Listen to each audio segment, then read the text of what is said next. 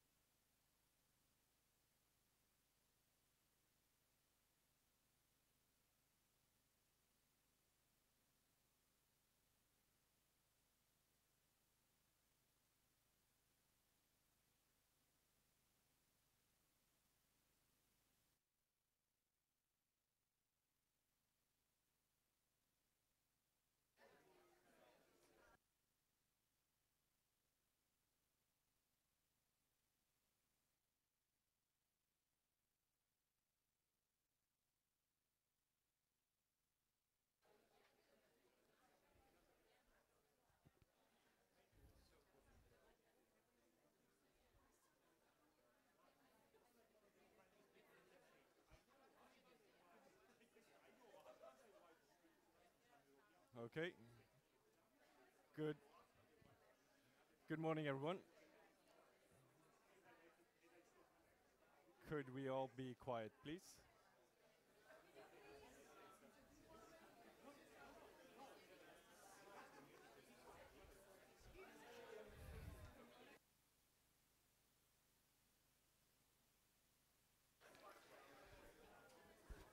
Good morning, everyone.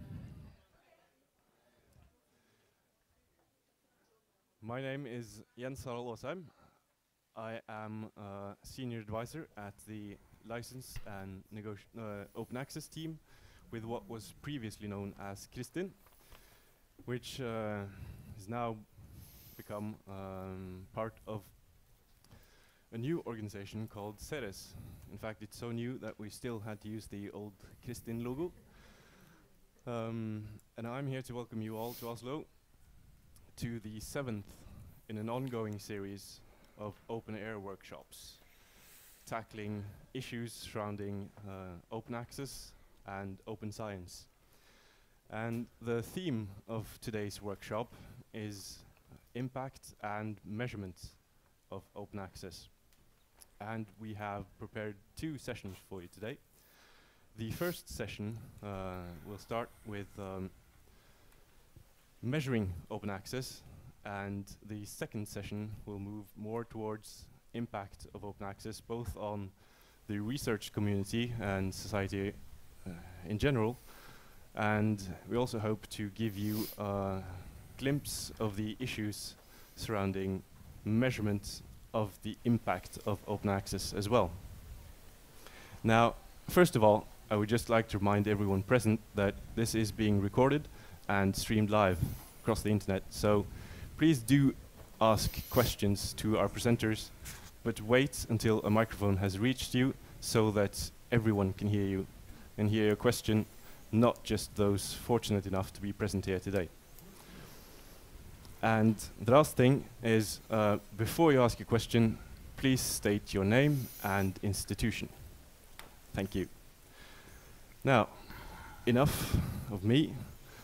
Um, here to open the uh, today's workshop and give you a proper Norwegian welcome.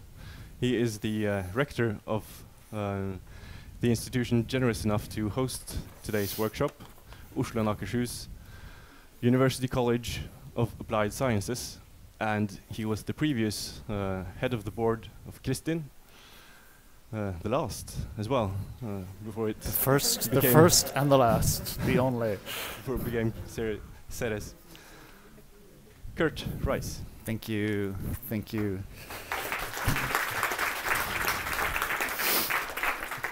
Good, good morning, everybody, and uh, welcome again to Oslo and to Høgskolen i Akershus, also in Akershus University College of Applied Sciences. It's a privilege and a pleasure for us to host uh, such a distinguished uh, crowd here who are engaged in very important discussions about open access. Uh, it's often the case that guys like me, rectors of host institutions, uh, come up here and clear their throats for a couple of minutes and then let you get down to serious business.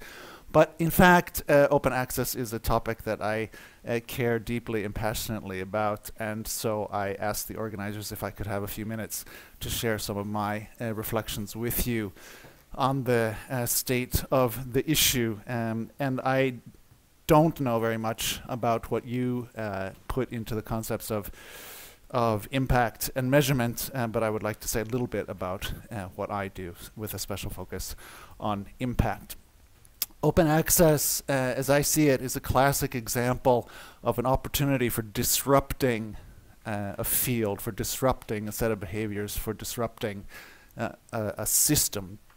And for the most part, I would say that we have failed uh, over the last 10 or 15 years to exploit that opportunity in a way that has meaningfully improved uh, the activity of scientific publication. That is a tragedy, in my opinion, but it's also uh, academically interesting and it deserves our study and our deeper uh, deeper understanding.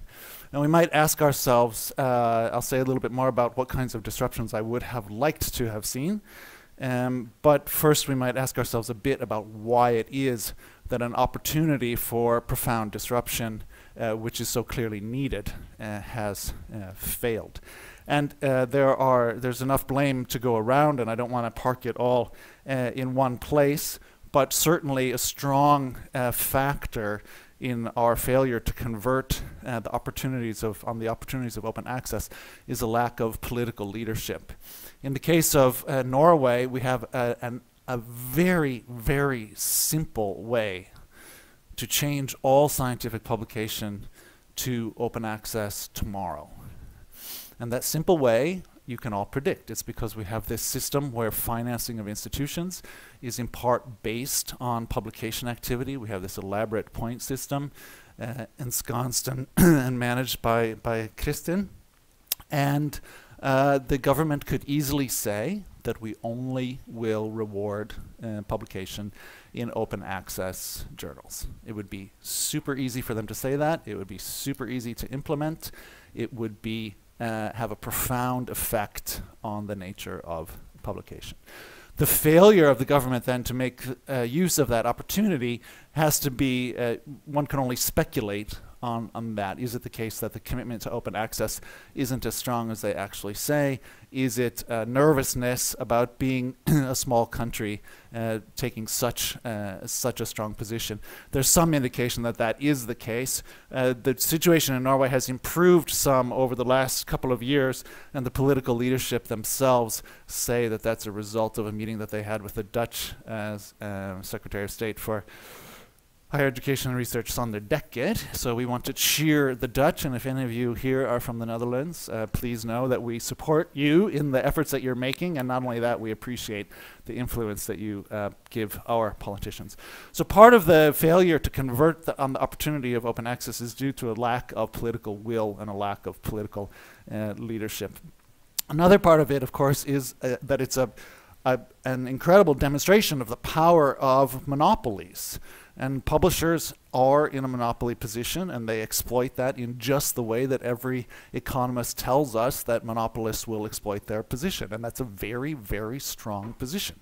And they have used that strength in part to uh, um, negatively impact the opportunity for genuine disruption of the publishing uh, industry.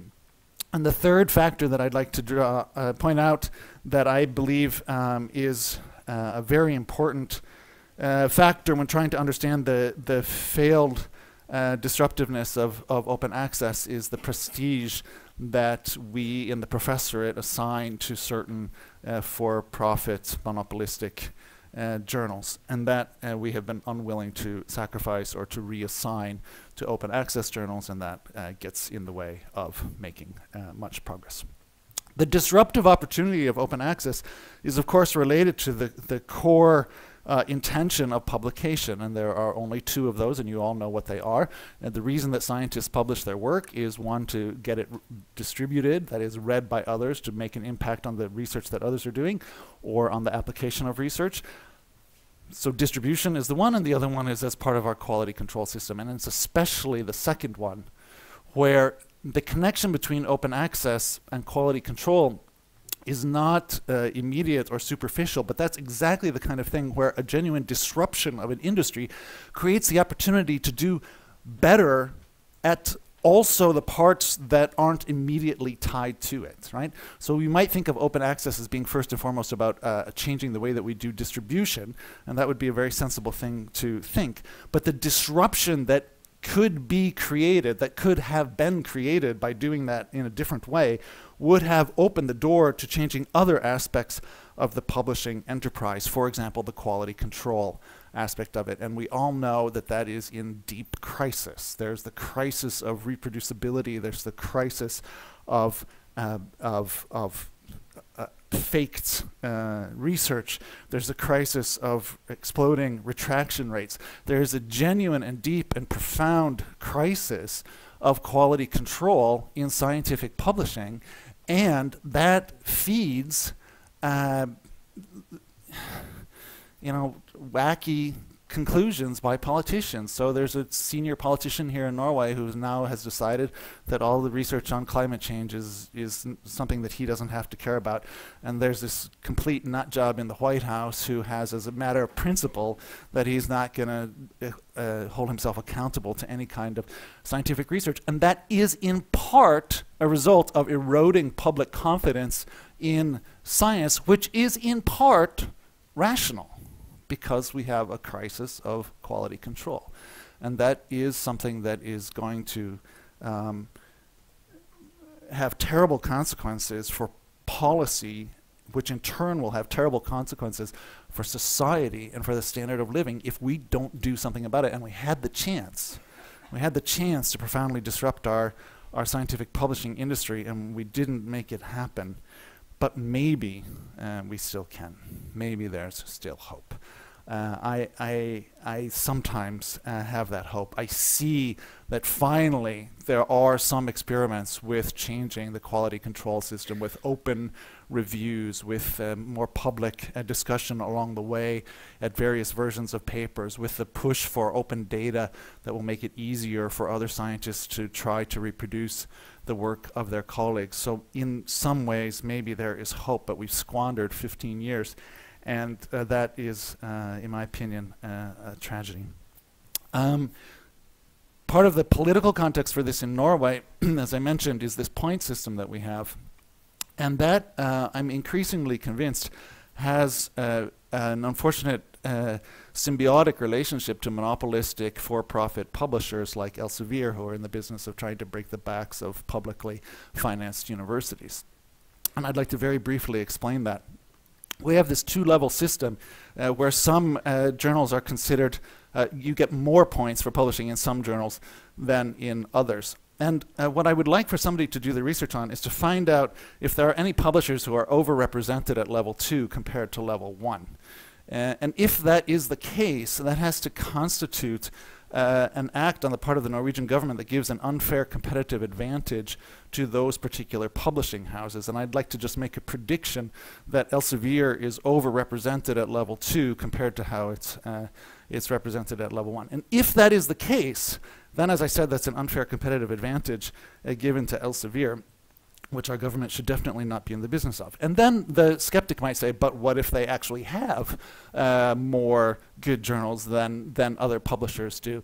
To which I would say, we know that the concept of a good journal doesn't make any sense. We know that there is no correlation between the quality of the work published in high visibility journals and low visibility journals. In fact, we know that there might be reasons to think that the work published in high visibility journals is of lower quality than the work published in low visibility journals, for example, based on the higher rate of retraction that we see in high visibility journals. So the very concept, the concept of a good paper and a bad paper is clear. The concept of a good journal and a bad journal is not at all clear. Yet in Norway, we have a financing system that necessarily builds on the concept of good journals and bad journals and probably gives an unfair competitive advantage to certain large monopolists.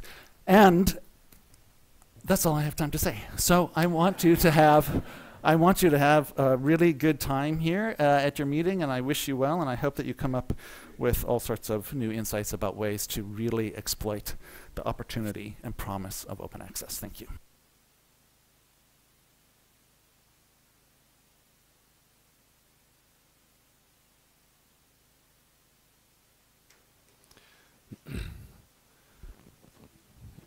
Okay, thank you, Curt, for an engaging and uh, inspiring opening to this workshop. Our next speaker is Natalia Manola from uh, uh, the University, Univer University of Athens and uh, Athena. She is the project director of the OpenAIRE project and she will um, give us an introduction to the workshop, Impact and Measurement of Open Access. Okay, but hello. Okay, before I start, I just wanted to say to everyone that today is the 15th year anniversary of the Budapest Declaration, and as we heard before, is that we all have to think and reflect on the disruptions we've made. I think we all wish that we have we would have made a bigger disruption, uh, but we are getting there. Let's see. Let's see how we do that. So uh, what we will present today, so do I, uh, okay. Uh, what the workshop is today is one of the series of the workshops in um, uh, from OpenAIRE. I have to now advertise that our next workshop will be in RDA 4th uh, of April about legal issues. Uh, so it would be good to have you there. And it's about impact and measurement of open access, whatever that means, right? Uh, it means different things to many people. So the first is about monitoring open access. And what I would like to see is uh, in order to monitor, to say a few things to set the discussion for today, is in order to monitor open access, first we have to measure open access. Now what we do in OpenAIRE, right, is we get repositories, we get open access journals, we get, we see a label, we sometimes see a license, and we label it open access. And you can click on uh, probably a PDF viewer and you can see it. Is this what we want? Because what we believe in uh, open access for publications and for data is that we should apply the FAIR principles. So we should find them. It's not only on the data because everyone is talking about FAIR principles on research data, and they forget the publications. We should apply the FAIR principles uh, on publications also. So it's not enough just to label something open access. You have to label it nicely so you can reuse it. You have to fill in all of the metadata so you can uh, interoperate with it. Uh, you need to make it sure that it's text and data mineable and of course uh, you need to, to find it. So this is what we should do, what we should think on when we say measure open access. What is open access? And we should uh, we should um, um, we should think about it in in the very short future. So what we do in OpenAIRE to monitor open access for EC, I will just get you some graphs, and these are graphs, so we're measuring the FP7, we're measuring golden green, we're measuring publications in institutional repositories or not, we're measuring uh, per program, per, uh, per, um, uh, per uh, project, and we do that for the other funders. So what we want to do in OpenAIRE is to have an open access open science monitor across Europe if, we, if, we, if we're able to get other funders on board. But we need to go beyond that because this is very simple. We need to measure openness, and this comes from uh, from uh, from a, uh, OSI 2016 uh, working group. Is we had nailed down some some um, facets of openness, and this is where we should go to. We should uh, measure. Um, uh, all of openness on all uh, products, research objects. Uh, we should do uh, what uh, we should measure the license, the proper licenses, availability measures, how available are they are, for what can we use them, and of course performance and format measures. So this is this is something that we should uh, be working to for for measuring open access. And of course, you can imagine something like the Open Science Monitor, uh, similar to the Open Data Government Monitor, which uh, deals about open licenses, if it's machine readable, availability, how full it is, how full of metadata it is. Uh, broken down by different uh, facets. So this is a country, and uh, to can see, so we can have a monitor around uh, Europe. And this is what we would like to do in, in OpenAIRE. We're doing it just very, very uh, in a primary way, but this is the way that all member states and all research uh, communities should think on. Part two, so this is the discussion uh, for, for, for this morning. Part two, the impact of open access. This is, uh, I would like to put some questions on the table. Is it measurable? Uh, there is the uh, Commissioner Moedas, open, uh, uh, open science, open innovation, open to the world. We have uh, indicators that it does actually have an impact, but we haven't measured how. And we need to measure for research, we need to measure for innovation, and we need to measure how it affects society and the public. And then what is most interesting is how to, does it relate to the research assessment. It's, it's the previous uh, talk said about how we can enable open access and open innovation, but we have to change the system. How does the, because it starts from there, researcher assessments. But this is only, uh, I think we make the mistake of primarily looking to researchers, but we need also to look at the funders and the other policymakers. In, in OpenAIRE, what we do is we try, we have, um, we, uh, we have a pilot usage statistic, so it's a Google-like analytics service for literature and data repositories. And we make sure that we get all, all of the stats there and analyze them and return them back to whoever wants to use. So when, you're, when we are measuring open access uh, and the impact, all we can do as OpenAIRE is to get the metrics, and then the people will see. Uh, we'll let we'll let the appropriate stakeholders to do uh, to do the to do the analysis. So when we're measuring open access impact, I think is that we have to realize that there are different and multiple metrics for different users. Uh, we don't know yet how they go. Uh, we see bibliometrics, we see uh, scientometrics, we see webometrics, we see altmetrics. How are they used? What are what is their impact? So what is our job is to facilitate the process and make them available. But as a community, what we should uh, insist on is to have an open metrics net framework. What we have in the past with Thomson Reuters, with um, uh, with all of these metrics, uh, that are being calculated for the research uh, assessment, everything is closed. What we should change is to go to the open metrics framework. And this is this is a start that we're doing in OpenAIRE, but I think we need a lot of work in order to, to, to go there. So so this is this is framing the discussion and I hope that we will get a chance to discuss all of these things today.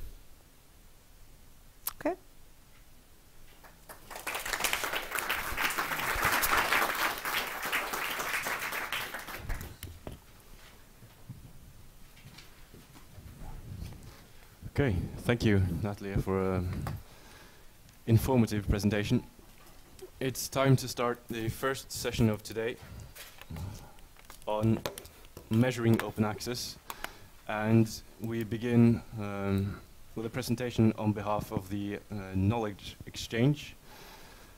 Uh, its presenter is Mikael Svensson.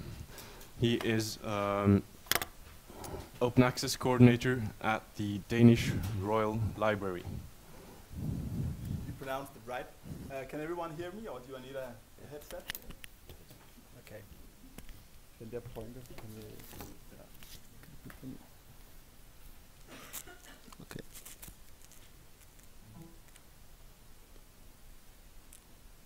I'm gonna take off my glasses, otherwise it's not gonna work. Or my ears are too big, maybe.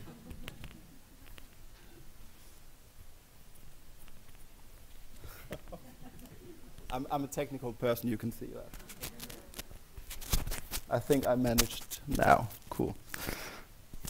Okay, first of all, thank you to uh, OpenAIRE and uh, also to uh, Jens and, and Nina for inviting uh, Knowledge Exchange in today and tell a bit about the work we've been performing the last two years around not so much measuring maybe because that's something that takes part nationally mostly, but also to try and raise the, a bit above and look at how we actually monitor open access among uh, institutions and uh, also countries and partner countries in the knowledge exchange.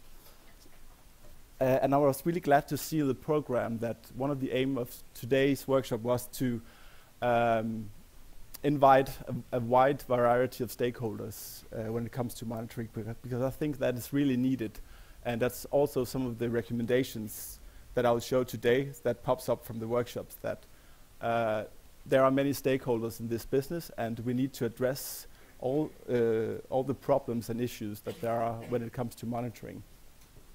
Um, to those of you who are not familiar with Knowledge Exchange, I'm just going to tell you a bit about uh, what they do an as an organization. But then otherwise, I'm going to more uh, dig into the workshop series we held the first one in Utrecht uh, in 2015, and last November in Copenhagen, uh, we had the second workshop. And what we did was we tried to I'll tell you a bit about how we tried to scope those two workshops, look at the background, the method we applied, and what the objectives were, and then give giving a status on the, some of uh, the keynotes that were given by the community outreach we did, and then also look specific into the country reporting on monitoring OA. Um, and then uh, finally, the, as the second part of the workshop, we had breakout groups who discussed uh, in-depth um, KE-selected uh, topics and uh, some questions. Uh, and that turned out to be more than, uh, than 50 recommendations given. I'm and I'm allow myself to cherry pick a bit of those recommendations today, but the report will hopefully come out, Christian, in two weeks or, or something like that. So you can uh, dive more detailed into some of the recommendations. And then finally, give an outlook on uh, what's needed beyond these workshops and um, also um, uh, yeah, around the published report that is coming up. So Knowledge Exchange consists uh, basically of six, now six organizations with the last member CNRS from France coming in. And these six uh, organizations are, are, working together in Europe to support the development of uh, digital infrastructure to enable open scholarship. Uh, and it's a network consisting uh, of expertise within both open access, research data, and also open scholarship. Uh, and it's a very fruitful network with a lot of interesting co collaboration, I think. Um, the background and method we applied was that in 2015, uh, what we call in Knowledge Exchange a task and finish group was set up within the open access expert group to try and, uh, and plan and uh, scope a workshop series around international collaboration, addressing especially the challenges, but also try to come up with some of the recommendations uh, in monitoring both open access publications and also the derived cost data that we see. So there's a need for, uh, for monitoring uh, in times of economic restraints and also in order to, uh, so institutions are, are more capable of allocating uh, budgets uh, when, it, when it comes to this. Um, and then what we applied was a kind of, I call it a mixed method because It was both uh, consisting of quantitative data from, from running projects and then also qualitative data uh, that popped out in the breakout groups and uh, inviting also some of the keynotes, uh, most, uh, most of the keynotes also present here today. Uh, you'll see that later. that gave a kind of baseline for the breakout groups to discuss some of the topics more in depth uh, and we asked them to, to come up with some really practice-based recommendations on how to maybe solve these challenges and what are needed for the future. Um, the objectives were quite clear. Uh, we had a goal of pushing for transparency in exchange of open access metadata and cost data. That was the, that was the goal of the workshop. And how? What's the aim of this goal? Well, it is to influence, influence as uh, Curt said in the beginning, evidence-based policy making around data uh, and then promote better outcomes in negotiations with publishers. That was the clear, the clear aim, or th those clear aims for uh, the workshop. I also did a bit of meta monitoring on the workshop. Uh, it was really an international knowledge exchange. We had uh, we had 11 countries participating. Uh, we had through uh, inter-organizational knowledge exchange. more than 41 organizations took part, and we had both licensing and open access experts participating uh, with more than uh, 50 workshop attendees. And if you want to check out the hashtag KEOA16, there are a lot of good tweets in there if you're active in, in that social media. Okay.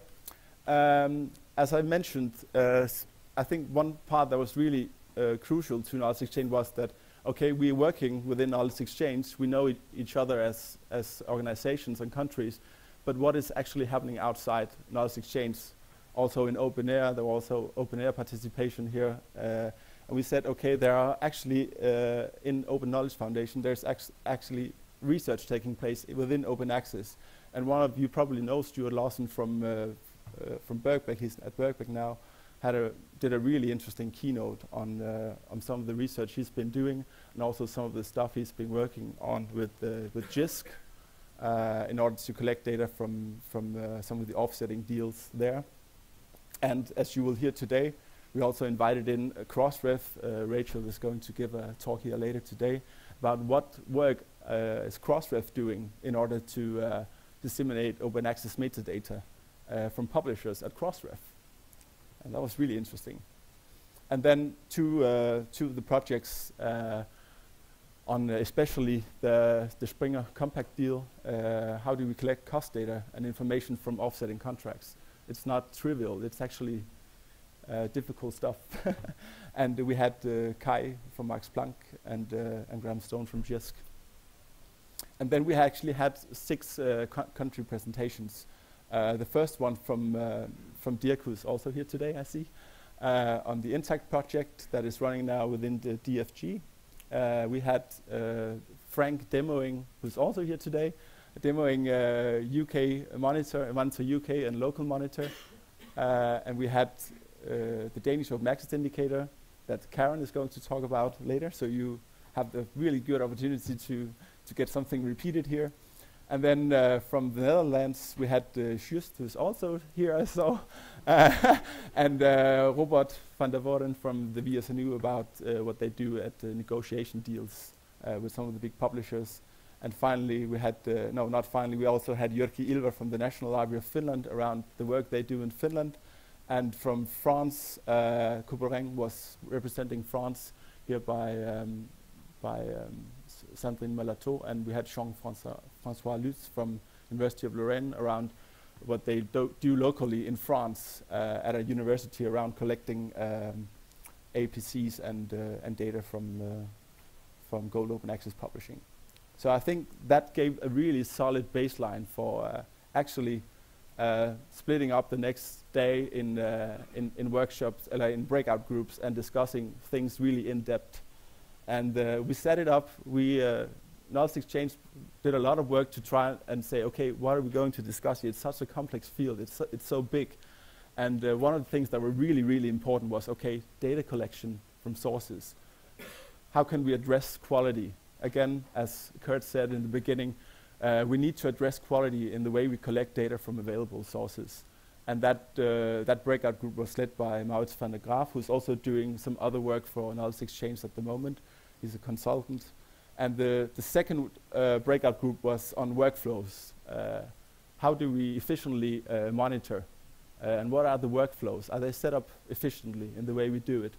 And uh, especially Kai Geschuhn from Max Planck Library has done a lot of work in, in trying to figure out how we can obtain efficiency in, in workflows. And of course, there always needs to be a standard track in, uh, in, a, in a workshop. So uh, it was led by Frank uh, Manista, and uh, here we, we addressed uh, how we aggregate uh, open access publication and cost via standards. Is it done via standards? Are the standards sufficient? what do we need? A lot of questions popped out. I won't go into detail with all the questions here, but as you will see in some of the recommendations, you can probably guess the questions. And the last thing that is also really important to us. Okay, governance and policy making. How do we build in trust in monitoring open access? And can we align uh, uh, policies uh, across nations and policy making? And it was led by Angela Holzer from, from DFG. Okay, I'm going to dig right into some of the recommendations. And as I said uh, in the beginning, I have allowed myself to cherry pick a bit. There are close to 50 recommendations, and they're set up in the report so you can see it more detailed in, in two, two weeks' time. But when it comes to uh, green open access, some of the re recommendations that were given in the breakout group on, on data collecting and sources, we need to identify the corresponding author uh, in a metadata scheme. Uh, we need to identify the potential green open access. It's a concept that you will see in the open access indicator as well uh, in Karen's talk via the Sherpa Romeo API. You can actually see the publisher's uh, self-archiving rights and policies. And we need to monitor open access after the end of the embargo. Actually, do uh, publishers fulfill what they, what they promise when it comes to, to self-archiving rights? When it comes to Gold OA, well, matching metadata from our CRIS systems or repositories, either with the DOAJ or, as we have seen uh, coming from Bielefeld, the ISSN Gold Open Access list that has much more in it and in order to identify the pure gold open access articles, do that matching is really important. And then both look at the, the APC expenditures and the administrative handling cost of handling APCs. There's a lot of staff hours involved here, and it's part of the cost structure. It's either done maybe by the author himself.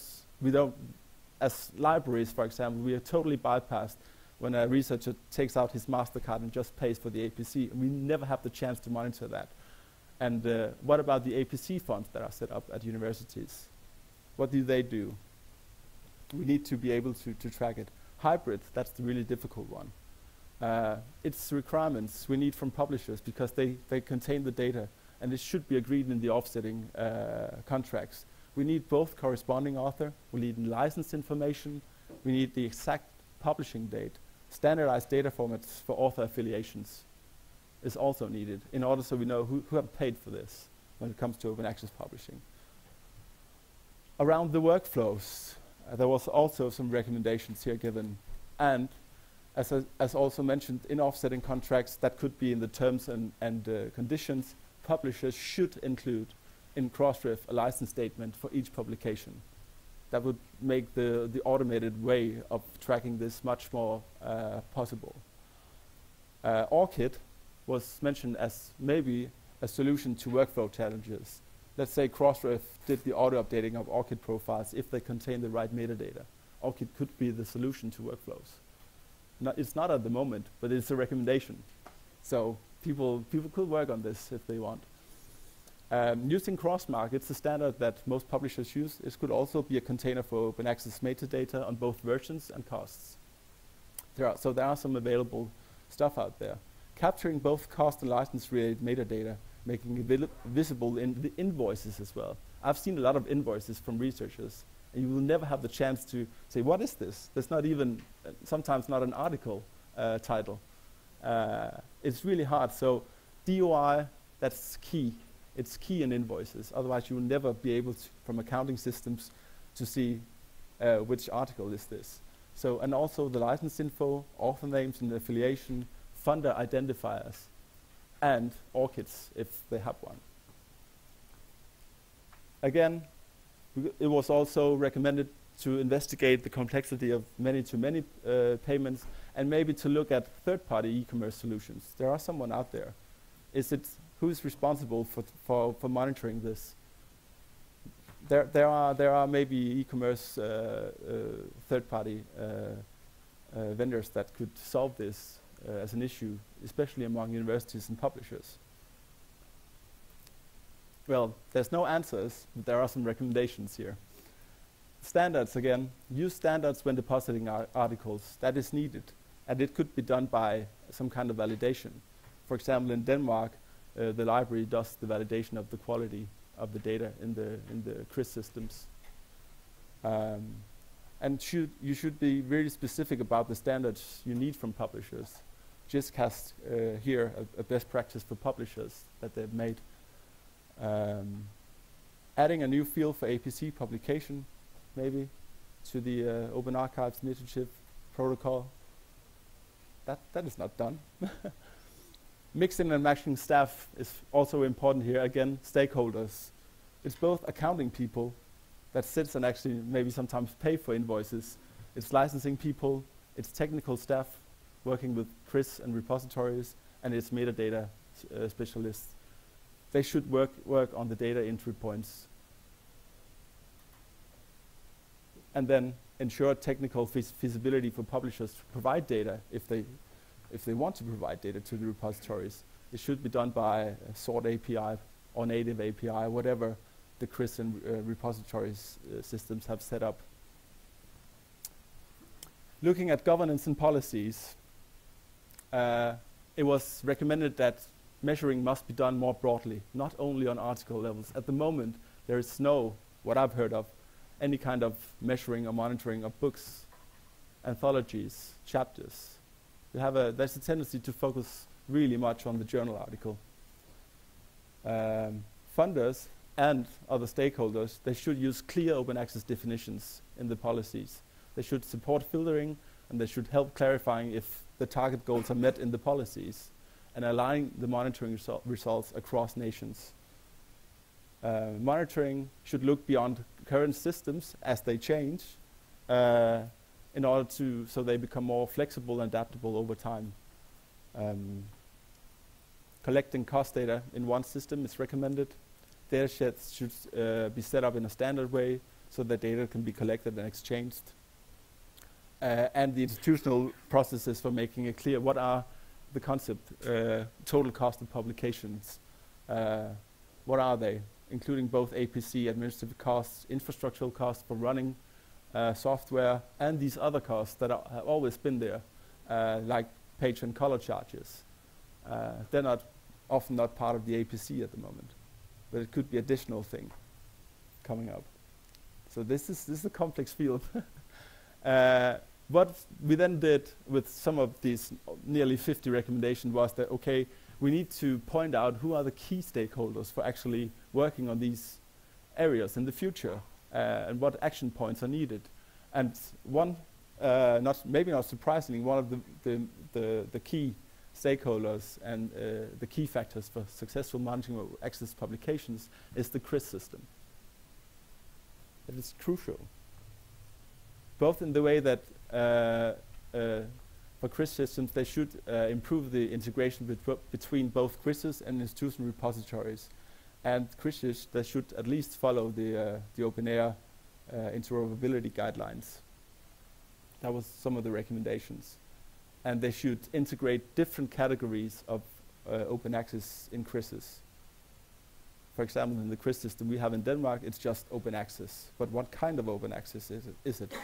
and they should uh, collect and report data on these different kinds of open access, green, gold, or if it's possible to validate it hybrid open access. And try also as a recommendation to create a DOI linkage between accounting systems and CRIS systems. That would make it much easier to identify the costs as well and who paid for it. Another key, sta key stakeholder are of course publishers. They're essential actors in monitoring as they hold crucial information. Uh, they're not just often not so willing to share it. Uh, but okay, a recommendation is for publishers to use standard standardized data formats for author affiliation, license statement and in indicating the status of the of the publication. Is it green? Is it is it gold? Or is it hybrid? Libraries and funders, when they negotiate with publishers uh, or set up policies, they should be really specific about the metadata requirements, uh, and they should include these in both offsetting and licensing contracts. Publishers should also include all cost and license related metadata in their invoices, as I mentioned earlier on.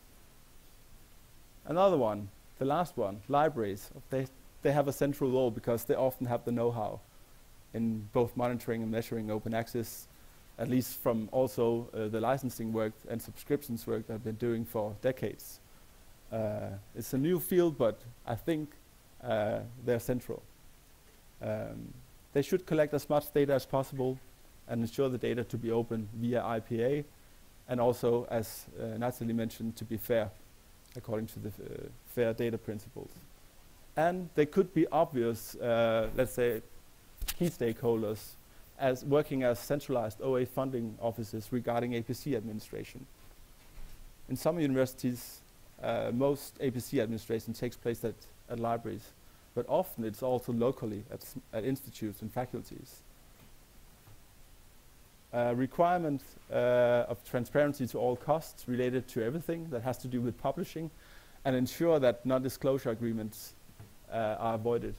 Also when it comes to if there are some kind of APC offsetting taking place locally, make sure the data are openly, they're non-disclosure. Uh, so, and then set up, try and set up uh, processes that openly monitor an institution's total cost of publications. These were the key stakeholders and some of the recommendations given.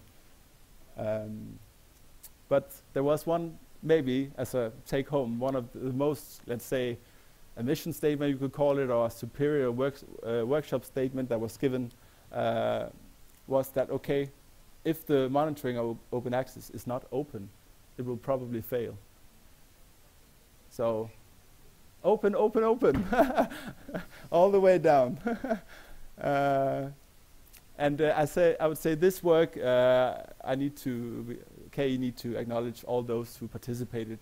Uh, there were really lively discussions, and uh, I'm not sure that this is this work has, uh, has is done. It's it's just started. But here are some recommendations to be given, and um, well, as I mentioned, the published report will be out in two weeks. So uh, I hope uh, this was a bit of an appetizer for that one. And I also want to say thank you to OpenAIRE for coming. And I think we have, do we have time for any questions? Otherwise, uh, there's a coffee break and there's, I think I'm in the panel later at the end of the day. So if you have any, uh, any more questions, you're mostly welcome to, um, to contact me or prod my shoulder.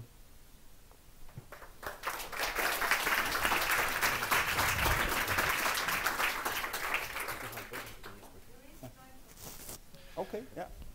Yes. Any questions for Mikael?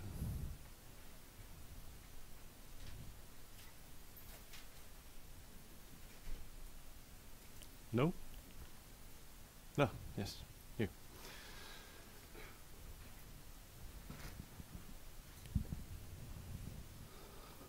Good morning, everybody. I guess the library is taking very important role the monitoring of the APCs. Yeah. Maybe we should think about the how can we add some features to the library automation system to monitor the APCs, like uh, ordering the books, something like that. Mm. It should be very important. What do you think about that? In which system, what, what, what part of the system do you think? Li library automation systems. Yeah. Yeah. What are, what are Yeah, library uh, automations? Yeah, I'm, I'm not Dynix or sorry? uh, Millennium, SirsiDynix, uh, whatever. The Yeah. yeah. Maybe. I, d- I, I wouldn't be able to, to say if that's the solution. Uh, I think one of the, the way that the recommendations that were uh, seen here was that ORCID could be become some kind of solution if it's because it's applied both at for publishers, it's applied in the CRIS systems often, integrated into the CRIS systems, and it's connected to the researcher. So that could be maybe some kind of container for if their profiles are auto updated and the metadata are exchanged. Uh, so that was one maybe possible solution to automation, but I'm not an uh, automation system expert, so I wouldn't. Sorry, I wouldn't be able to tell. Okay, thank you. but maybe someone has a reply to that in the in the audience. No, but I have a question. Yeah. Uh, we run in OpenAIRE a pilot on APCs, uh, paying APCs for post FP7 publications, and what we saw is that the libraries they are doing the job, but they're not very much organized because they are missing the IT systems. Many of the libraries used Excel sheets, and I think you said about open protocols, and what what we did is we made a system uh, which is automated, and then we wanted to talk about exchange formats to change uh, to, to exchange the, the, the, data that we have now in the system with other um, with other uh, stakeholders. Mm. Even though the publishers are not willing to do that, but the other stakeholders like GISCO should do that. What does it take to to get a group, you know, through knowledge knowledge exchange perhaps and OpenAIRE, to get th- these things in place? Because we're talking about open protocols and open monitoring, but we're not Mm. doing much. No, I, I would say that's a, that's a really good uh, activity for for KE to uh, to try and look uh, more into. But I would say for for a local perspective, for perspective, for example, we use uh, in Denmark Navision as a as it's really closed system for accounting system from Microsoft, and it's had no chance to to c- trying to communicate with that system. At least it's it's it's not open. So, but let's let's it could be it could probably be developed, but often that I think at the moment is that there's no connection between CRIS or re- repositories and accounting systems. That's the huge challenge. So we need that in order to to have that exchange of data, metadata. Yeah. Yeah. Yeah, Kronos. Yeah. Yeah. yeah. Mm. Yeah. I, I would like to see the first uh, uh, open licensed uh, system, uh, open source system. Yeah. Okay. Yeah. The open science, open science uh, monitor. Is you referring to that? Okay. No, no, I'm, I'm referring to the APC uh, FP FP. Okay. uh, system. Okay. Yeah. Yeah. Yeah. Okay, I think that's it. Yeah. Um, again, Okay. Thanks. I will share with uh, some of the we will now have a break and uh, we'll return in roughly 20 minutes, uh, 45 minutes past 10. Thank you.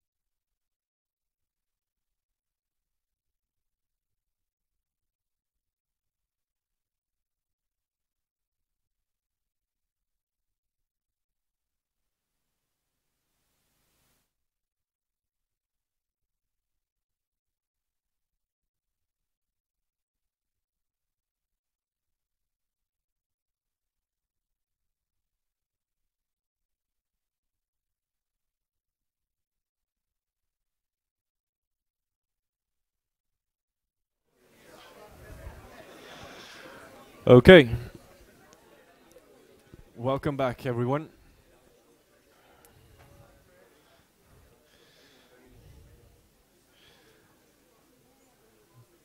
Now, our next speaker is um, Karen Sofie Hytteballe Ibanez. She is a senior research analyst at the Technical University of Denmark, DTU.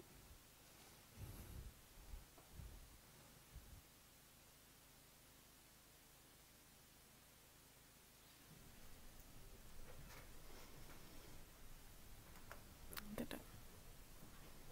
Den nederste. Mm.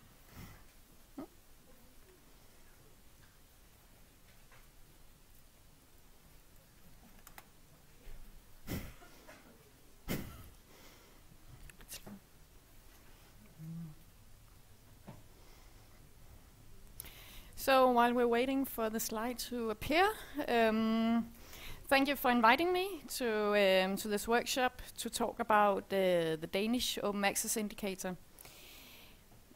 My name is Karen. I work at Technical University of Denmark. We assist the Minister of uh, Higher Education and Science in um, operating, analyzing, and uh, further develop the, the Danish Open Access Indicator. This is a joint effort with the library at the Technical University of Denmark, and um, I can't take credit of any of the things that has been done so far because I'm fairly new to the team. Um, for the next half hour, I will give you a background of uh, why we measure in Denmark, what is being measured, how it is measured, the challenges um, connected to measuring open access, uh, suggestions to developments and improvements, and uh, how we can use the data from the indicator. So in Denmark, since 2014, we have a national strategy for access, um, which is green, primarily green, and um, which has a definition of open access as scientific and peer-reviewed articles and conference contributions in uh, journals and proceedings with ISSN.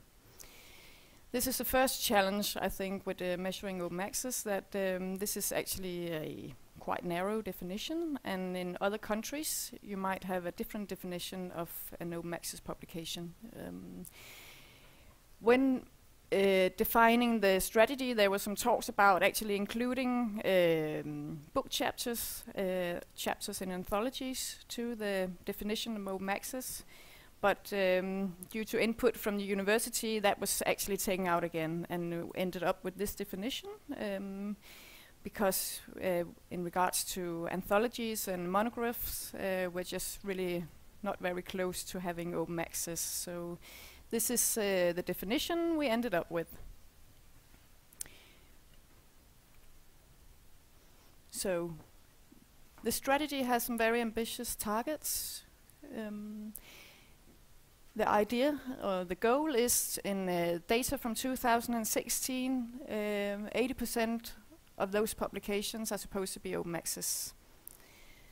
And by 2021, 100% are supposed to be open access. So that's quite ambitious. And um, as you'll see later on in my presentation, you can see the state of affairs as we are right now, and uh, there's quite a long way to go, but it's always good with some good challenges. Um, so uh, with these targets, obviously we need something to to uh, monitor how well are we doing in Denmark on a national level and on a university level, and um, hence the open access indicator was developed.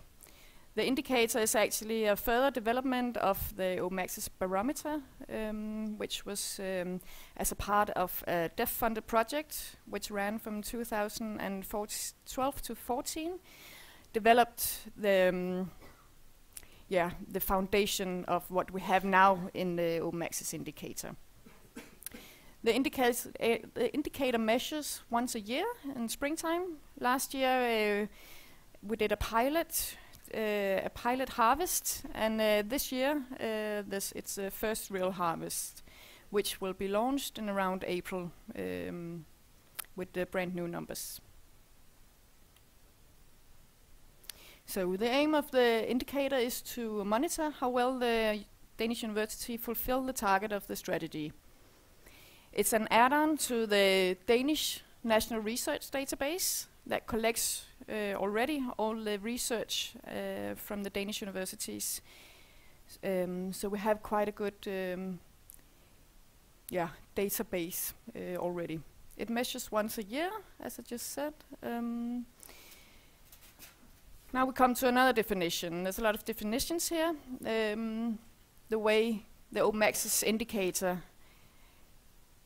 um, actually can can measure open access. There are two kind of open access to be measured in the indicator. The first one is gold open access. So even though we have a green strategy, obviously there will be gold open access publications as well uh, being published in Denmark. They have to be real gold, uh, not hybrid. And we use the directory of open access journals as a foundation or as a base to, to validate um, the gold open, uh, gold open access journals. Also, we measure the green open access. We do that by um, measuring publication downloaded or uploaded either in an institutional repository or in an external repository. Um, what we don't measure is hybrid open access. Um, only if it's uploaded into one of these repositories. And I'll get back to that uh, a bit later. So the data sources we use for uh, the measuring of the open access output is uh, first of all the publication metadata from all eight universities. All eight universities in Denmark are using the same CRIS system. It's pure. So we have like a unified data model and have very consistent data that we can use as a basis. And in Denmark, we also have the bibliometric research indicator that uh, you have in Norway, and which uh, Curt talked about this morning. Uh, uh it's a funding um, funding allocation system, um, and since we have that uh, funding allocation system. I'm not going into detail whether it's good or not, but we have it, and it it actually uh, means that the Danish universities they actually register most, yeah, I would say, uh, next to 100% of the research are actually uh, registered in the CRIS systems. Otherwise, you don't get the money from the BFI system. So that's also a uh, data source we use Directory Open Access uh, journals uh, as a source. We use Sherpa Romeo to validate whether or not there's open access potential. And then um, a new addition to the to the data set from 2015 is an uh, authority list of trusted external repositories. This is um, this is uh, collected uh, or compiled annually with input from uh, the Danish universities. They can actually make suggestions to this um, list of uh, external repositories and uh, they're being uh, decided by the National Steering Group uh, or Committee of Open Access in Denmark. Furthermore, we have an authority list of journals with extreme embargo periods. Um, since the strategy says that you're only allowed to uh, to have a maximum of 12 months embargo, um, what we found was obviously a lot of the journals in indexed in Sherpa Romeo said, yeah, there's a green open access possibility, but a lot of those journals actually have uh, more than 12 month embargo periods, all the way up to, I don't know, 48 months, which is not really open access potential in our view. So um, we actually collected lists of embargo periods from the publishers, um, and the university assisted uh, with those lists. So that's compiled annually as well, uh, and works as a base, also a data source. So I'll walk you through the steps of the um, indicator measuring. Um, yeah, First of all, we collect the metadata from the CRIS systems. Um,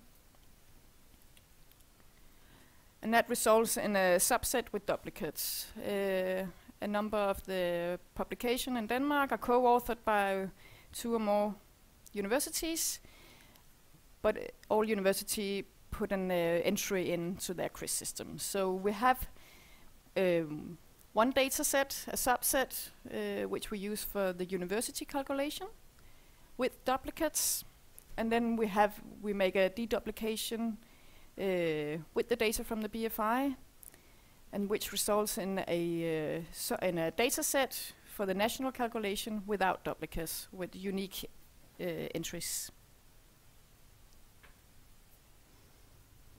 Those data are then first of all being matched with the Directory of Open Access Journals uh, metadata to see if uh, any of these um, journals are indexed in uh, DOAJ.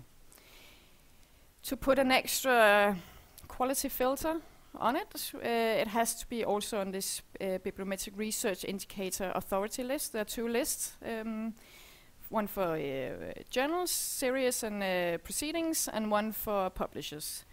So you have to um, also be uh, be indexed on a BFI list in order to be qualified as as um, real gold open access.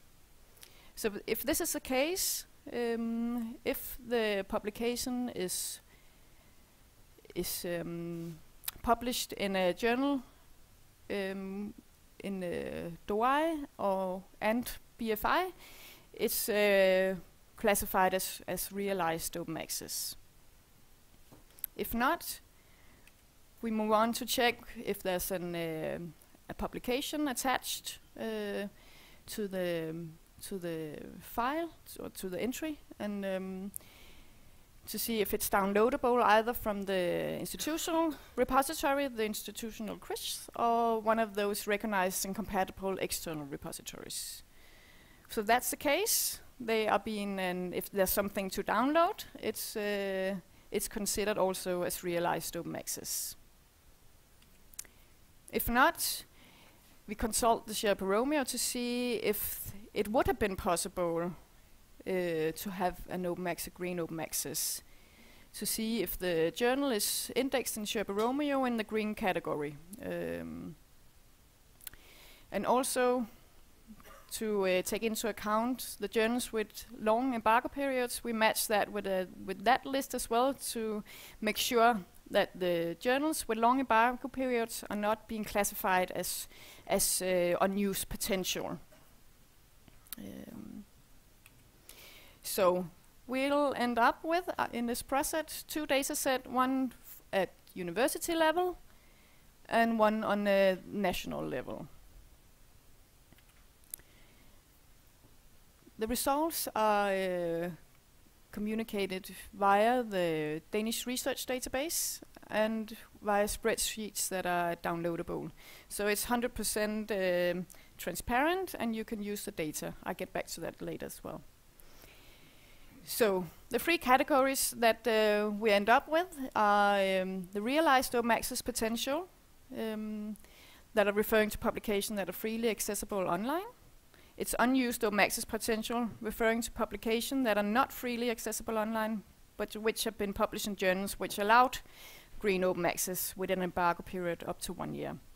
And then we had the last category, the um, the we say yeah the rest uh, is the unclear open access potential, referring to the publication that are not freely accessible, and which have been published in journals with an undetermined open access policy, and that also includes uh, printed journals. In Denmark, we still have printed journals that are not um, digital yet, so that's sort of the rest of the um, of the publications. So when measuring open access in this way, uh, we're presented with some challenges. First of all, uh, comparability and definitions. Um, the open access indicator measure what we have defined in Denmark to be open access publications and uh, the definition, definition of open access. And it can only measure the data that is available from the CRIS systems. And as Mikael just said, um, there's a lot of data that we don't get from the CRIS systems. We don't get information of whether it's hybrid articles or whether it's a corresponding author from a Danish university, stuff like that we don't know. So we can obviously only measure the data that we have. So when comparing with other countries in Europe or worldwide, you have to keep in mind that you're not uh, necessarily comparing the same numbers. So you have to uh, be aware of that. Uh, also, we uh, don't measure hybrid publications. Um, with the data we have, we can't measure that, and it's uh, it's really uh, a shame because we don't we have no idea how how many hybrid publications are actually um, being paid for in Denmark. They are taken into account if they're uploaded to uh, the CRIS systems, to the repositories, um, but then they are being calculated or measured as green open access, which is really uh, sort of not completely true. Um, we have, uh, as you see um, in the process, a lot of different data sources. So a lot of different data has to be uh, matched and compiled together, and obviously that uh, it would be easier if we just had to push one button and we would get all the data uh, in one go. Uh, also, there's some manual manual work uh, in the process, so um, that could be a challenge as well. And then we had the challenge with the long embargo periods that we have tried now to take into account with making this authority list with the journals with the long uh, embargo periods. Um, but that's also a challenge because we have to collect data from either the publishers or the universities, which is also a bit, uh, it's um, could be a bit tiresome for the university to have to go through all their publications. Uh, so that's also, um, I think it's a challenge as well. Um, so I'll just show you um, what it looks like. Um, this is the front page of the Danish National Research Database. You can see here we have all in, in the left-hand side, all the publications from the Danish universities and other research institutions. And then we have um, the open access results only from universities. Um, it's only universities that are covered by the national strategy of open access so far. So when you go into the open access indicator, you get information on different levels. First of all, you get on a national level. We can see that the last the last run we did for 2014 data actually only uh, resulted in 80% open access, so it's a bit far to the 80%. Um, so it gives a nice overview of how, how much do we have, how much is unused, and how much is unclear. Um, then we also divide it into main research areas. Uh, and I don't know if you can see it, but it's actually quite interesting to see that humanities are actually very close to uh, science technology, that we actually have a lot of, uh, or a lot, a, quite a big share of the of the realized open access potential is in the in the humanities. Then we had at university level, and which is, uh, I think, what is being looked at the most, because I think the university find this really interesting, and they obviously compare themselves to each other. And um, so we have it uh, in order. Uh, Technical University of Denmark are are doing the best and uh, and so forth. Um, what I just showed you was with the three categories. Actually, we also have a view where we only present the two categories, the the realized open access potential and the unused potential. Because it's a bit difficult to actually reach 100% open access if 30% uh, is unclear, if there's no possibility of publishing open access. If it's printed journal or just journals that say no, we don't want to uh, give that um, that opportunity. So you could say that this these kind of numbers are more accurate and uh, they definitely look better for national on a national level and on the university level. We also have a view where we see the development of the indicator, and you can see here we in uh, 13 we had 70% 14, 18, um, but that was before there was really um, the focus on open access that we have now. I think most of the universities have a strategy now, and workflows are being established how to how to actually accomplish um, um, getting more open access publications. So you can also see the whole time where are we um, according to the to the target. And um, yeah, it's going to be really interesting. And uh, in the beginning of April, the new uh, data are ready, we hope, and uh, it's going to be quite interesting to see how how um, how much uh, the university have actually managed to uh, to get open access.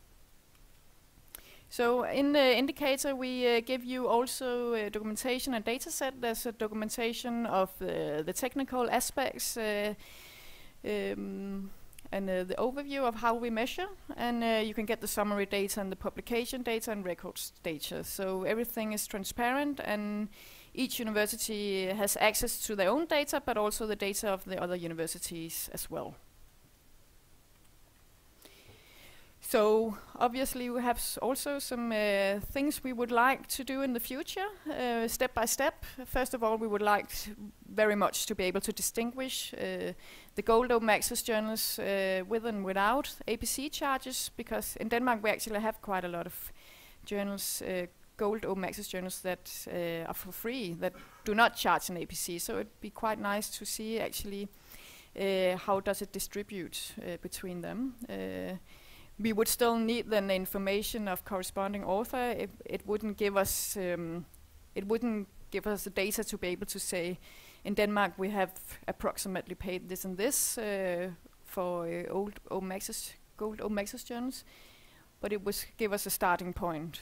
Um, and then uh, yeah, to be able to distinguish between that and uh, also distinguish between access green in the local repository and the external repository.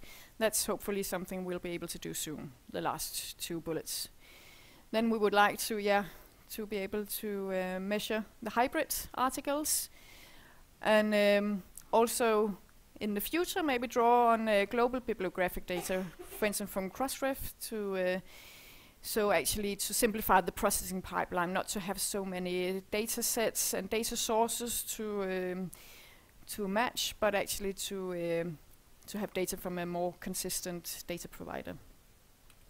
So the data, uh, these are just examples. What you can do with the data, the university uh, can monitor uh, how far away they are from the targets and uh, which journals uh, that do not allow open access publishing, they can do use that information on a more strategic level. Uh, on a national level, um, it would be quite interesting to monitor the development in embargo periods, and that's data that DEFF, uh, who will negotiate the license uh, agreements, could be handy for them to have uh, to see what are um, does the publisher make it more and more difficult for us to publish green open access? And then whatever you want to do with the data, it's uh, openly available and it's free for everyone to use.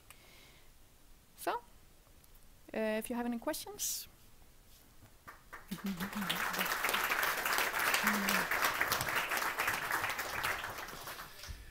Thank you, Karen. Um, we have time for a few questions.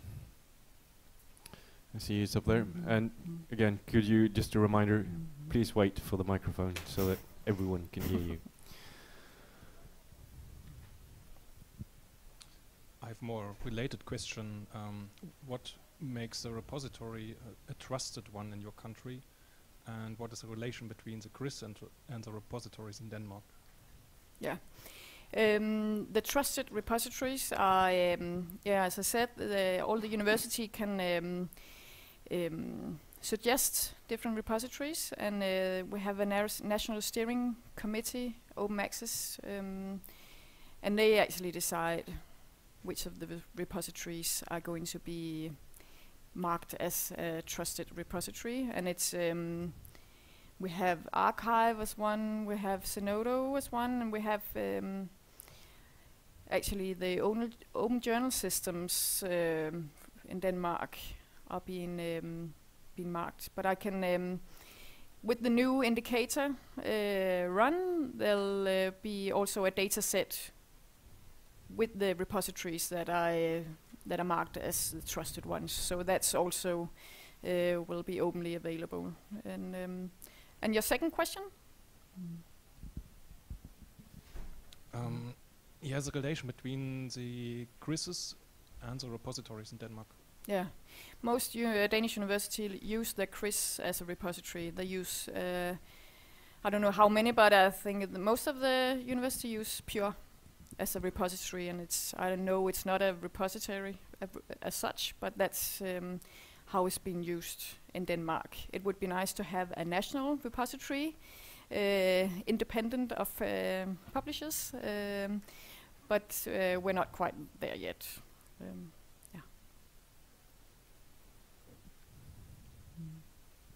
Okay, one last question. Uh, yes, you said uh, that you uh, deduplicate the publications, but how then? How can you give the numbers of each universities? Because how do you know uh, uh, uh, the publication from which universities they are? But we have two two data sets. One one where we deduplicate them, where it's on a national level, and then one uh, one data set for each university. So that's before the duplication. Yeah, deduplication. yeah. Okay, thank you. Yes. Okay. Again, thank you, Karen, for your presentation.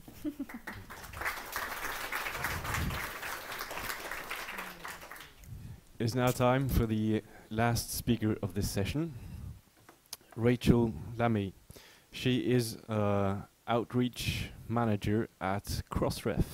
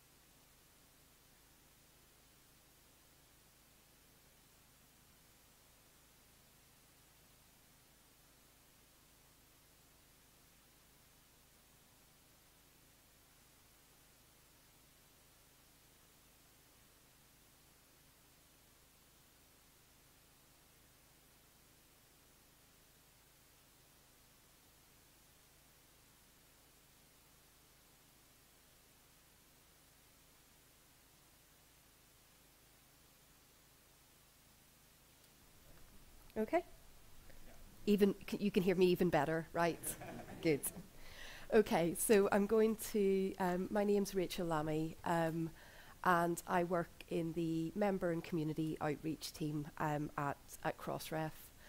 Um, if you're not familiar with Crossref, what what we are and um, and what we do, um, we are a not-for-profit membership organisation for scholarly publishing. Um, and we collect metadata um, from from publishers, and then make that available so that it can be um, so that it can be used to locate articles, to cite them, to track them, um, and we're one of the, um, the registration agencies that assigns um, the, the DOI or digital object identifiers to lots of different things, predominantly journal articles, but more so now things like books, data sets, preprints, dissertations. Um, in numbers, um, we work with over 5,000 publisher members, um, some big publishers, but more and more so um, a long tail of small open access publishers based all around the world.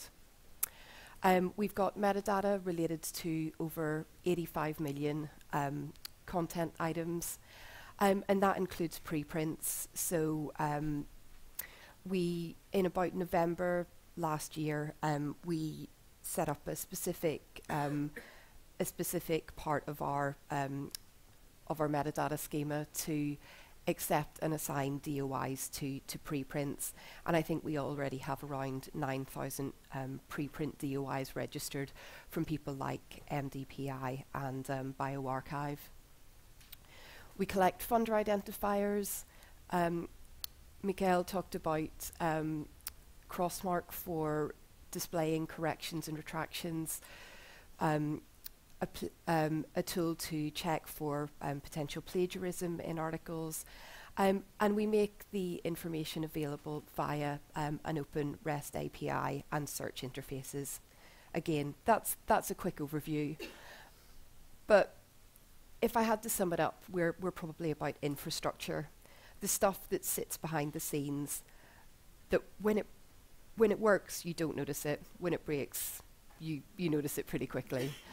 Um, and our, our specific flavour of, of infrastructure is the, that metadata that we collect from publishers. People um, predominantly sort of know Crossref because um, publishers assign DOIs so that their content can be indexed and discovered more readily.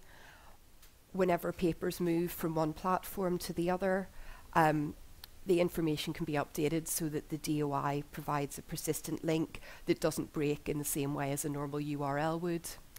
Um, and they also give us things like full text links um, to the content, which can be used for, um, for text mining um, and other indexing services. Bibliographic metadata is, is great. It's a really good way to pair it with DOIs and to, to provide a way for someone to be able to find and persistently link to the, def the definitive version of, of an article um, on, say, a publisher site. But from you know what we're talking about today, there's actually a lot more information related to to articles that, that is going to be useful um, to, to pad out or to add to that um, sort of standard bibliographic metadata. Um, Karen was already talking about you know, the fact that institutions want to be able to track publications from researchers, show how much content is being published under open access licenses. Um, there's a real need from funders to be able to identify the the outputs from from publishers. Um, publishers need to do this themselves. Whenever I worked at a publisher, we and this is a while ago, but we had a spreadsheet, an Excel spreadsheet to track the publications that came from specific funders. That that doesn't work. Um, and one of the things as well is that this information needs to span disciplines, institutions, geographies, jurisdictions. So it needs to be collected in a standard format, um, no matter no matter who's providing it. Um, a lot of this is done through our um, our API, which there's no point us collecting all of this information from publishers if we don't make it readily available and in a way that makes that means that systems can talk to each other and developers can easily integrate that information into into different systems. Um, so we make the information openly available anyone can come along, query it. Our API is open source. You can go in, have a look, and you don't need to sign up um, in order to in order to use it. We're keen for people to go experiment and see what they can find. Um, so how would I how would I use that to be able to look and track information or track research that's subject to funder mandates and ensure that it's being disseminated under the correct license so that it complies with that. So I talked about the fact that it's not just bibliographic metadata. We can collect information um, on publications that ties them to uh, a specific funder. Um, we're a big fan of ORCID IDs. So again, we, if publishers provide those, um, we'll collect them and we'll also use them to, um, to push the, the publication record into the author's ORCID profile if they allow us to do so. So it just means more complete ORCID records to be able to track um, the outputs from a particular researcher. Um, I'll go into more detail on the license information that we collect from publishers. And we also collect the, as I mentioned, the location of the full text, um, the full text um, of the of the paper. Normally, as you know, if you click on a DOI, it will take you to the landing page of an article. So you can see the abstract, authors, that kind of information. Um, if, I'm, if I want to try to retrieve the full text in order to mine it, I don't want to have to go to the landing page for an article and search around for it. If I can link, find and link directly to the full text, then that's much easier for me. Um, long-term preservation, so archiving information, we can collect that as well. And also information on clinical trials so that people can see information on papers from a range of publishers that are linked around a specific clinical trial and clinical trial ID. Um, I want to go a little into a little bit of detail on the funding and license information that we that we collect. Um, our metadata formats in the past, they've been pretty, pretty flexible in terms of letting publishers provide additional information. The only thing is, as you know, if people are given free text fields to provide information, it doesn't work very well. People can type in, they, they will make they'll make mistakes, they'll spell things incorrectly. So we needed a way to collect funder information in a, in a standard way from a standard list. So um, we've created an, a funder registry, which as of last week is a list of over 14,000 international funders. And we, we actively curate that list so that it can, it can grow. Um, I think when we launched it, it had about 4,000 funders listed, which again, as you know, isn't even a drop in the ocean in the number of funders that there are. So this is growing continually. Um, publishers, so publishers, whenever they, um, whenever they are collecting author information upon submission, can collect the funding information and match it to one of the funders in, in that registry. And each of those funders has a unique ID as well, so their own DOI. So that means if the funder changes name, merges, um, for example, then you're still able to track you're still able to track the, the funding that came from that that institution or that organization. Um, and it, the main thing that this allows is large scale analysis and reporting to funders. So to go into our our API a bit, um, what I can do and what I did this morning, um, I did the thing where you know you shouldn't edit your slides in the morning that you're going to present, um, but I wanted to have a look as to how much funding information we actually have. So at the moment we've got over 1.7 million publications um, linked to specific funders in our database.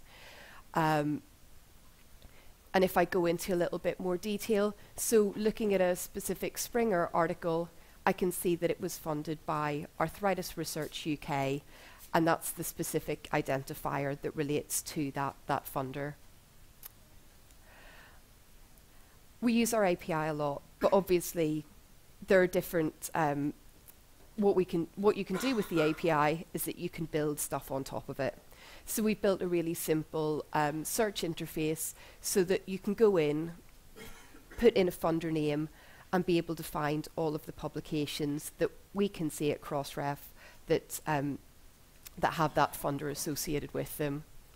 So if I did a search for Medical Research Council, it's going to bring up all of the articles that we can see. In this case, about um, 6,000 results that were funded by that um, by that organisation. I can see the um, I can see grant numbers um, if those have been provided, and that's across lots of different publishers, um, not just not just by publisher. If I want to, I can group that by publisher or publication as well. So it's it's it's an easy way to see and manipulate that that information if you're interested in it. Um, we also collect license information. Um, we collect that as a as a URL from the publisher. Um, they provide that information to us. Again, the information collecting it as a URL means that it's machine readable as opposed to collecting licensed text. Um, looking this morning, um, so in this example with the API, I've asked it to tell me to to let me know how many articles that Crossref can see have been published using um, Creative Commons CC by um, 3.0.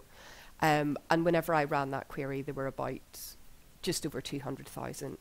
So I can see that information as an overview, but I can also see it on the on the level of an individual article because there's you know, as we were saying, there, there's no point tracking this information on a journal level because you've got hybrid journals. You need to know the information on an article by article basis. Um, for those of you who, who really like um, metadata, and I'm, I'm a fan, um, this is how it actually looks in, in the deposits that we get from publishers. So um, we've got an access indicators schema. So it's telling me, okay, this article has been published under a Creative Commons license. Um, it's a Hindawi um, article.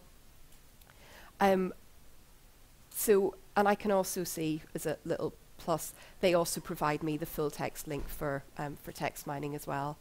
Um, they've got, as a big up for Hindawi, they do provide really good, thorough information in their metadata.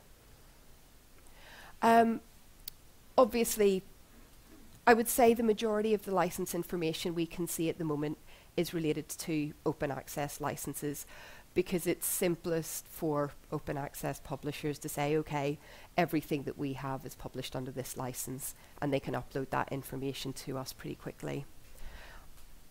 But it's not as simple as that for hybrid journals, embargoes, etc. So the way that we collect the information can be more nuanced than that.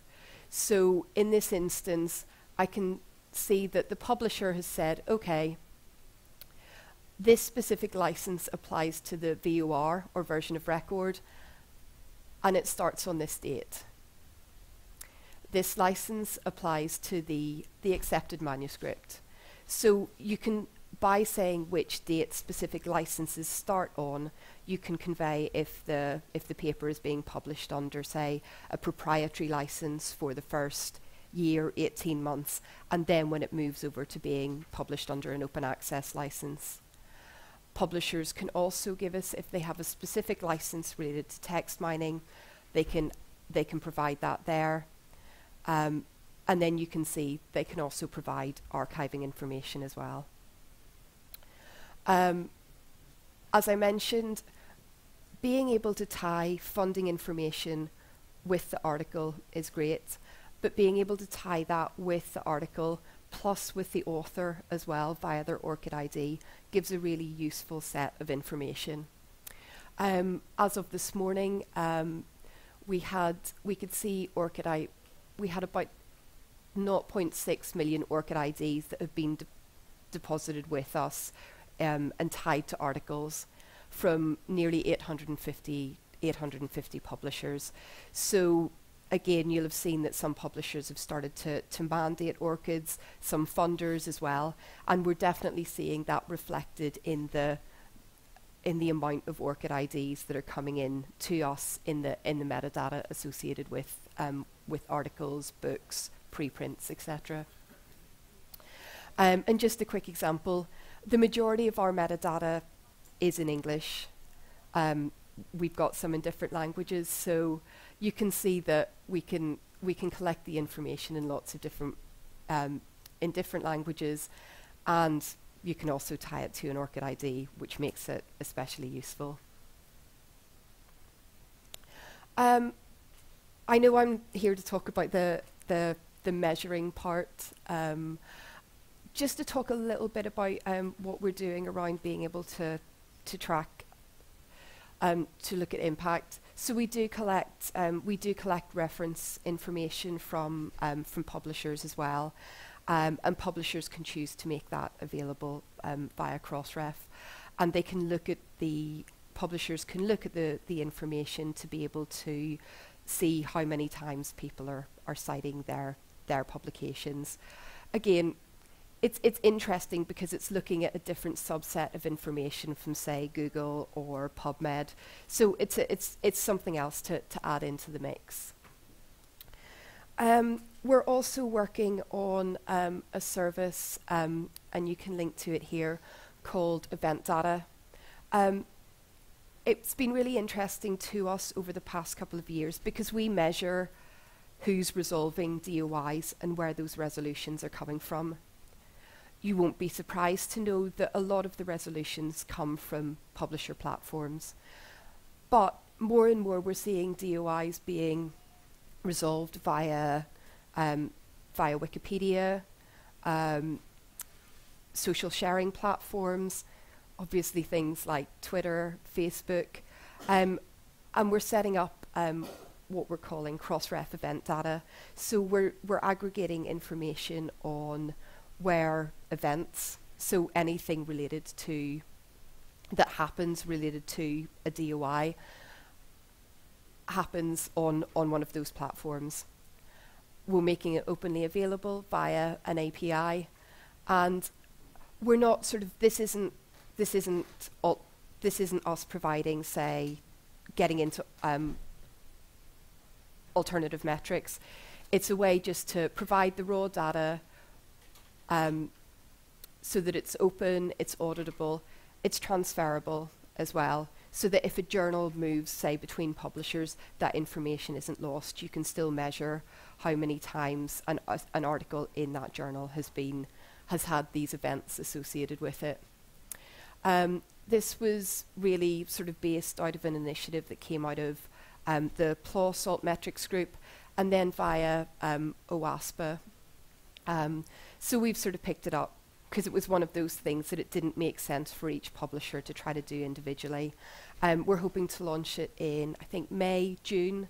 Um, so if you're going to measure the the events or things that happen around an article, it's really important that you can dig down into the, the information underlying that, see where this what the source is and where it's coming from, so that you can so that you can you can infer your own your own judgments on that information.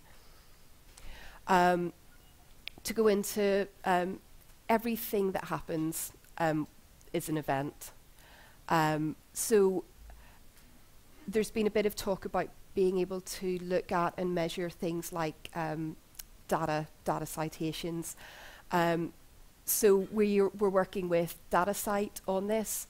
So being able to look and see if a crossref DOI is being referenced by um, um, by a data set or vice versa, so that you can you can start to make those those links between articles and data, um, or or continue to do so. Being able to see if an if an article was referenced in Wikipedia using its DOI, mentioned on Twitter, liked on Facebook, we're going to feed those in to event data so that people can go and um, go and access and use that information. Other things um, that I wanted to, to flag up. Um, there is some work going on. So I said about the fact that it's really useful to be able to link ORCIDs and funders and article information. I think the real, you know, the, the kind of the the other piece of the puzzle in that is being able to being able to collect um, organizational or institutional identifiers in a in a standard way. Um, I know some people here are involved or following the um, organizational ID project, which has Crossref representation, but also from people from um, people from different organizations, DataCite. Um, off the top of my head, I think there were about 17 organizations directly represented on the, the kind of working group for this. And the information that they, that they work on um, is going to be made openly available for comment. But in the same way that we've got the, um, the funder registry having a list of institutions matched with IDs that can then be collected with article information is just going to make it much simpler to, to be able to, to be able to track the outputs of of institutions and specific researchers. Um, another, um, another quick piece is that with certain open access mandates, it's not good enough for articles just to receive DOIs at the point of publication. So we're working on a way for publishers to be able to deposit DOIs and metadata for articles at the point of acceptance so that institutions, funders can start to track them earlier on um, in the process. Again, I, have I've linked to, to our blog about that and what we're planning to do. Um, there's always a caveat, isn't there? Um, we need good metadata for publishers to be able to do this. Um, and part of what we can do as Crossref is we can provide better tools for publishers to be able to deposit this information with us as simply as possible. And we are doing so via integrations with things like um, open journal systems, which um, Karen mentioned earlier. Um, we also, as we need to do a bit of rallying for publishers to make sure that they that we show them as simply as possible. This is what you're providing Crossref this is what else you could be doing, um, and just having conversations with them to, to show how useful this, this information is. And it saves them having to provide infinite numbers of spreadsheets to be able to, to be able to provide the basic information that people need to be able to track research. Um, so this is this is the big one that we're that we're working on as well. But we're definitely seeing progress. And I think my time's about up, so I'll stop there. Apologies, lots of information all at once, but do come and ask questions. Thank you.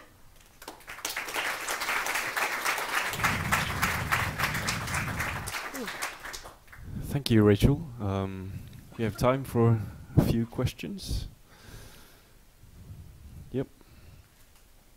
Hi, thank you very much. That was really informative.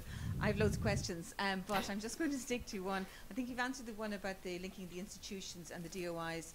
So right at the moment, I'm involved in doing a research evaluation of arts and humanities, uh, an institute, and trying to benchmark it against other arts and humanities institutes worldwide. This is really difficult.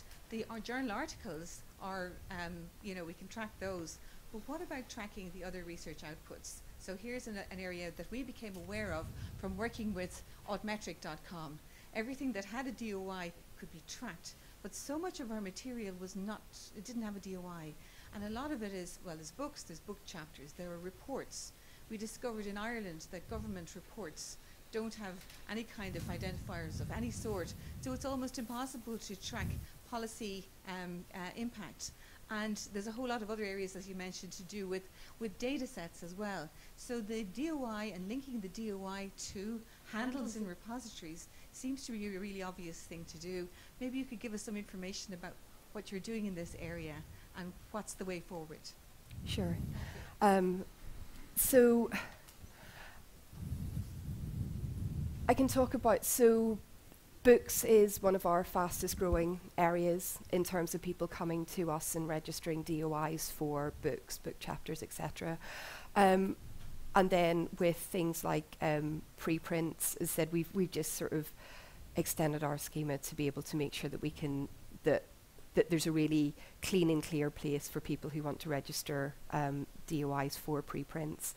Um, we're also working to because we don't want people to sort of cram things into to under designations or kind of top level things that don't make sense. But again, we are working to okay, let's have something specific for say reports or if there if there are things that are are more related to data and data sets, we might pass them over to, to DataCite as well. But we are working to make it clearer for organisations that you can deposit DOIs for lots of different things like peer reviews, etc. So we need to get better at talking about that. I think as well, my it's my default is that I just I talk about publishers, but actually a lot of our members wouldn't necessarily class themselves as a publisher. So it might be a funder or a government agency or an NGO who are coming to us and saying there's stuff that we need to allocate identifiers to, um, so that they can do that via us. Um, so we're we're getting there, and we we are conscious of that because there's so much more that needs to be tracked related to articles than just the articles themselves. Okay, one last question then. Um, yes, thank you for a lot of interesting information. We're really following this. Uh, I was just asking you. You did say that uh, 850 publishers are depositing ORCIDs. Uh, how uh, out of the total amount of what you, you said you have? No, that was funders. So how are things getting along? Is it growing? Is it growing? Do you believe it's growing quickly enough? Can we believe that this can be used as the main source of uh, ideas in the fairly near future? Um, How do you see it growing? we we're fairly I would say uh, so sort of con- to, to declare my own um, our own conflict of interest um, ORCID kind of grew out of a sort of a side project of I think we used to we talked about author DOIs at one point and ORCID grew out of Crossref and then because of the way that ORCID needed to be governed, for example, it didn't make sense for it to sit under a membership organisation for publishers. Um, so, but we work closely with ORCIDs, and we're we're pretty in. We think they're a really good. We think they're a really good thing.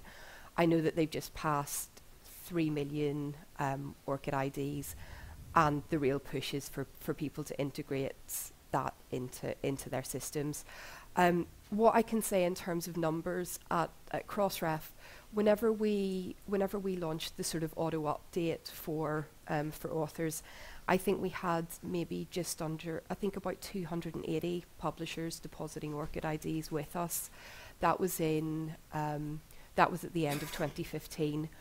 Now at the start of 2016, we've got nearly 900 publishers depositing ORCID IDs, and the number of that has really grown. So, I think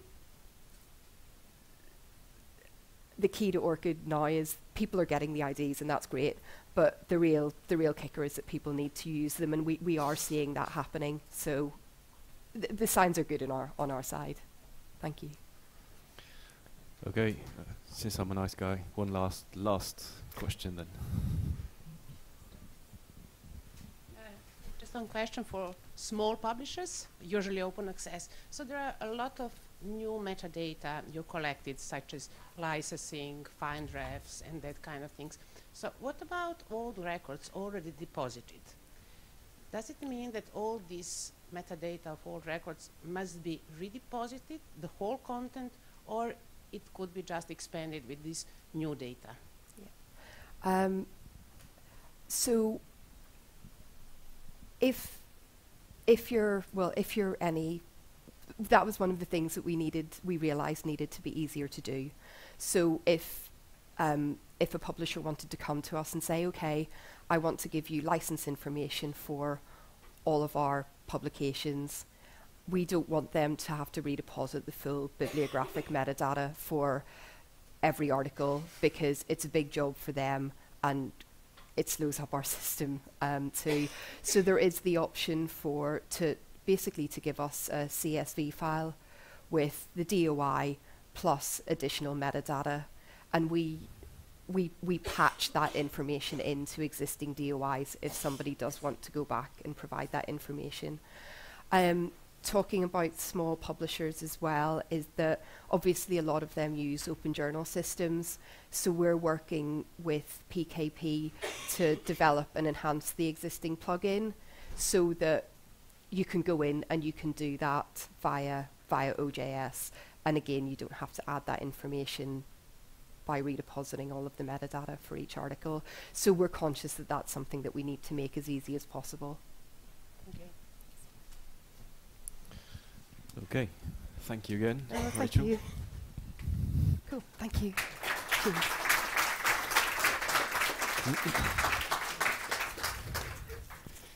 It is now time for uh, our second session of the day.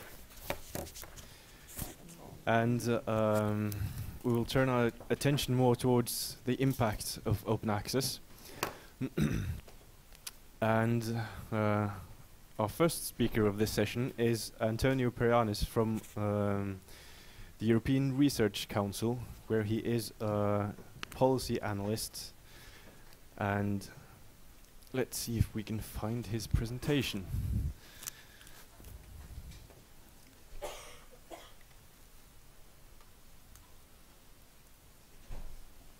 don't know if the microphone is properly. It's okay? Yeah. Yeah. yeah. Uh, this one, yes.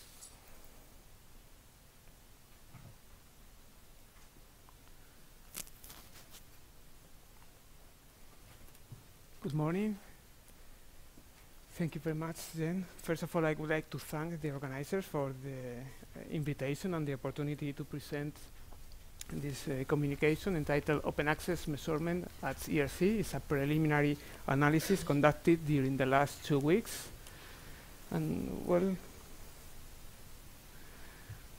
we are focused on figures on productivity, visibility, influence, and excellence. As introduction, there is an extensive literature on the citation advantage of open access papers. In short, the main idea is that when papers are openly available, they are more uh, cited than papers published in pay-for-access sources. On the other hand, skeptics argue that the advantage of open access is partially due to citations having a chance to arrive sooner. Another artifact described is uh, the selection bias, according to which authors pick their best papers to make open access. In any case, some of the limitations of the ex existing literature on the subjects, whether supporting or refuting this open access citation advantage, are the small number of articles analyzed, the limited size and diversity of citing sources, and the short citation window considered.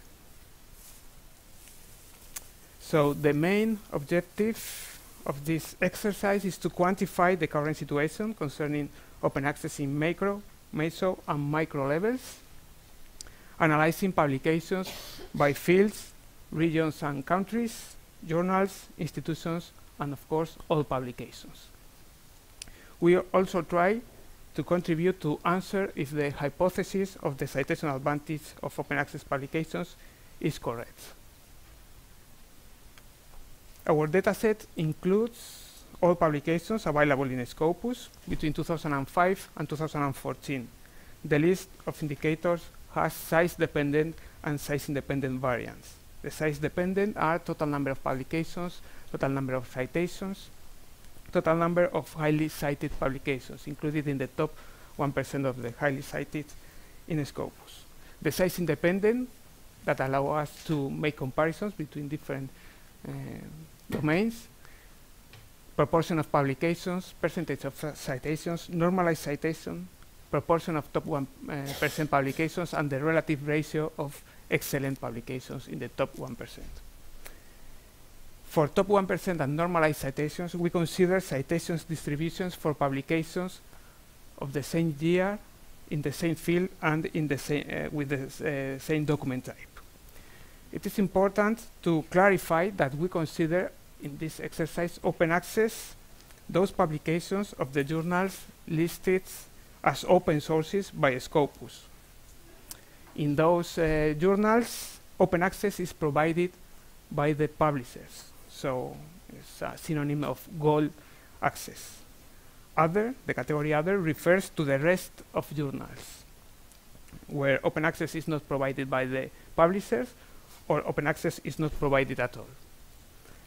Reported publications, ERC publications, are collected based on the list of published results in the reports of ERC grantees. The consideration, again, whether a publication is open access uh, is exclusively based on the list of uh, sources provided by Scopus. In summary, the present exer exercise analyzed more than 18 million publications, 28,000 journals, of which more than 3,000 are open access sources, and more than 50,000 uh, ERC publications.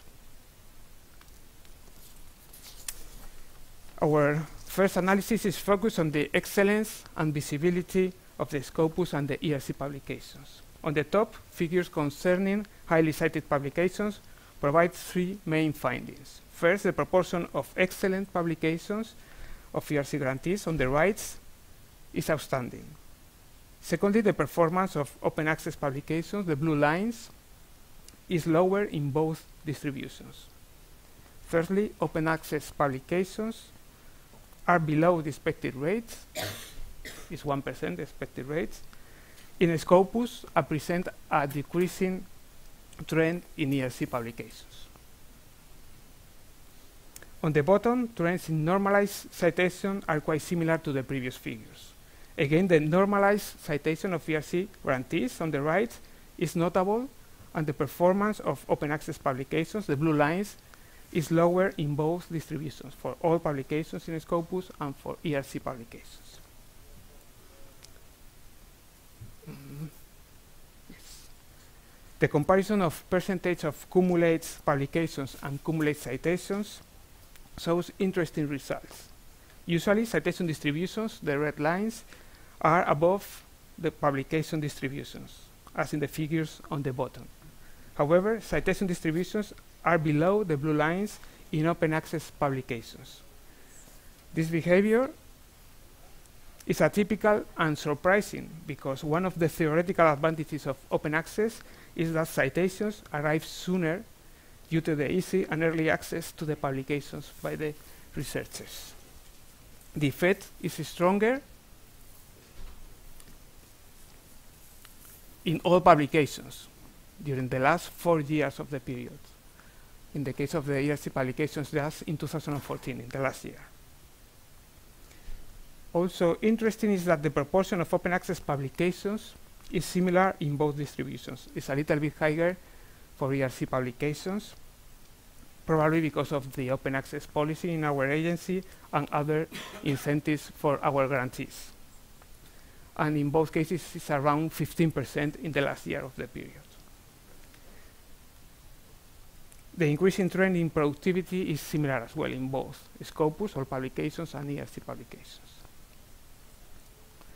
Table 1 presents the total number of publications and the total number of top 1 publications, highly cited publications, and the percentage of both publications and excellent publications, and the relative ratio of top 1%. Basically, open access publications represent 10% in Scopus and 15% in ERC uh, publications. On the other hand, ERC publications present a remarkable, incredible 8.7% in top 1% publications. The relative top 1%, basically we split this number into open access and uh, other sources. And the open access relative ratio is significantly lower in both distributions, but note that for ERC is slightly above the expected rate. It's 1% the expected rate, in this case is 1.1, and 0.1 for Scopus publications.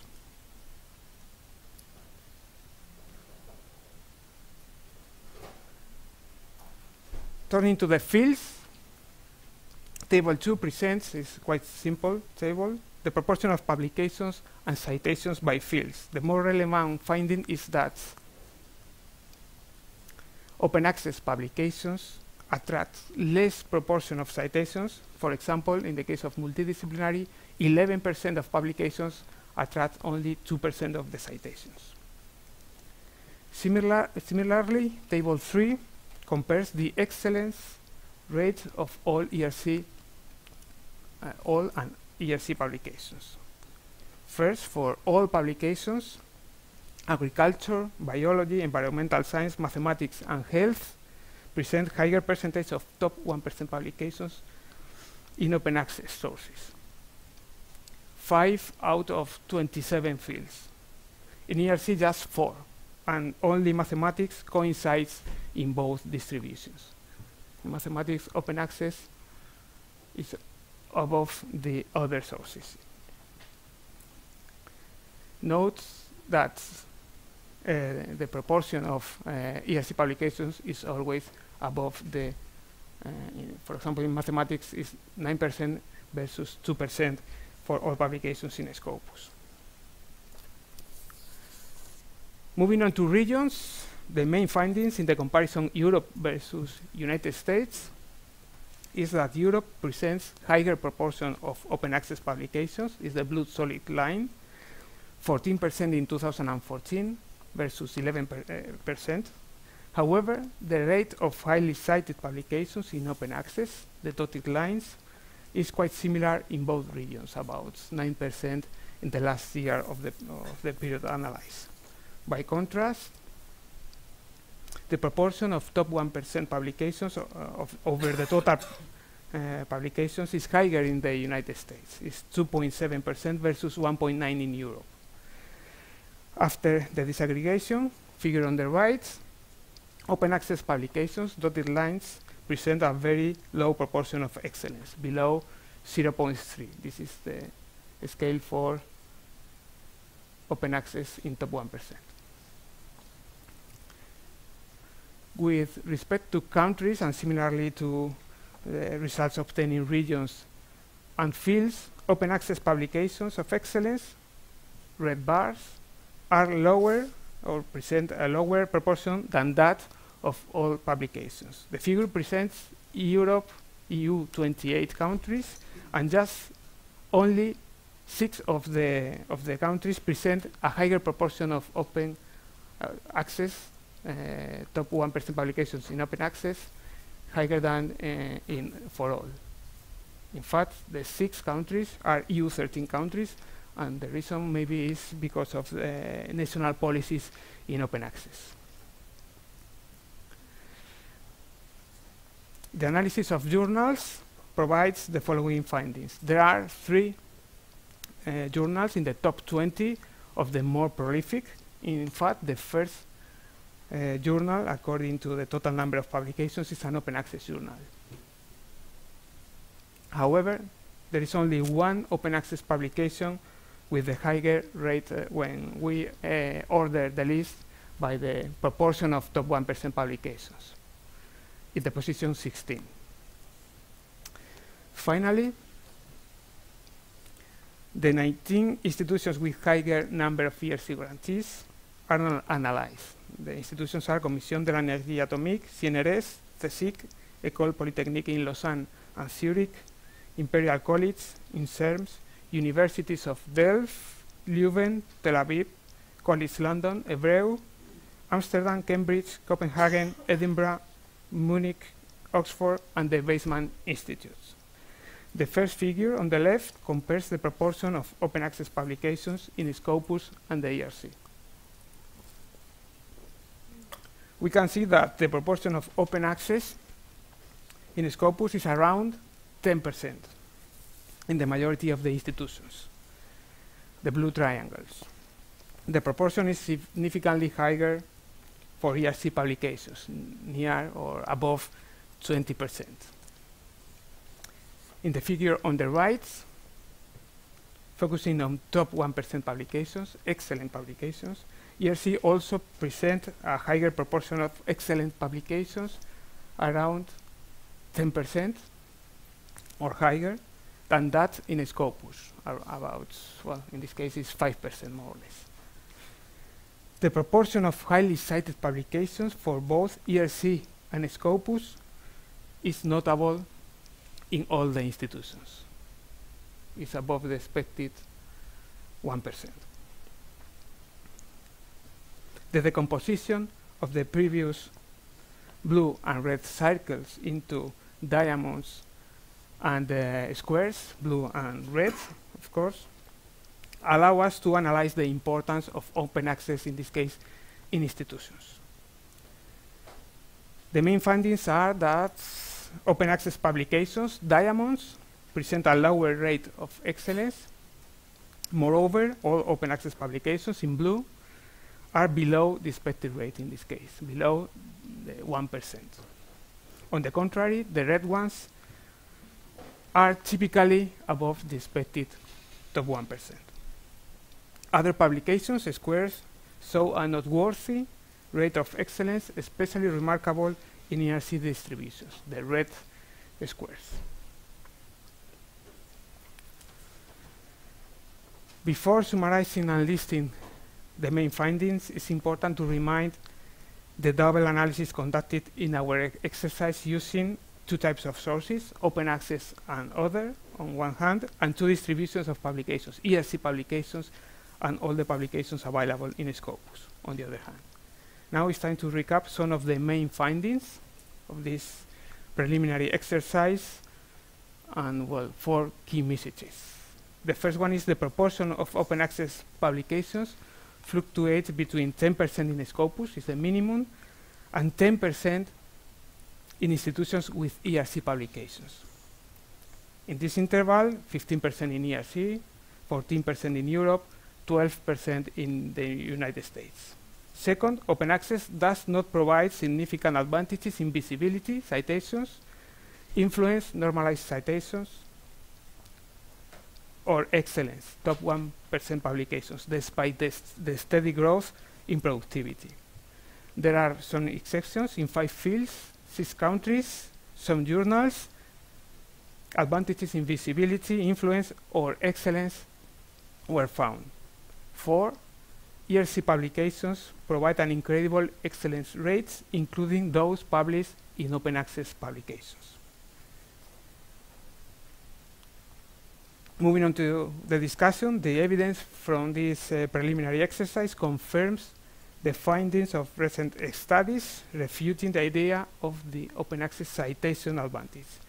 In our case, it's limited to gold sources.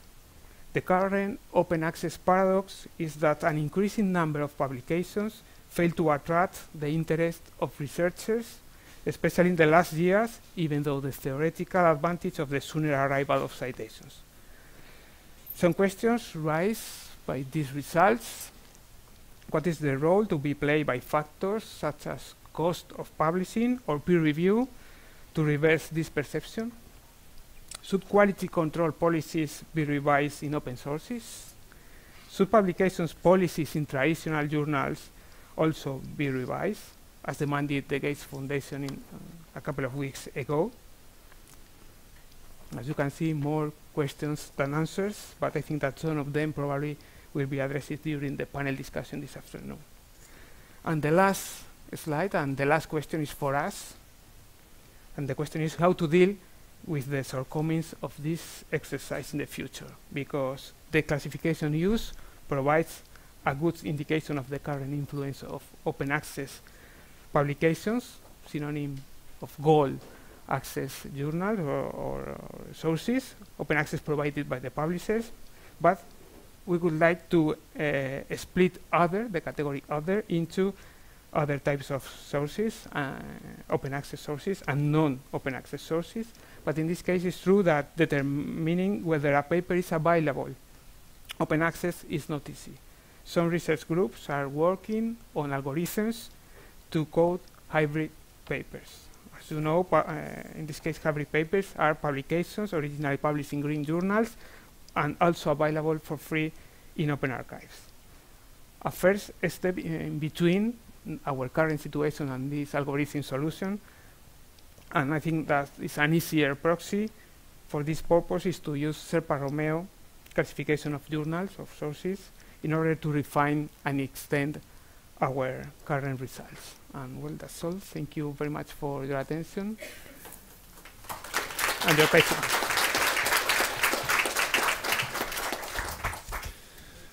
Thank you, Antonio, for that thought-provoking presentation. we have time Thank for you. questions. Yes.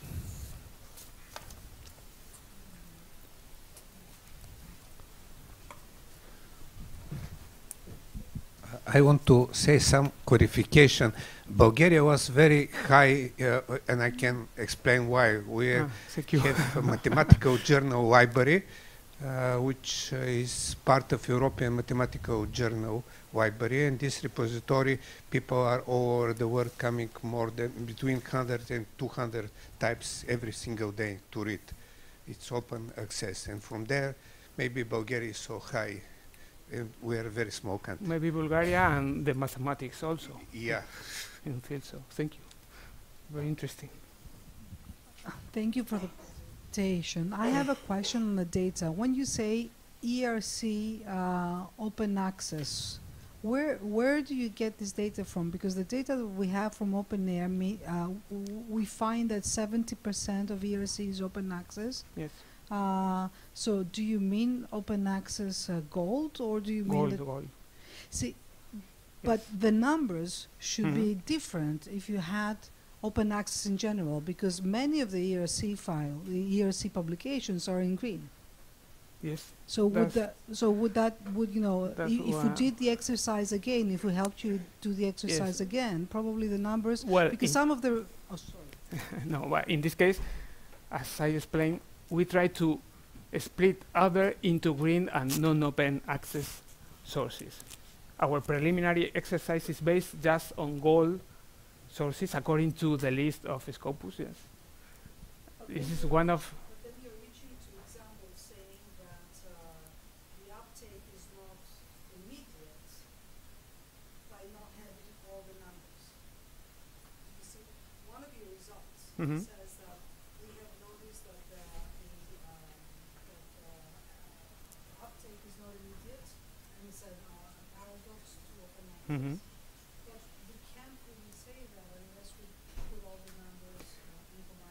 well, I think that the position of gold journals uh, are going to remain as now. The question is the position, for example, of non-open access journals or the green uh, journals.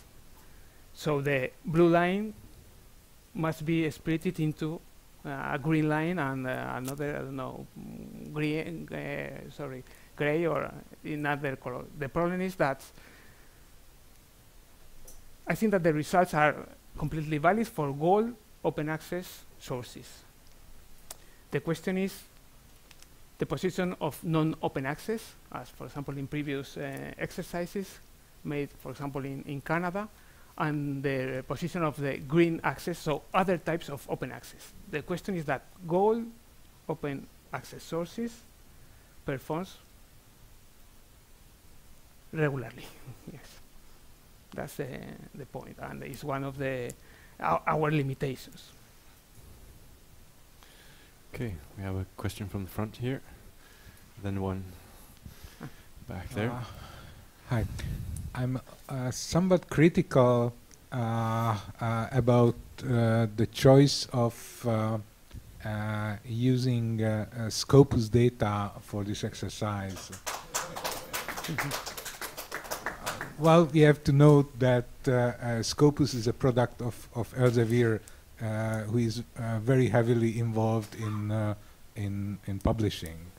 And I would, uh, this is, uh, my doubts uh, are uh, based on, on, on this fact and also on some particular data which I checked in, in Scopus on small independent open access journals covered by Scopus. So uh, I think it would be uh, really uh, very much interesting trying to repeat this exercise uh, uh, and uh, trying to use other data, for instance, data from Web of Science or from other sources. And well, this is one of the topics of today's workshop, whether the open access community is up to uh, uh, providing uh, statistics and numbers. Mhm. And uh, we are clearly not yet, but uh, maybe we should. Well, we can discuss about the database or the indicators, it's true, but at the end, we have the citations made by other scientists to these publications.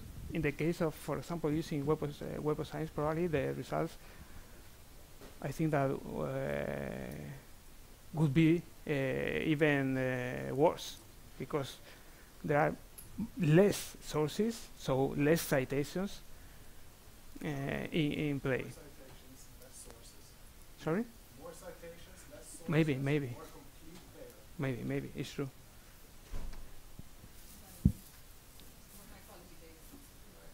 Yeah, yeah, I agree, I agree. We have both databases, but for this exercise, uh, we decided to use Scopus. But we can use Web of Science also. In fact, the list of uh, journals can be used in, in other databases, so the list is uh, the same, and I think it's interesting. But it always in this kind of studies, sources and indicators are uh, uh, provide limitations, of course. But I think that it's interesting to make some reflections about the the numbers also, in order to be self critics with uh, this kind of sources because well there are also inconveniences in some open access uh, all access journals for example the price for the the authors etc Okay, we have time for two more questions. Uh, my, my, my question's been partially addressed. Uh, sorry, my name's Craig. I'm from BI Norwegian Business School. Um, and uh, it, it does seem to me that, that going to a, a database that's owned by a traditional academic publisher, that seems to be a clear conflict of interest in terms of um, providing citation data. Um, and I, I would like to see a, an inde- independent replication of this with a, with a different database. Um, I don't know what the alternatives are, but, but at the moment we're in Norway, we're looking at potentially using Scopus to provide a citation indicator to base our fin- financing system on as well. Um, and that, that seems to prevent a conflict of interest in, in, in, in my uh, opinion. Um, yes, so I'll, I'll, I'll leave that there. But uh, are there plans to replicate this with, the, Yes, with another not? Database? yes. Okay. with more time Okay, two questions in the front here. Uh, another question concerning the data, uh, and I didn't quite get whether you said something about it, but uh, in Norway with this two-level system, it's uh, it's a continuing problem that um, open gold open access journals are uh, less um, vi- visible. Mhm. So there are there are fewer um, open access journals among the very visible journals, the very um, highly credited or impact higher impact factor journals. I would expect that ERC grant publications would appear in high rated journals. So did you have any sort of look at the so the, the reason one of the reasons behind a lower citation rate could be that these journals not because they are open access but because open access journals are often not so highly ranked at the moment that Yeah. that could be an explanation a natural explanation for having less citations Yeah, but in this case, the analysis is based on the number of citations. So Yeah. the number of selections made by the scientists to those publications. So it's Mhm. not a problem of the visibility of the journal. If the someone has mentioned before that if the paper is good, it doesn't Mhm. matter where it's uh, published. It's gold, uh, green, or non-open access. Mm. In this case, uh, the problem with the uh, ranking of the journals is solved, I think, because we, we just use number of citations. So it's not a problem of the journal; it's a problem of the individual publications included in those sources. So one of the explanations could be that it's that is still not quite true. It isn't true that you can publish Maybe, anywhere and have the same number of apparently citations. if, if the source is available in Scopus, all the publications published in that source, in theory, are available in Scopus. So but you, you didn't correct for that in any way, so that is one of the issues in the yeah, data. maybe yes. Thank you for the suggestion. Okay, one last short question Short, I keep short it as short as please. possible, but I'm really concerned about this because I'm working with Scopus and SciVal right at the moment, and I surround everything that I do with caveats about the data and the information. And one of the biggest ones I'd say, not even, I'm not going to talk about Scopus, but is about the use of gold, the publishing. There are entire countries, including my own country, Ireland, which focuses in completely on green open access. We know from our activities in the Peer Project that um, all of our ERC publications, um, I, I should say beforehand, are deposited in our repositories. We know from the Peer Project that our green open access publications drive traffic towards the, pub, the, the um, actual published versions of the journals. So what we're looking at is a completely distorted view. Until we have an analysis of the green articles which we send to the ERC, we report in our, our reports, so the ERC has a complete list of the green open access um, articles in our repositories. Until we see this analysis that actually tracks the impact of those journals linked to the actual published version of the journals, then we will have no idea of what the real impact of open access is. Yes. Okay. Again, thank you, Thank you very much. Thank you.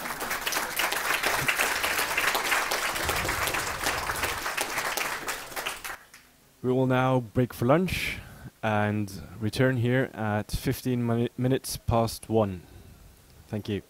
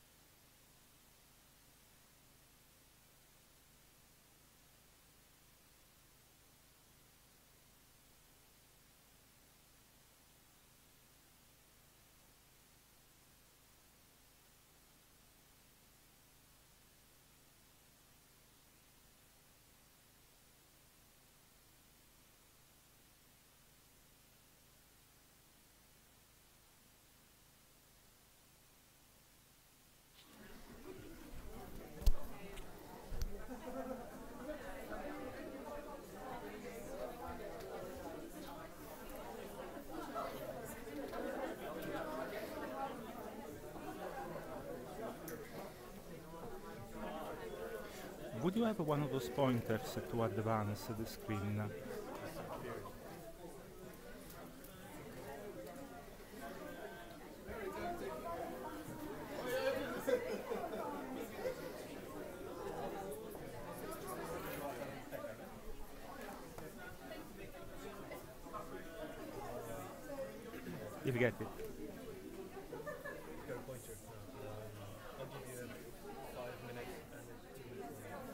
5 and 2.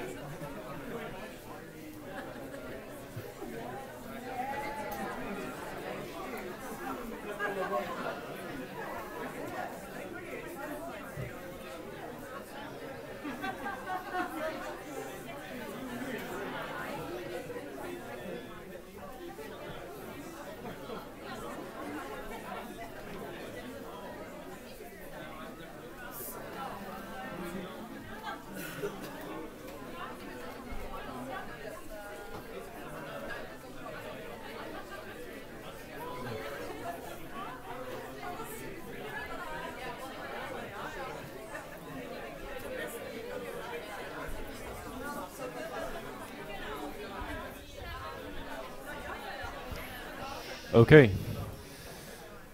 Welcome back, everyone.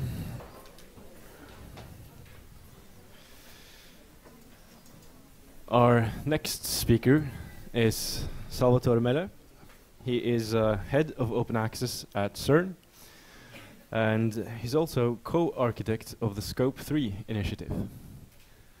Well, Thank you. Welcome back after lunch. I have half an hour and 97 slides. I'm going to go fast. so uh, I would like to discuss. Uh, uh, we heard the presentation before about uh, ERC, a very specific institution, and whether open access was uh, making a difference in citations. Now, what I'm going to do is to look at a very specific discipline, high energy physics, and whether open access is making a difference in something else, which is downloads. So we're taking a very orthogonal view to that. And I'm going to talk about green, about hybrid, and about gold. High energy physics, you all know about this. We have these very big machines which smash things in these very big detectors, where there is a lot of people behind the detector. And this lot of people then find these very beautiful things and they write a paper, which looks like every other paper, with the exception that is published by Elsevier, but the copyright is CERN and is open access. This was back in uh, 2012, and this is what the papers look like every other paper, roughly. and uh, one point I want to make uh, now at the start of the talk is that I'm going to talk a lot about the publication in high energy physics, but these kind of publications are very, very, very few. 90% of the publications are written by one, two, three, four people. So it's like everything else. What is not exactly like everything else uh, is that uh, papers in this field have a double life. They have a secret life. They start their life like that on arXiv, and then they become published later on. and 97% of uh, the yearly output in the journals is in arXiv. There is much more stuff in arXiv than never gets published, uh, notes, conference, and things like that. So before we discuss about the impact uh, of uh, open access in this field, I would like to understand why, I would like to help you see why there is such a pervasive green open access, because this then helps understanding how people use this information and where are the uh, downloads and the access advantages. Again, a very fast story. So the story starts uh, uh, quite some time ago. The story starts when uh, there was no internet. If you wanted to send information to somebody, you had to use airmail. When uh, people were using airmail, they were writing papers. This was in the 40s, the 50s, and the 60s, and the 70s. At the same time, somebody was writing a paper, then one was passing it in the cyclostyle. Who remembers what was a cyclostyle? Come on. Come on. Everybody with white hair should remember that, so don't be shy. Don't think I should say I don't remember cyclostyle, that makes you young.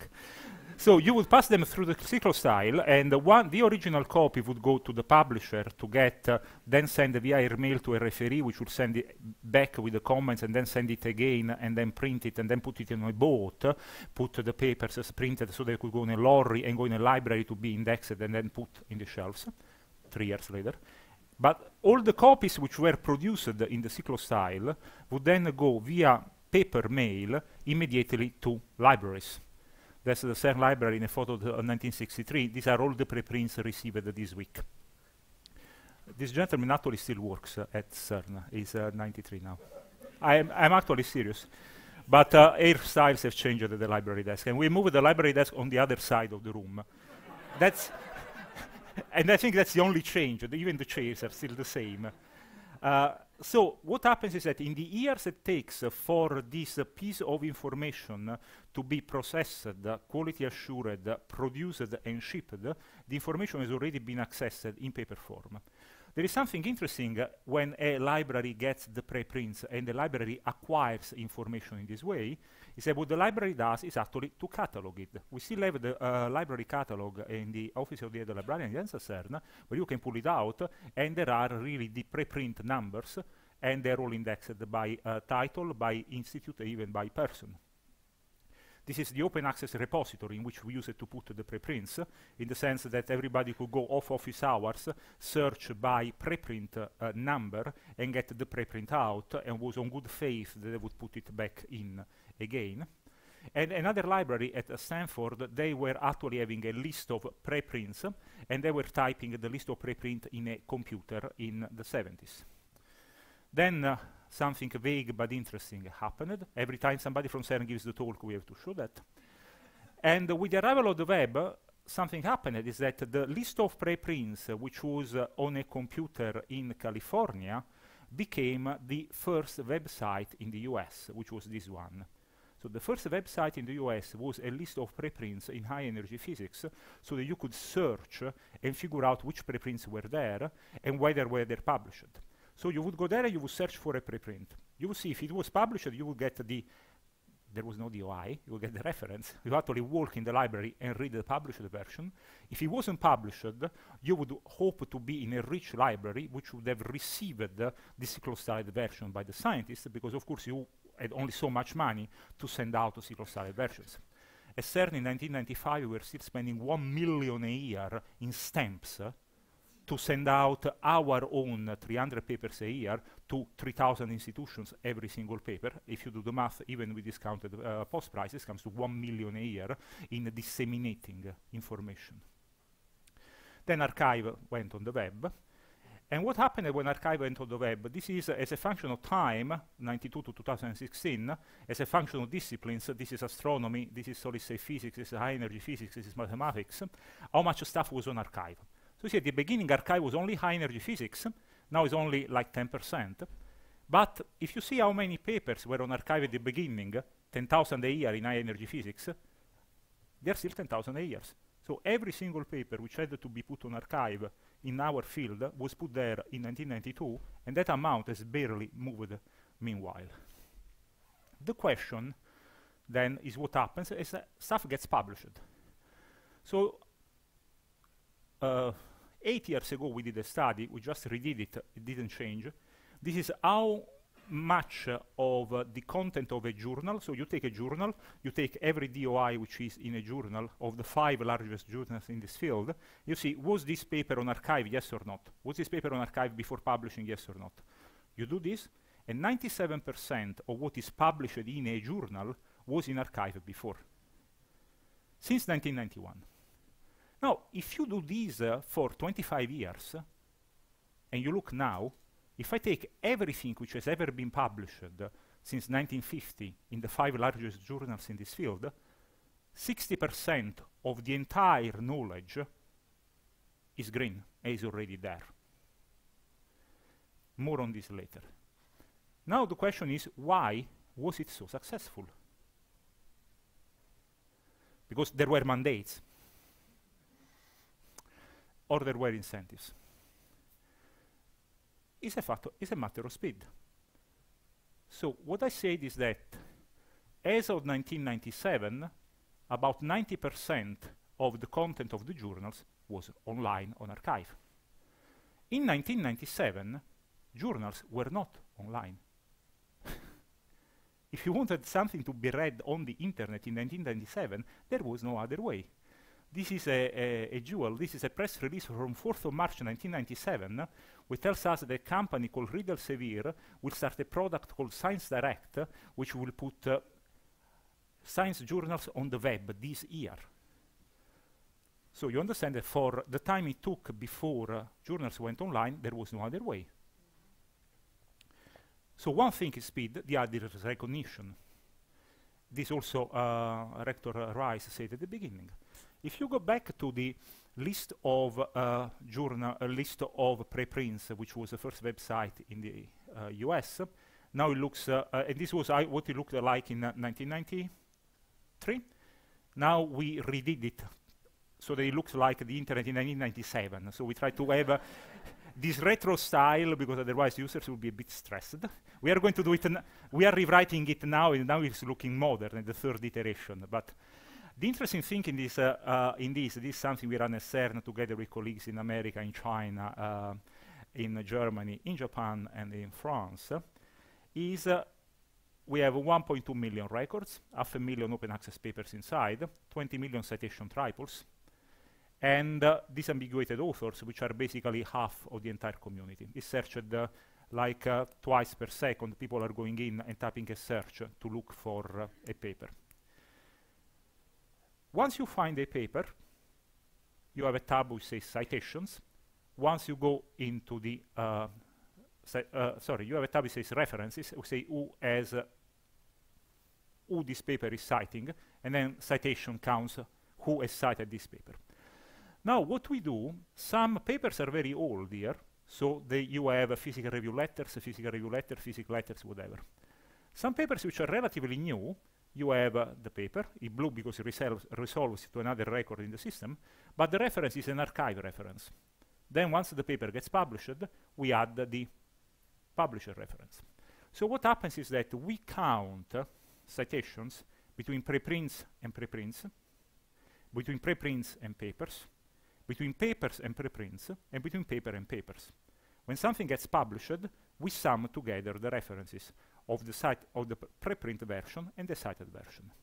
Which means that uh, if in our discipline as an individual you go on Google Scholar or wherever you go to count your own indicators, here you will always have more because we are counting the citations from the preprints and the preprints don't exist. They are the dark economy of the system.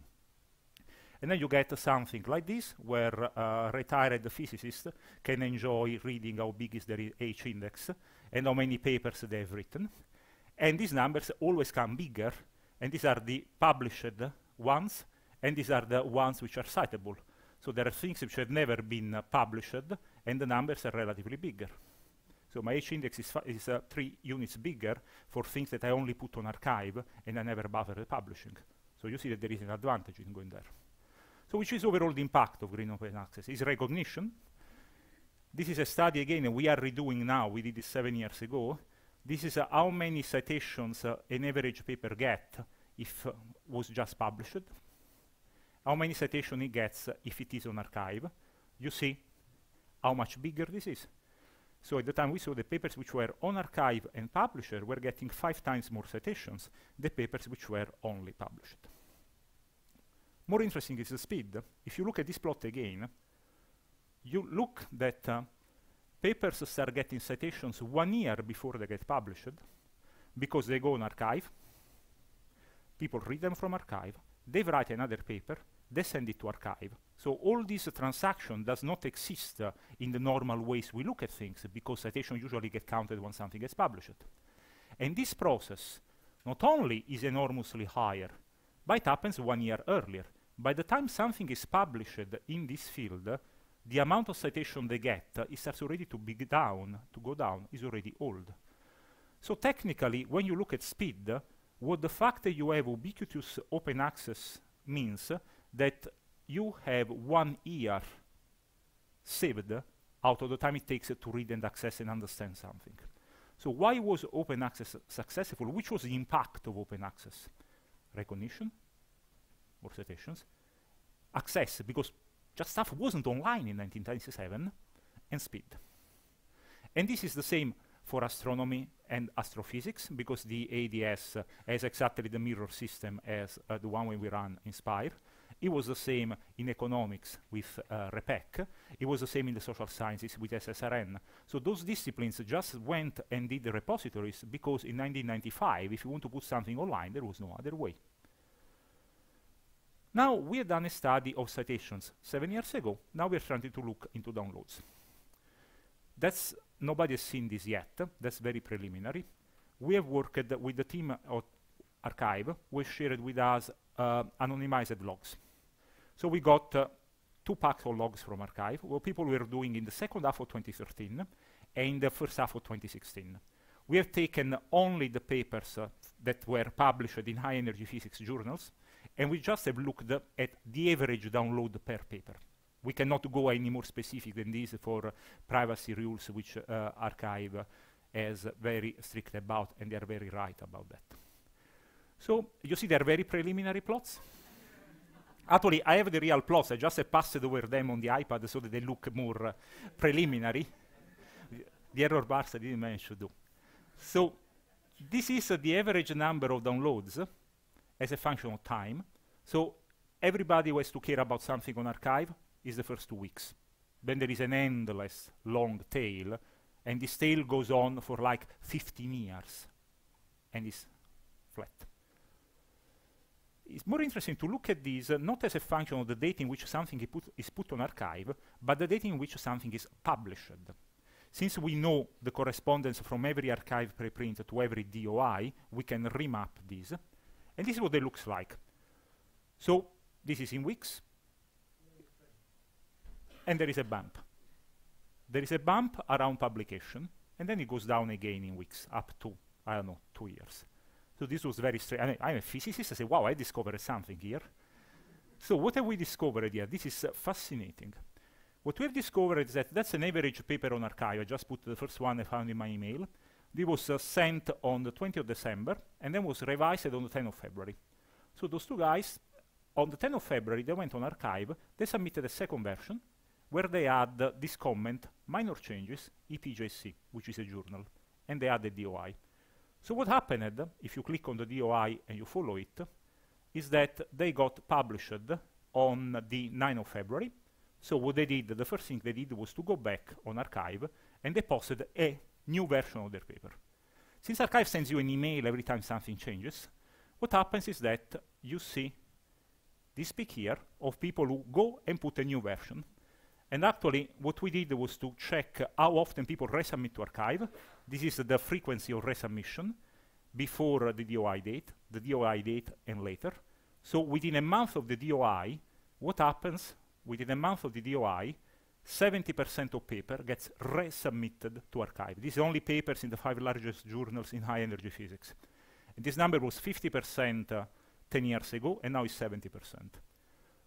So yeah, there are the journals there, but that's exactly what is the new social contract. That you go there and put stuff there. So we decided to do gold open access.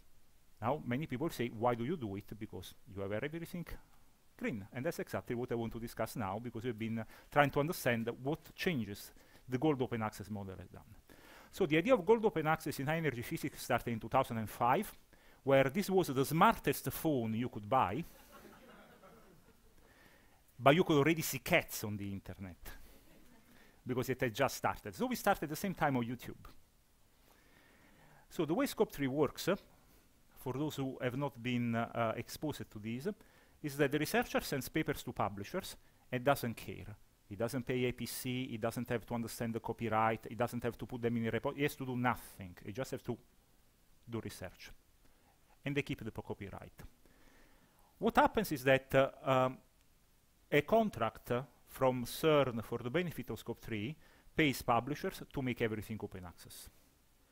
The money to pay publishers to make everything open access is set around some notional APCs. In reality, we have a price that covers an entire journal. But these journals were closed access before, and we have flipped them to open. So publishers have refunded to library the money which was used to buy those journals before. This money goes in the consortium and is the most, uh, the largest source uh, of money to then free the journal later. And some founding agencies support in addition in countries where there were not so many subscriptions before. So we have what we have done is to reuse 90% of the money which was in the system to make journals open. Now this creates a very interesting study on what happens to these journals. Do people use them in a different way? And that's exactly the kind of impact I would like to discuss today. So we started long ago. We have been in sustainable operations uh, in, uh, from 2014 to 2016. We ran for three years.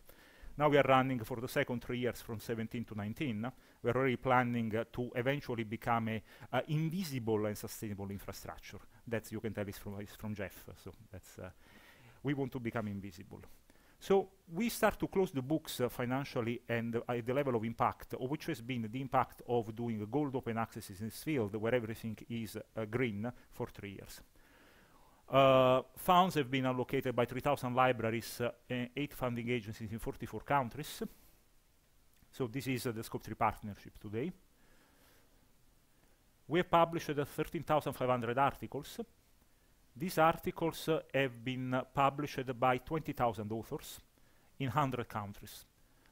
The fact that you don't pay an APC does not create a barrier to publish in any of those journals, and there is not even a negotiation which has to be done by the author and the publisher whether you can publish or not. You can see that uh, the light yellow countries are the ones that do not participate in SCOAP3. You can say that they are free riding, or they are being supported by the system and publish. The purple ones are the ones which are financially contributing to the system. The articles that we have published are 13,500 with Elsevier, Hindawi, IOP, Jagiellonian uh, University, uh, Oxford and Japanese Physical Society, Springer. Now the interesting thing is that apart from those three journals, all those others are learned society journals, which Springer publishes in this case on behalf of their society. Only five minutes left. So I want to discuss about the impact. What we have done uh, is to ask uh, Elsevier and Springer whether they saw any difference uh, by making uh, open gold things which was available green for free. The answer was that in uh, the first two years, the downloads of in total for these journals have doubled from the publisher websites. Now, what has doubled is the access to all of the journal. Some of those journals have 80,000 articles inside, 30,000 articles inside, but what we have made open are just the most recent 3,000. So we try to go a bit deeper and ask the publisher, can you look a bit deeper what's exactly happening in this field? The Oxford University Press and the Japanese Physical Society did a study. This is incredible. So this is uh, uh, Progress in Theoretical Physics. This journal is very old.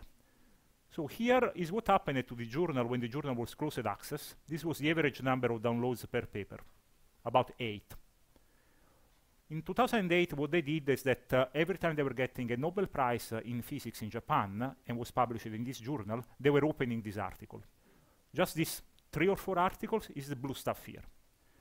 Then the journal went to open access before SCOAP3, and this is what happened. There was a factor 5 uh, increase in downloads from the journal the moment they went open access. Then the journal joined SCOAP3, is the red things there. So if you count how many downloads the new articles only are getting, since they joined SCOAP3, the downloads have gone up by factor 18, is almost 20. And now here we see which are the new articles and which are the old ones. So the last thing that we've done is to discuss with a publisher, which I cannot yet name, to say, can we get uh, article by article downloads from you? And we compare them with the arXiv article by article downloads. So we check the same article, green and gold. What are people using?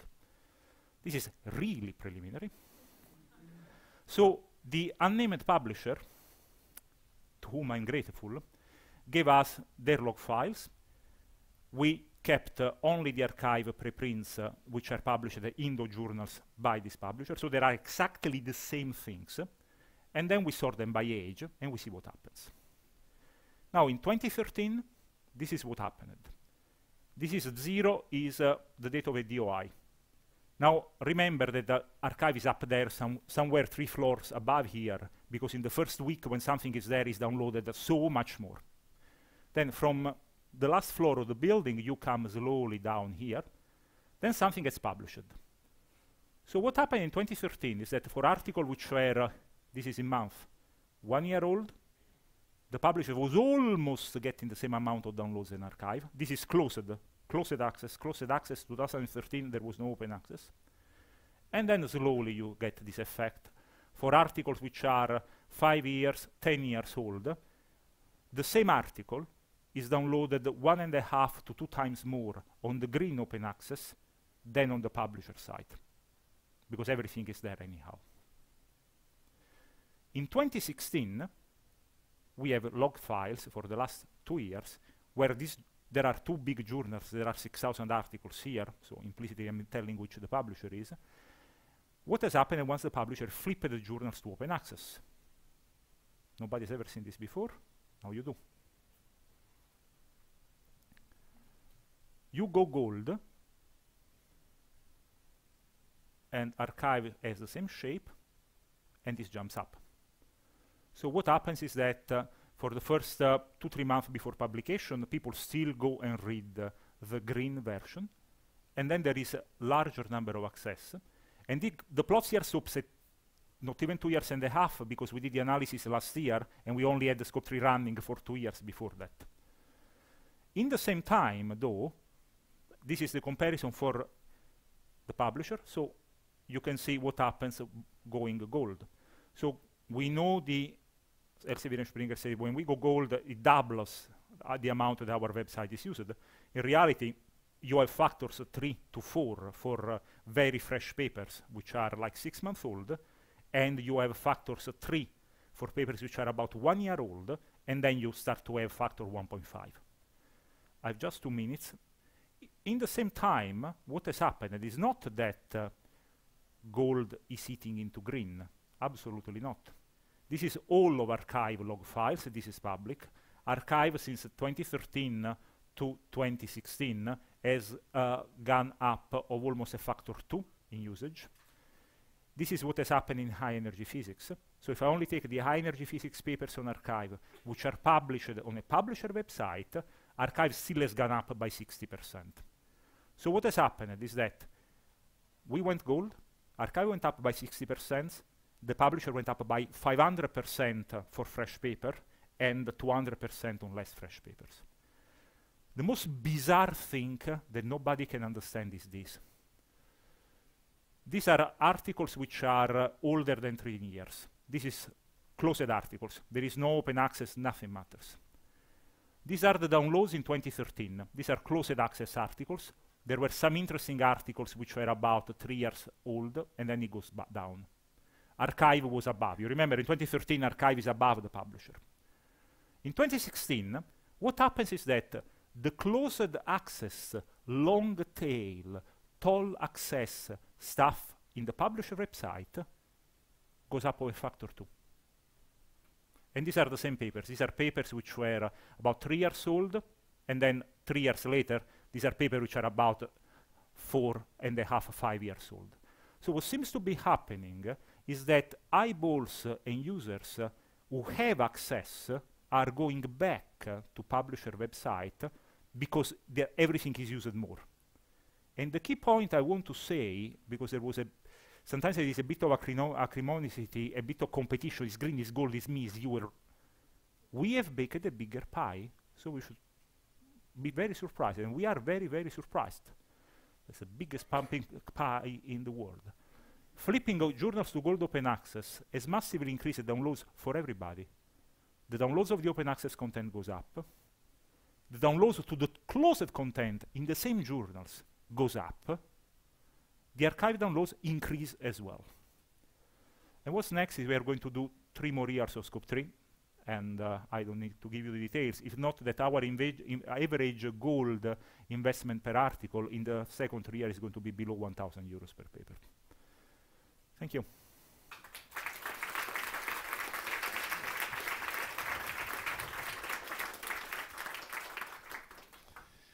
Thank you, Salvatore, for a very interesting presentation. Now we have time for a couple of questions. Yes, in front here.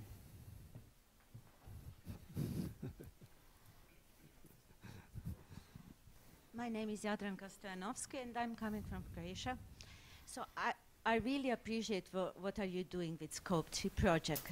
But I was always wondering, did you ever consider to organize a kind of open peer review around arXiv and just uh, invest that money to some other uh, level of quality?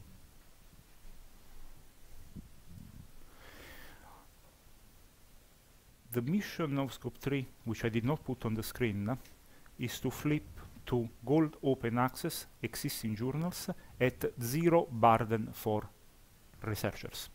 So the idea was not to change the model that the researcher want to use, but to make that model open. So this idea has been considered, but was not something that uh, was felt by the community to be needed at this moment in time. If somebody would start an open peer review or any kind of overlay journal, which would be felt as a journal and become something that the community wants and wants to use, which after all, one of our journals, JHEP, was that in 1996, 97, then became an IOP journal, then you see now that is in SCOAP3. So the idea is that uh, there is no change here, and all the change happens with the invisible infrastructure to get public value without a change uh, here. That was what we tried to do at this moment in time. Okay, any, yeah, one more question. I was expecting more. no, mm, it's very interesting what you're doing here. What I don't understand is, um, because you haven't said it, now clarify, is how the how is this business model sustainable with respect to what you have in mind, and if you reach up a point where there's no need for other libraries to jump in because you already have, let's say, enough money for the journal to survive, and this becomes therefore saving money for uh, other libraries. And how do you expect the libraries that are today paying to keep on paying for that? How do you select the payers, basically, knowing that there are other libraries that are not contributing physically to? So uh, three points on this. How does it work? As you can see, at the moment, not all libraries in the world are participating. Uh, the way the system is built is that the very little bit of money which is missing, which is very little, we are going to publish our accounts in three months and they're going to be open. The very little bit of money which is missing for the time being is paid by my organization, is paid by CERN. If you just compare to the amount of money we are paying to put stamps on the preprints, I mean, this costs less. I mean, if you, if you think how much it costs to pay people to run institutional repositories, this costs less. So this is not a large amount of money, especially for an organization which is worth 1.2 billions. The key point to retain here is that we have already done this cycle now for several years. After the first year, you would imagine people would say, I go away.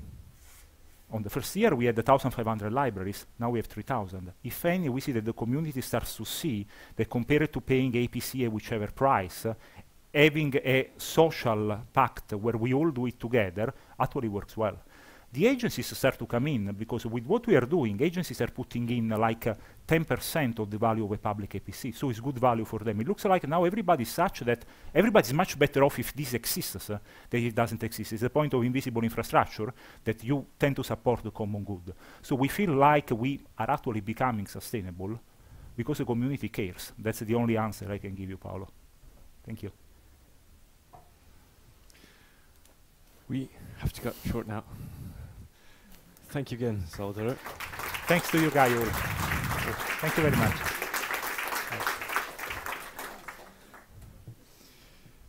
Okay. Next on today's program is um, a lightning talk session. Now, due to the cold climate here in Norway, our lightning talks are a bit slower, so we have 10 minutes. Um, and we will have updates from five different countries, starting with Portugal and Eloy Rodrigues. He is the director of the University of Minho Documentation Services, and his talk is monitoring a national funder open access mandate, the Portuguese case, challenges and working solutions.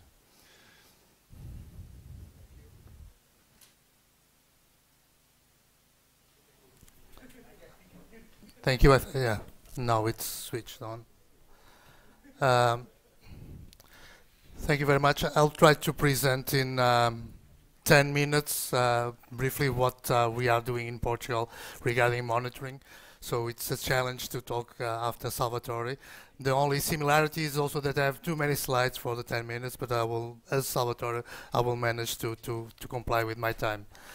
So I'm talking about our experience of uh, uh, monitoring our uh, national founder. In Portugal, there is really just one big and important public founder. There are some other small public, small uh, private founders, but we just have one uh, significant public founder, and this is uh, FCT, Foundation for Science and Technology.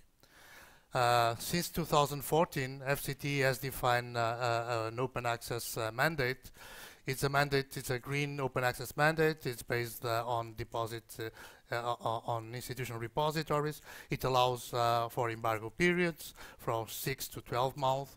Uh, it also supports uh, APC payments for publishing in open in open access journals. When there when there is APC payments, there is a requirement of associating a, a, a Creative Commons license. And uh, uh, as you can see by, by this, it is uh, very well aligned with the requirements for Horizon 2020. And uh, this mandate and uh, this policy was built uh, on top of already existing infrastructure that is the RCAAP, is the, the National Open Science Repository that was built in Portugal since 2008 and is aggregating the, the, the overall the, the, the Portuguese repositories. So for, for, for this policy and for the monitoring of this policy, we rely on the, on the repository infrastructure. So uh, we have uh, the repositories where all the publications must be deposited. We have the the the, the CAP, the national portal that aggregates all that uh, all those publications and and uh, and identify uh, and identify the the founding information. Uh, in the middle of that, we have a, a, a, validator, a tool that validates the information that we aggregate from, from the repositories, and then we have uh, the, the, the, reporting and monitoring that is made uh, uh for, for, the, for the founder. Uh, if we look a little bit closer to, to each of these components, so for institutional repositories, the, the main question, of course, is the identification of the founding and of the projects. So not surprisingly, we use the OpenAIRE uh, uh, API to, to do this. So uh, uh, uh every Portuguese repository, apart from uh, all the Horizon 2020 and FP7 projects, has also a list of authoritative list of all the, the FCT projects. And because, again, this question, as it was mentioned in the morning, the question of clearly identify the founding is a, is a problem and uh, so uh, this uh, authoritative list is very useful. And then all this information is aggregated by, by the, the portal and with that information and with the, the, metadata that we aggregate uh, from from the repositories uh, with the information about the funding of the projects. We have like also in in OpenAIRE. So for most of you that knows knows how OpenAIRE works, this is very similar to to what uh, how OpenAIRE works. So we have a, a, project page for each project where we have some basic information and then the list of publications and uh, some tools that the projects can can uh, use and also from this information, uh, uh, the RCAAP portal produces the official uh, publications report for, for the founder. So it is a static Uh, uh, report, so it's uh, an automatic, uh, automatic generated report that can be generated at any moment. But when it is generated, it is a static report. We have it generates a, a, a URL, a persistent URL that that that can then be used for for reporting purposes. And uh, also on the RCAAP portal, we have a monitoring dashboard that uh, allows us to to uh, to collect and to present and to export information about the funding. And just, I will just give you this number. This is not very important. Just let me just uh, uh, remind you that uh, the mandate was from 2014. The first grant agreements that uh, that have the mandate incorporated are from 2015, and uh, the, the, the number of projects is uh, still very low because uh, because of the crisis that we had in Portugal. The, the, the funding has reduced. we are now starting to recover, so the the number of projects uh, is still very uh, very small. But I want just to you because I will be back on the last slide to this number of 5,800 uh, uh, funded publications that we have identified on the RCAAP portal because I, I, want you to compare that at the end of my presentation. And finally, the report and, and monitoring.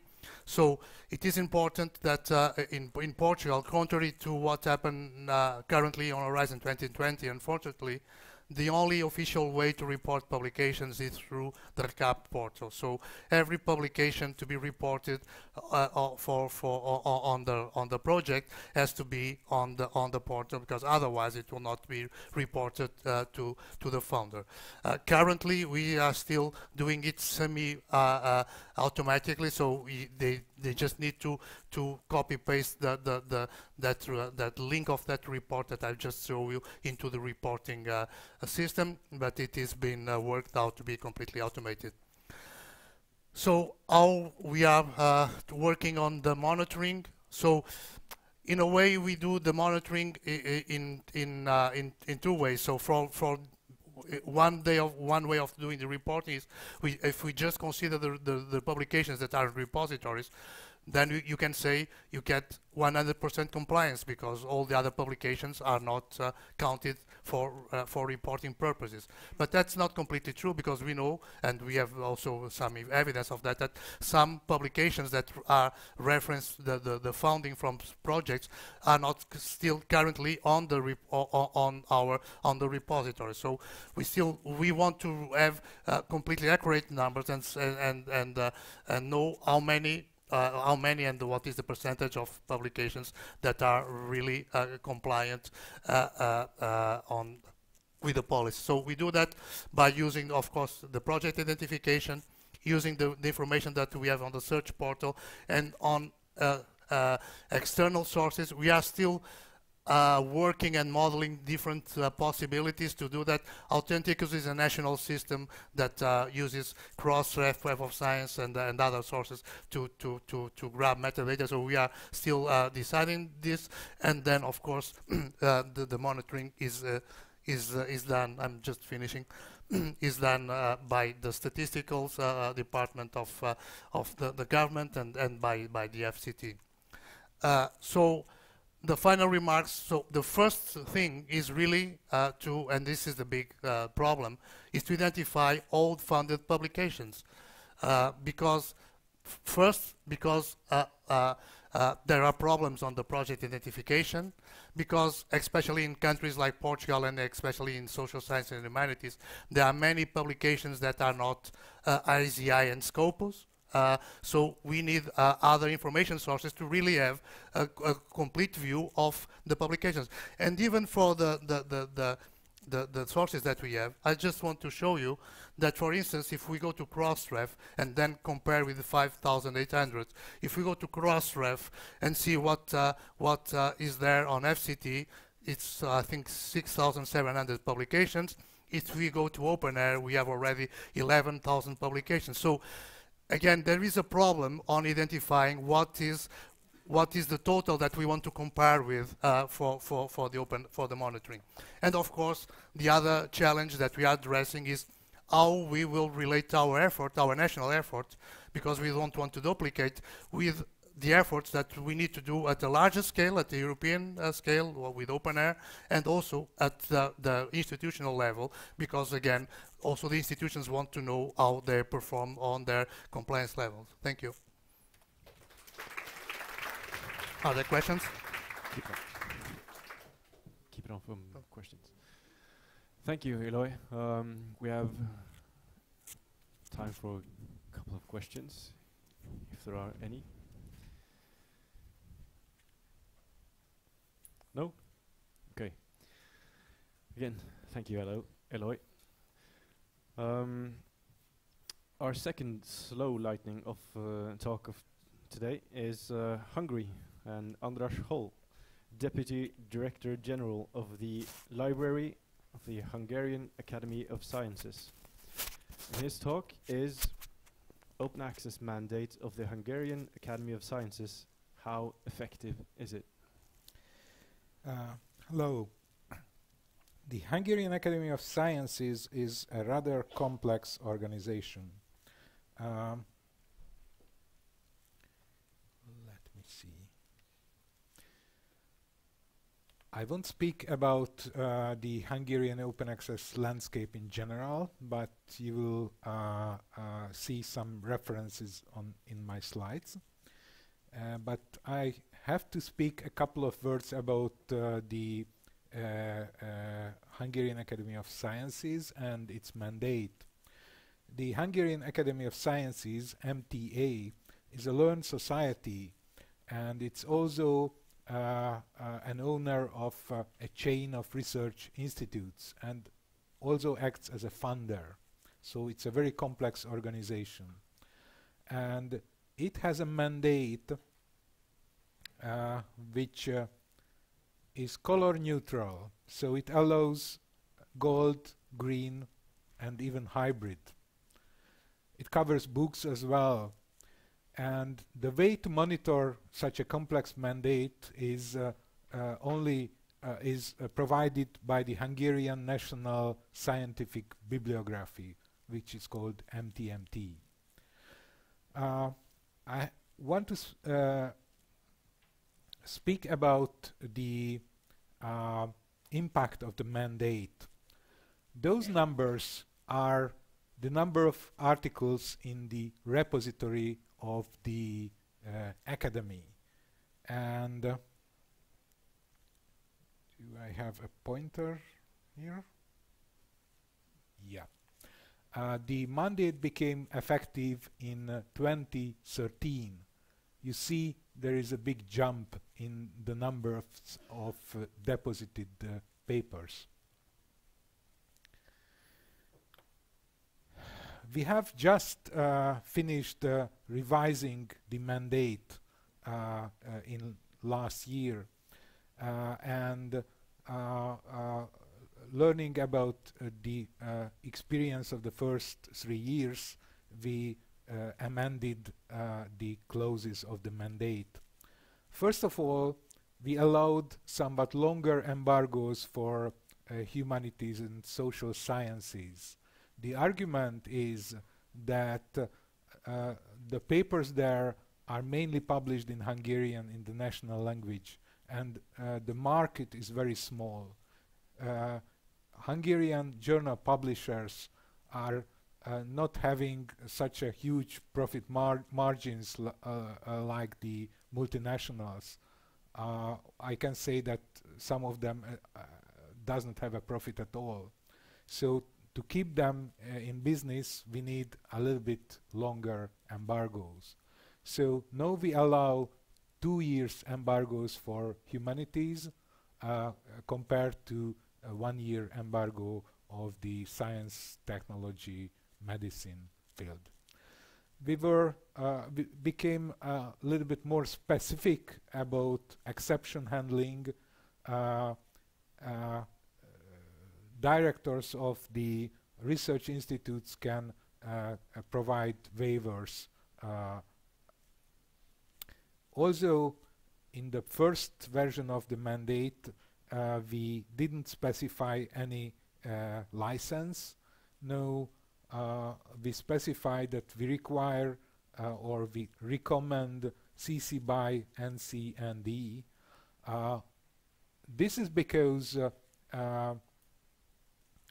there was uh, a big worry uh, about mainly uh, researchers in in the humanities field that if there is no license at all or is it in public domain then people might think that uh, uh, they can just grab uh, the publications and republish them somewhere else. So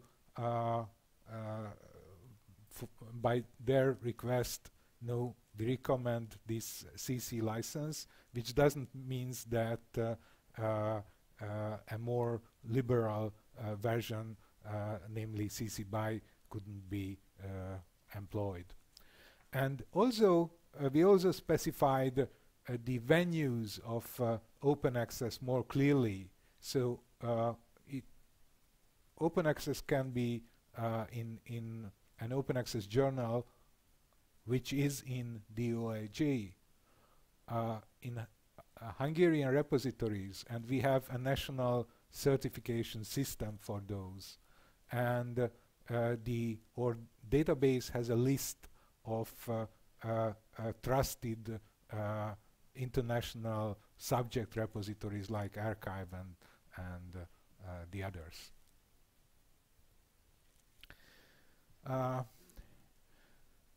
about monitoring. So, or National Publication Database, MTMT, uh, can monitor open access. All the open access journals in DOAJ are recognized. Uh, but if a certain paper uh, uh, gets deposited in, in a repository, this is something which should be entered into the, his database uh, by the author. Uh, actually, they can use a SWORD protocol to upload uh, their publication from this MTMT database to a selected repository. And if this tool is used, there is no need of uh, uh, manual uh, tagging of green open access and uh, this applies uh, to hybrid as well uh, if an article is made open access in a hybrid journal it should be entered in into this database and let's have a look at the uh, results for uh, the Hungarian Academy of Sciences uh, the numbers are close to 60% for uh, uh, 2014 and 15. Uh, means uh, that uh, very close 59 point something percent of the publications from those two years are either open access already or under embargo and will be open access next year or so which is, I think, uh, is a pretty good number. And we can compare the statistics with uh, the uh, statistics on major universities in Hungary. Uh, those numbers are for the five uh, major universities, and their uh, output is open access, ranging from 13 to 30 percent what is uh, interesting, there is no clear uh, uh, correlation between a mandate, uh, between the existence of a mandate. Uh, some, uh, uh, only two universities have mandates in Hungary. one of them has a number close to 30%. the other one is somewhere in between. Uh, the reason could be that uh, those mandates are fairly new and uh, the researchers might not be aware that uh, they actually need to tag their uh, open access articles in this MTMT uh, database. So, thank you.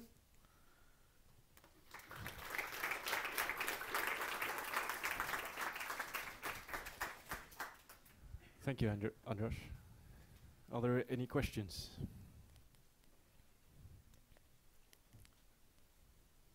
No? Okay. Thank you again.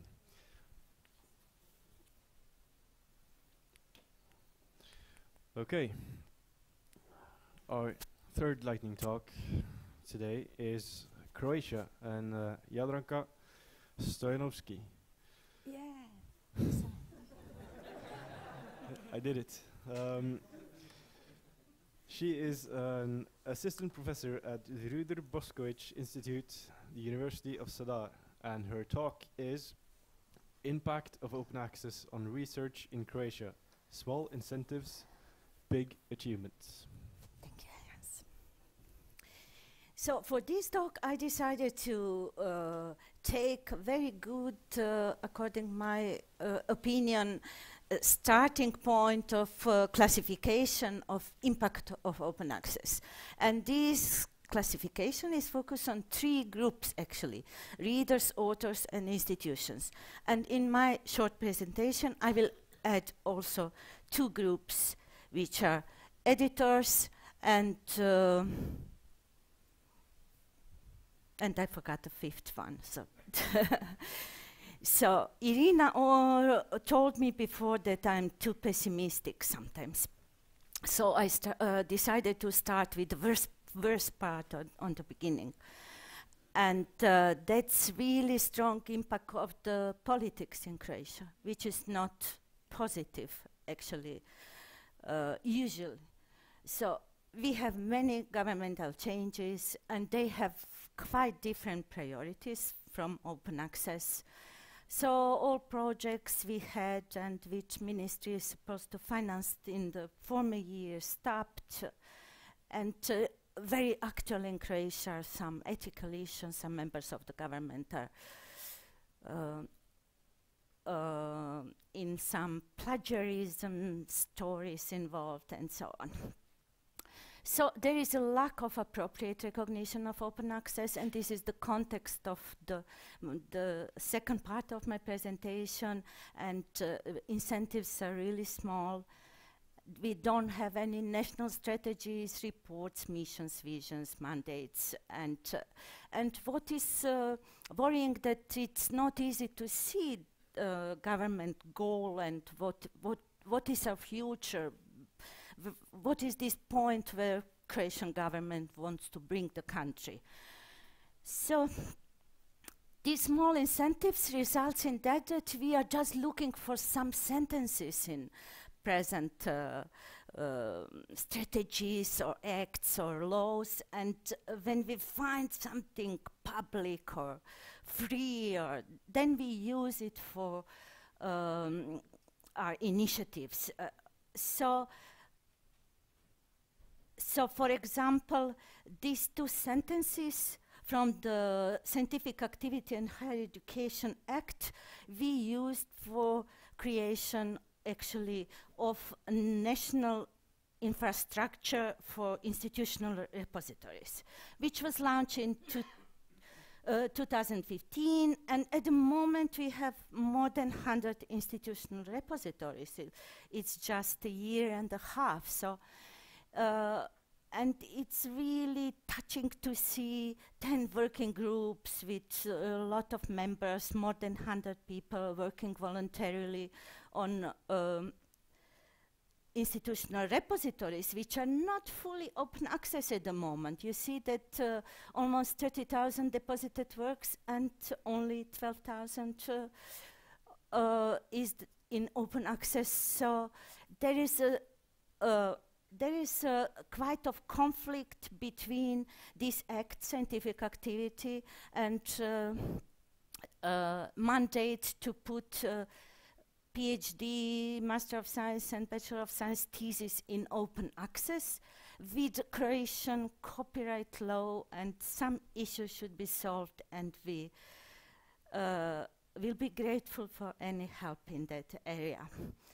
So, speaking about uh, impact on institution, I will just take as an example uh, Bošković Institute institutional repository FULIR with not so much it's not the number of paper is not big but 90% is in open access. And it's really nice to listen how uh, researchers at Ruđer Bošković Institute are speaking more and more on open access even they are ready to put the content in open access which are actually not allowed to put. So if you compare the downloads in uh, uh, uh, 2013 and downloads in 2060, you can see that numbers are quite bigger from 1,000 to, to 4,000, so four times more. So, and related to authors, actually they are uh, familiar kind with open access from uh, 1996 uh, when the Croatian Scientific Bibliography was launched and uh, this bibliography uh, from the very beginning served als also as um, some kind of orphan repository. So if you don't have repository at your institution, you can provide access to a uh, paper through uh, Croatian scientific bibliography. The number is not mm, impressive, but there are still uh, what is uh, nice to see that this number is get getting higher and higher. And when we connect uh, Croatian scientific bibliography with DABAR repositories, that will be really good. So, open access has maybe the most impact in Croatia on editors and publishers. So speaking about Croatian journals, maybe the majority of you heard about uh, uh, repository of open access journal. So at the moment we have 431 open access journal with uh, 160,000 full text articles in open up. And it's really huge impact on authors, editors, and publishers. It, it's interesting that when we started in 2006, it was not, open access was not mandatory. But maybe it's you, you know, sometimes when you are in the de desert and you have a beautiful flower coming up, it's the similar situation. So uh, Croatian journals were lacking during whole history some copyright statements or they didn't have agreements with authors. It was sort of chaos. But from this chaos, uh, this huge adoption of open access uh, 10 years ago was really fantastic. So recently we find out that Croatian open access journals are not real open access journals because most of them still don't have statements on uh, copyright and uh, licensing. So, and uh, during reapplication to director of Open Access Journal last year, uh, really the number of Croatian Open Access Journals dropped down almost in half in uh, this uh, um, directory. So we are now working with uh, editors and publishers to solve this and finally to declare uh, this open access statement. So, uh, and I will just keep to this, but it's important that recent developments, uh, uh, really advanced one, were uh, very related to the grant we got from OpenAIRE on improvement of Hrčak repository.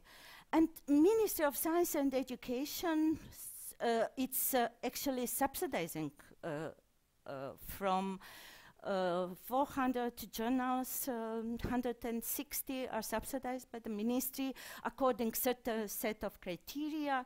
And uh, what is good, what is really advanced, that if you want to get money from the ministry, you should be on Hrčak and your content should be in open access. And uh, why are Croatian journals important? It's also related to altmetric data.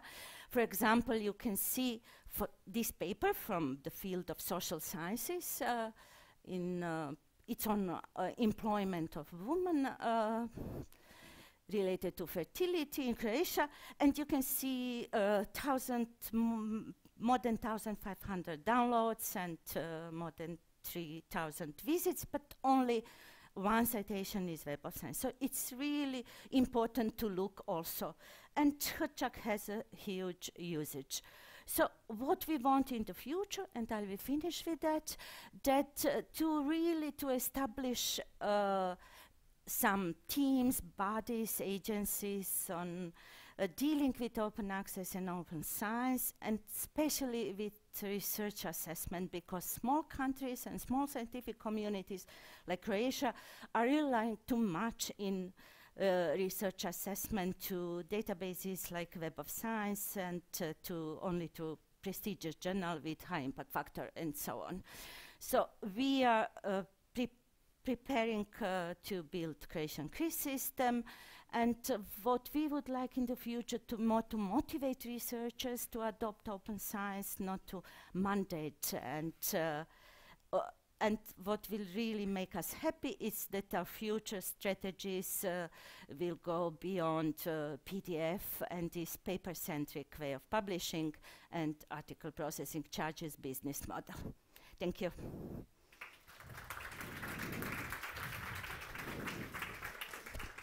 questions. questions. Thank you. Uh, oh, any questions for Jadranka?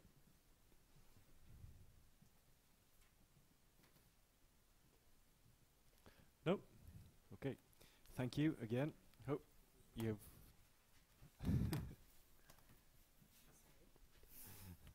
no worries. now, our fourth talk is uh, Norway and Lars Egeland, the director of Learning Center and Library here uh, at our host institution today, Oslo and Akershus University College of Applied Sciences. Uh, his talk is strategy and implementation of an open access of open access at HiOA. I'm uh, honored to have you here uh, at Oslo and Akershus University, I would say, because we sent our application to the department, uh, to the ministry, uh, some few days ago, to be a university.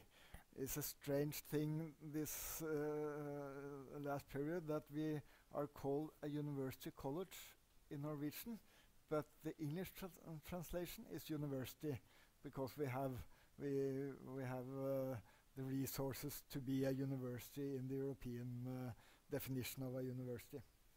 I'm not uh, going to talk about open access in Norway, but tell you a little bit about how we work with open access in uh, in this institution. And I think that that isn't very different from many other institutions in Norway, but I think we have reached a little further perhaps than uh, other institutions. This is just to show you that as early in, in as in 2011, the board of the institution uh, decided on a policy for open access. You don't have to read the text. Uh, I guess open access policies uh, look almost the same in uh, many countries, but we started in 2011. And we made a publication fund, and the point with that is that it covers open access journals, books, and open data repositories.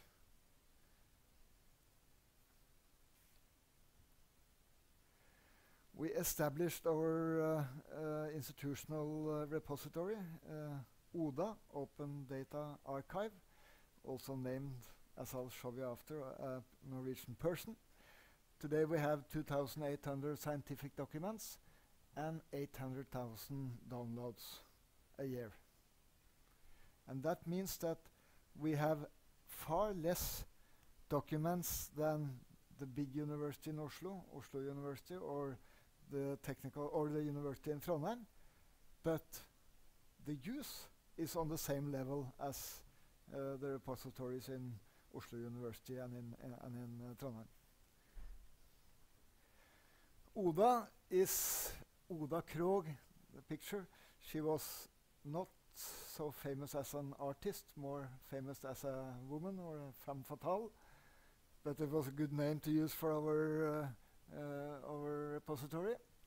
Um, peer-reviewed journal articles, approved master thesis, approved PhD thesis, and the Learning Center and Library is responsible for running the, the archive and uh, also responsible for copyright uh, management.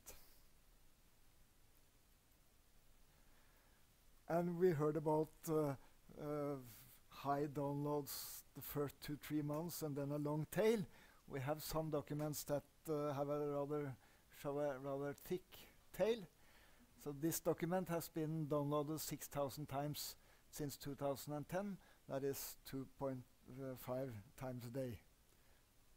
And 2,000 documents, uh, 2,000 downloads the last year. It's about library then. When we started with our repository, uh, the scientific staff wanted to have one repository for only scientific uh, documents. And later we started what I have translated as a, the academic archive, Fagarkivet, only contains uh, 700 documents, but that's uh, going rather fast up. Um, and that contains, uh, it's for professional or academic publication, not scientific, not pe peer reviewed, and also students' assignments with grade A or B. And the most downloaded document, the student as a researcher in education and profession, 10,000 downloads. So it's been used. And we also uh, publish uh, open access journals. We have uh, 12 uh, journals, 11 on uh, level 1, uh, with support from the Norwegian Research Council. the library offers technical infrastructure to establish the journals by using the open journal system. But the institutes or the faculties, they have editing boards at the institutes. We had uh, 100,000 downloads in 2015. Yeah. And that is for our university, which or used to be a, a college then, with a lot of uh, professional educations. These uh, journals has been important to establish some professions as a academic uh, field.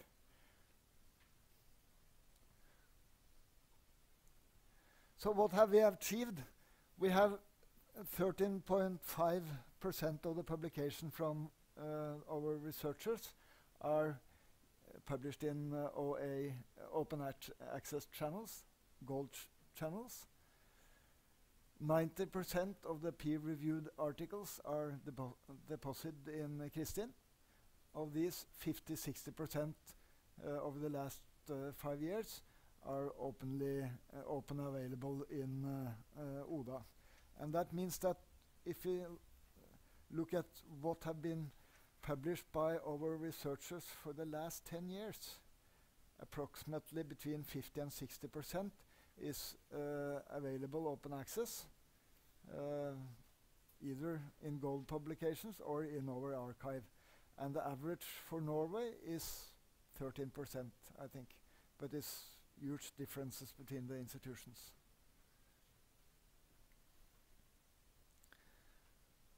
And of course, uh, you heard uh, Curt Rice, so you, you know that we have strong support for the open access uh, work we do. But it's we support open access because we have a policy for openness and sharing.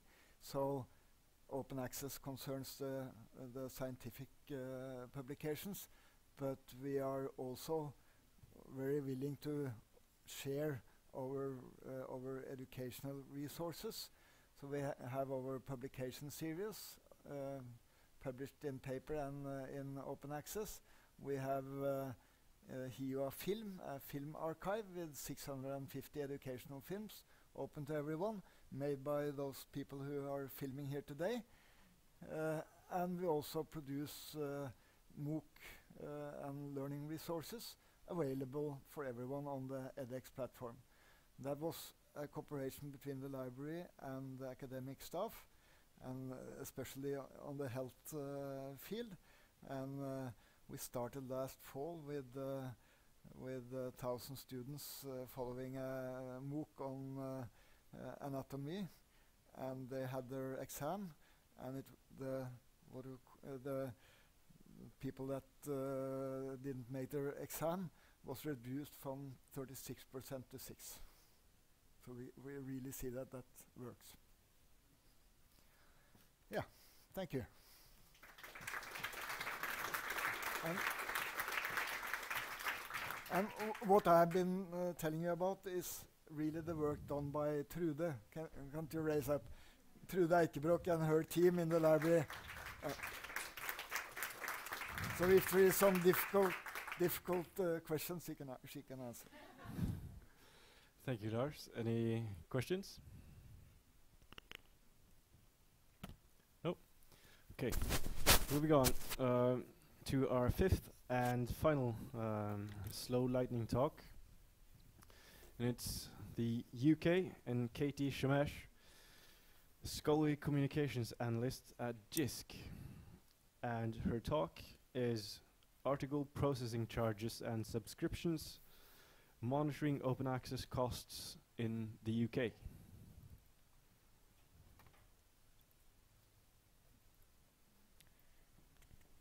Hi, so I'm going to be talking to you about uh, article processing charges and how we monitor these in the UK and what, uh, what we found, what some of the results we found from these are. Um, so just to give you a bit of background about this project, in 2013 when it started, we knew that institutions were paying APCs. We didn't know how many or how much they were spending. Um, they weren't being recorded in any kind of standardized way. So my predecessor at JISC developed a spreadsheet that institutions could fill out, and we asked them to fill it, fill it out on a voluntary basis. And what helped it to really get off the ground was that it was adopted by funders for their own reporting. So if they were funding open access, there was a mandate to report to them what, how much had been spent and on what articles, and they could use the same data format to report to them. When it started in 2013, we had 17 institutions filling out the spreadsheet. Now, uh, last year in 2016, we had 40 institutions, and the same this year, we just did around a round of data collection. And we have data on over 30,000 APCs, and it's all openly available, CC0 license on Figshare. And the principles behind this initiative were that this data should be standardized and comparable. It maps to metadata standards whenever it can, and that it should be open and available to everyone to use. And just kind of a sub point that it should be as easy for institutions to give us this information as possible. And the reason that it was important for it to be open is because for us at JISC, we do negotiations on behalf of the UK universities. We want to be accountable to them to show them that uh, we're, we're working in their best interest, to have the data available to negotiate with publishers to make deals that really work. And it really does help our negotiations with publishers. And we get publishers as well coming back to us using that same data that we have put out online. And that's great because then we can verify it and we know uh, where it comes from. It also helps institutions to see what they're spending and that they're paying a fair price compared to others. And it helps funders to know how their money is being spent and to set policies that benefit open access and the sector as a whole. And really what's important is that this is creating a transparent market for APCs. So a big difference from the market in subscriptions. Uh, now people know what they're paying, how much everyone else is paying, and it's obvious what this market looks like. So here are some of the things we found with the data that we collected. The first thing we found, APCs are growing and they're growing really fast. Um, so between 2013 and 2014, we saw more than double increase, and this was because we had some funding that came into the UK, so all of a sudden there was a lot more money available to spend on APCs. Um, but then between 2014 and 2015, that funding didn't change much, but we still saw quite large growth. 9% uh, growth in number of APCs and 20% growth in expenditure. And the reason that the expenditure is growing so much faster is because the average APC is rising. It's rise it, it rose about 100 pounds in the past two years. So we saw a bit of a dip in 2014 when we introduced some offsetting deals, um, but by 2015 the average APC had gone up quite a lot. And this is really important because APC expenditure is becoming a really big part of library budgets. We found for 2014, which was the last year that we had subscription data uh, available, that it was about 12%, and these are just the APCs we know about that are being paid by the Library Central Fund. Um, and uh, subscription expenditure was the other 88%. Um, but in 2015, we imagine it would be more than that. And, um, and this means that subscriptions are really competing, uh, sorry, APCs are really competing with subscriptions for share of library budgets. And we have data that shows that library budgets are being squeezed because they're not rising uh, to keep up with inflation. And that's why it's so vital to consider subscriptions and APCs as part of the total cost of research. And it's even more vital because the market for APCs looks a lot like that of subscriptions. We're spending on the same publishers with the exception of some fully open access publishers like Public Library of Science. And we're also spending on the same journals. 80% of what we spend is going towards hybrid. And that's partly because more articles are being published in hybrid journals than in fully open access journals, but it's also because the hybrid average APC is significantly higher than the open access, full open access APCs, about 500 pounds higher on average. Um, but worryingly, we're also finding that the full open access APCs, uh, average APC is rising a lot faster than that of uh, hybrid. So it's starting to the gap is starting to close between the two. Um, so just to sum up, we're spending more on APCs, partly because more articles are being published gold open access, and partly because the average APC is rising. And the APC market is looking a lot like the subscription market. Money is going to the same big publishers, it's going to the same hybrid journals, and the cost of full open access journals seems to be rising to meet that of hybrid. But if this is all sounding a bit depressing and a bit doom and gloom, I want to reassure you that it's really not that bad. Um, just the fact that we have this data available means that we're in a much better position than we were a few years ago when we did it. And we've used this data successfully to negotiate offset deals with publishers where APCs and subscriptions are considered as part of the same deal. And these are just some of the offsetting agreements that we have negotiated. And just to show you what this looks like in practice, in 2014, we negotiated a deal with Taylor and Francis. You can see uh, that's the purple line and the subscriptions drop down. We negotiated a deal with Wiley, that's the brown line at the top, and you can see that the, uh, sorry, the expenditure dropped down. And uh, the one publisher, that orange line that we didn't have an offsetting deal in place, you can just see what the effect was, like the expenditure just went up so high. So um, what's next for us is to further standardize how APCs are reported, especially we have a problem with how uh, offset APCs are reported and how do we determine what those cost and how should we record them. Uh, we want to ease the burden of reporting for institutions, especially as institutions are paying more and more APCs. Um, the time that it takes to record these and track these becomes quite a bit more than it was before. And so we've got two new products available within JISC, Monitor Local and Monitor UK. Monitor Local helps to record APCs in a really user-friendly way. Um, it automates a lot of the process. And Monitor UK takes all that data and gives a national picture. It generates reports of what's going on in uh, open access in the UK. We've got 13 institutions signed up so far, and I think another one on the way. yeah, okay, 14 institutions. Um, and uh, so if you'd like some more information about this, I wrote a report that goes into quite a bit more detail, and you can find it here. And that's it for me.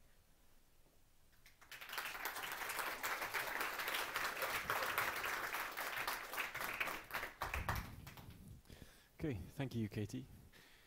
Any questions? Yes, one question here.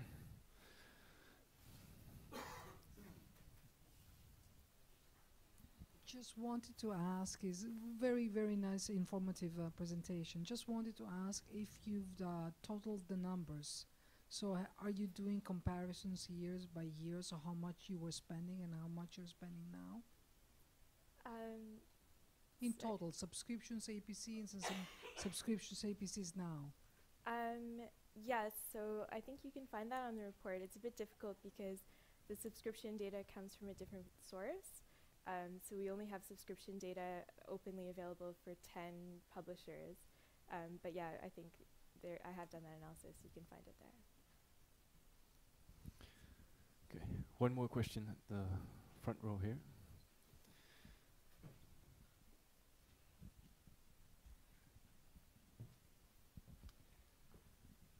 Uh, you mentioned uh, those deals you are uh, uh, reaching with, with publishers.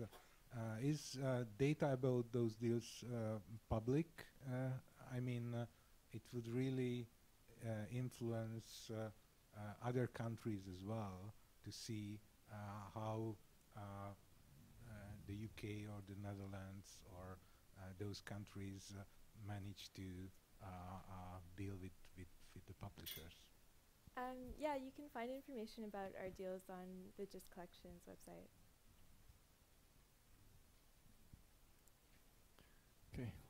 One more question.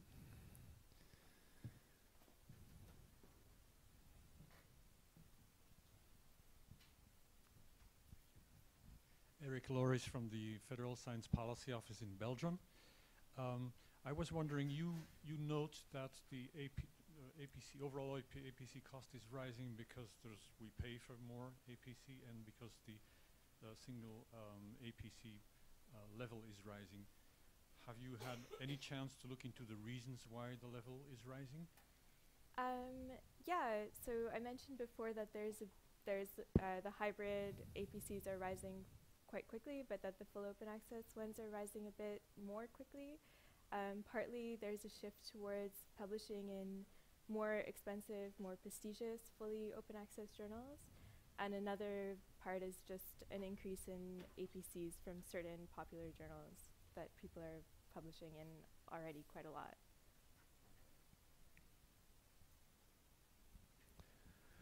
Okay, I think that was it.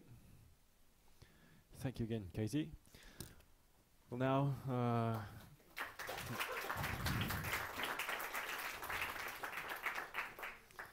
it's now time for a 32 minute break. See you back at 15 minutes past 3.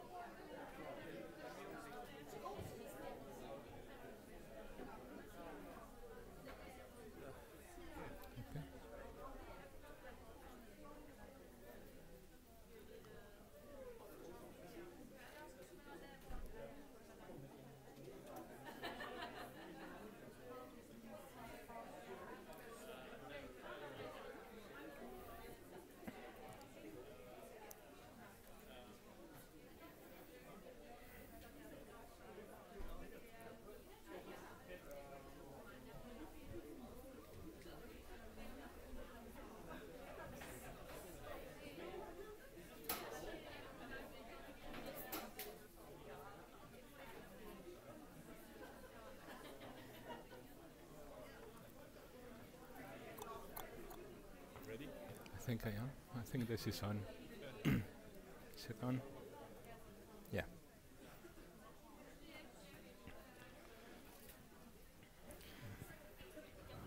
Okay. Welcome back. It's time for our last speaker before the uh, panel discussion, which will round off today's uh, program. And uh, he is Carlos Galan Diaz, and he's a research impact officer at the University of Glasgow. Thank you. Uh, good afternoon, everyone. Uh, I was deeply concerned about the timing of my slot, especially after the coffee break. But then, after such a day of amazing speakers, I'm deeply concerned now. Nevertheless, uh, just to recap one of the opening questions that Natalia asked this morning, uh, she said, is the impact of open access measurable, and if so, how, for research, for innovation, for society? How does it relate to research assessment for researchers and for funders? I don't think I'll be able to answer all of those questions, but hopefully I'll be giving you some indication of what we're doing at the University of Glasgow if I had those answers, you would be paying me to solve your problems. So I'm one of you. I'm trying to get to the bottom of these things. Um, and just a warning, this presentation may induce sickness, and hopefully it's just the transitions and not me. So if you feel that it moves too fast, every time I click, just close your eyes. Um, so just to recap, um, is this not working? There we go. Okay, close your eyes. so I don't know why it went to the end. There we go. Uh, so we have a very quick overview because I don't really need to tell you what open access is. And if I did, uh, perhaps we just leave the room right now. But just the overall or overarching aspirations of open access, which is access, dissemination, uh, promptness of the communication of research uh, data, and I'm using the word data to cover results as well and communications, but also it has some social justice aims, which is the within and between community equality. Just to get a, a, bit of perspective on the challenges that we're faced with, uh, and I think this is pretty important. As of last Friday, when I was just updating my slides, ROARMAP listed 769 open access policies uh, distributed in the following way, which I think is a point of uh, reflection for us, because for something that is supposed to be open access and interoperable, we're not doing very well. Um, of course, this is down to institutions, it's down to governments, it's down to intergovernmental uh, working but we're still, I think, quite a long way of streamlining, never mind how to access documents, but how to agree on what is important. So I think uh, for those of you who are macro thinkers, there's a lot of work to be done with that regard. Um, and again, another note to consider, um, depending on which sources you visit, today we have around six to nine million active researchers across the world. These are full-time equivalents. That's a hell of a lot of researchers.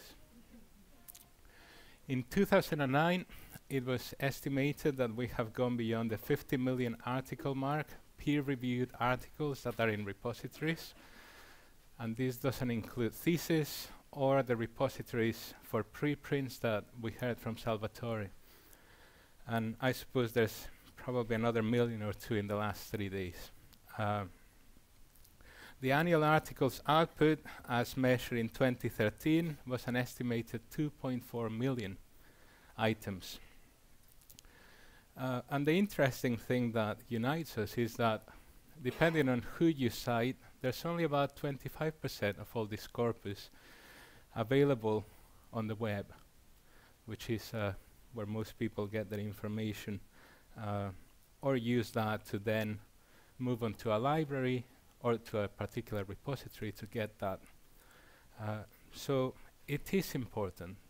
It matters, irrespective of where we get Scopus or the other database, this matters. Um, so what does it actually do, which is the, the question that I'm trying to answer. Uh, and as I said, it's a partial answer. Uh, so I went to our comrades in JISC and stole their diagram, sorry. is, uh, it's usable and reusable. And this is a beautiful illustration of all the things that open access is supposed to do. Um okay,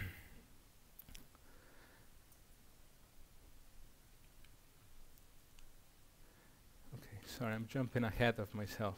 Uh, so basically, it allows pretty much everyone in this planet to go and look at the research. And in order to understand the magnitude of this, uh, the potential recognized readers as of 2015 numbers, uh, for example, our friends Elsevier reckon they have 10 to 15 million unique users or identifiers. Academia.edu has 16 million registered users. A lot of these will be shared between them. It's impossible to know. And uh, well, uh, Google Scholar, who index a lot of articles, claim that they have a substantial share of the market.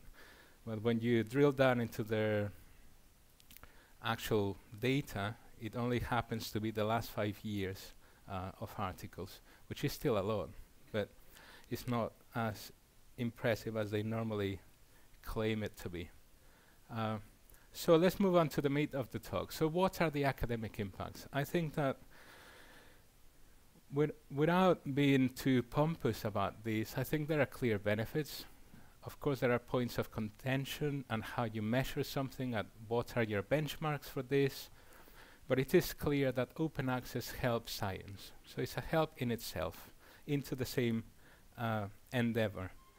And if we look at some of the quotations out there, According to the National Science Foundation, the average citation for all countries has risen from about 1.7 in 92 to 2.5 in 2012. So that in itself is the inclusion of the World Wide Web, which is quite phenomenal. uh, and depending on who you look at, there, there is a very good paper. I've got a list of reference references for those who want it who have uh, done a meta-study of 27 studies about uh, open access. And there's evidence that varies between 36% increase to 600% increase of citations due to publishing in open access journals. So I think we can confidently say that irrespective of methodology, open access increases visibility and in some cases leads to an increase in citations. Um, for example, uh, if we move on to some other, uh, oh, here are the metrics I was telling you a minute ago. Uh, the societal sphere, which is what these uh, numbers are appealing to, there is a lot of people out there accessing the data, which may not convert. And this is a question for you who are skillful in databases and macro data analysis. What's happening there? Because with these millions, if you only have an increase of 1 or 1.5 in citation data, what's happening with those articles? What's happening with, that with that information? It is clear that downloads have increased due to open access. And again, 2015 data shows that there's 2.9 billion downloads per year. And if we drill down to the UK, which is where my institution is, uh, the higher education sector reported 102 million full text articles downloaded in 2006 and 2007. So the question that I ask myself, because at the end of the day I'm a psychologist, is what are people doing with these downloads? Do people actually read them? Why don't we see this in the conversion of citations? And I think this speaks about human psychology and it connects to Salvatore's point about this is a human problem, this is about how people behave, it's not necessarily about the infrastructure infrastructure, but I'll touch on, on that in a, in a minute. Uh, of course, there are economic benefits, and I think that, like with most things in life, this economics matter a lot. And we do know that there are significant advantages and disadvantages for open access. So publishers, of course, some of them are rejoicing in the fact that there's open access, just like uh, Katie told us about. They're making a fortune out of this. And to give you an example of how badly we're doing at being open about this, uh, somebody mentioned Stuart Lawson and Ben in, uh, in the United Kingdom, their study from last year, which wasn't a representative study about institutional subscriptions. And just to give you an example of the disparities, for the data they obtain for the year of 2014, the discrepancies with regards to Cambridge University Press, they charge Birkbeck University London £60,000 for their subscription, and Staffordshire University in England paid 164. And Elsevier, another example from 2014, Imperial College London pay 1.5 million pounds for their subscription, whereas University of Bradford pay 21,000. So, what is happening there uh, is big business. Economics matter. So, this then transpires into the rest of the university environment. So, we have researchers who can do more with less. There's institutions who cannot do more because they don't have the resources. We also have the developed and the developing countries issue, which may not have access to these resources, and therefore open access is important. And then we have the aspiration to include the public sector and the private sector and the third sector.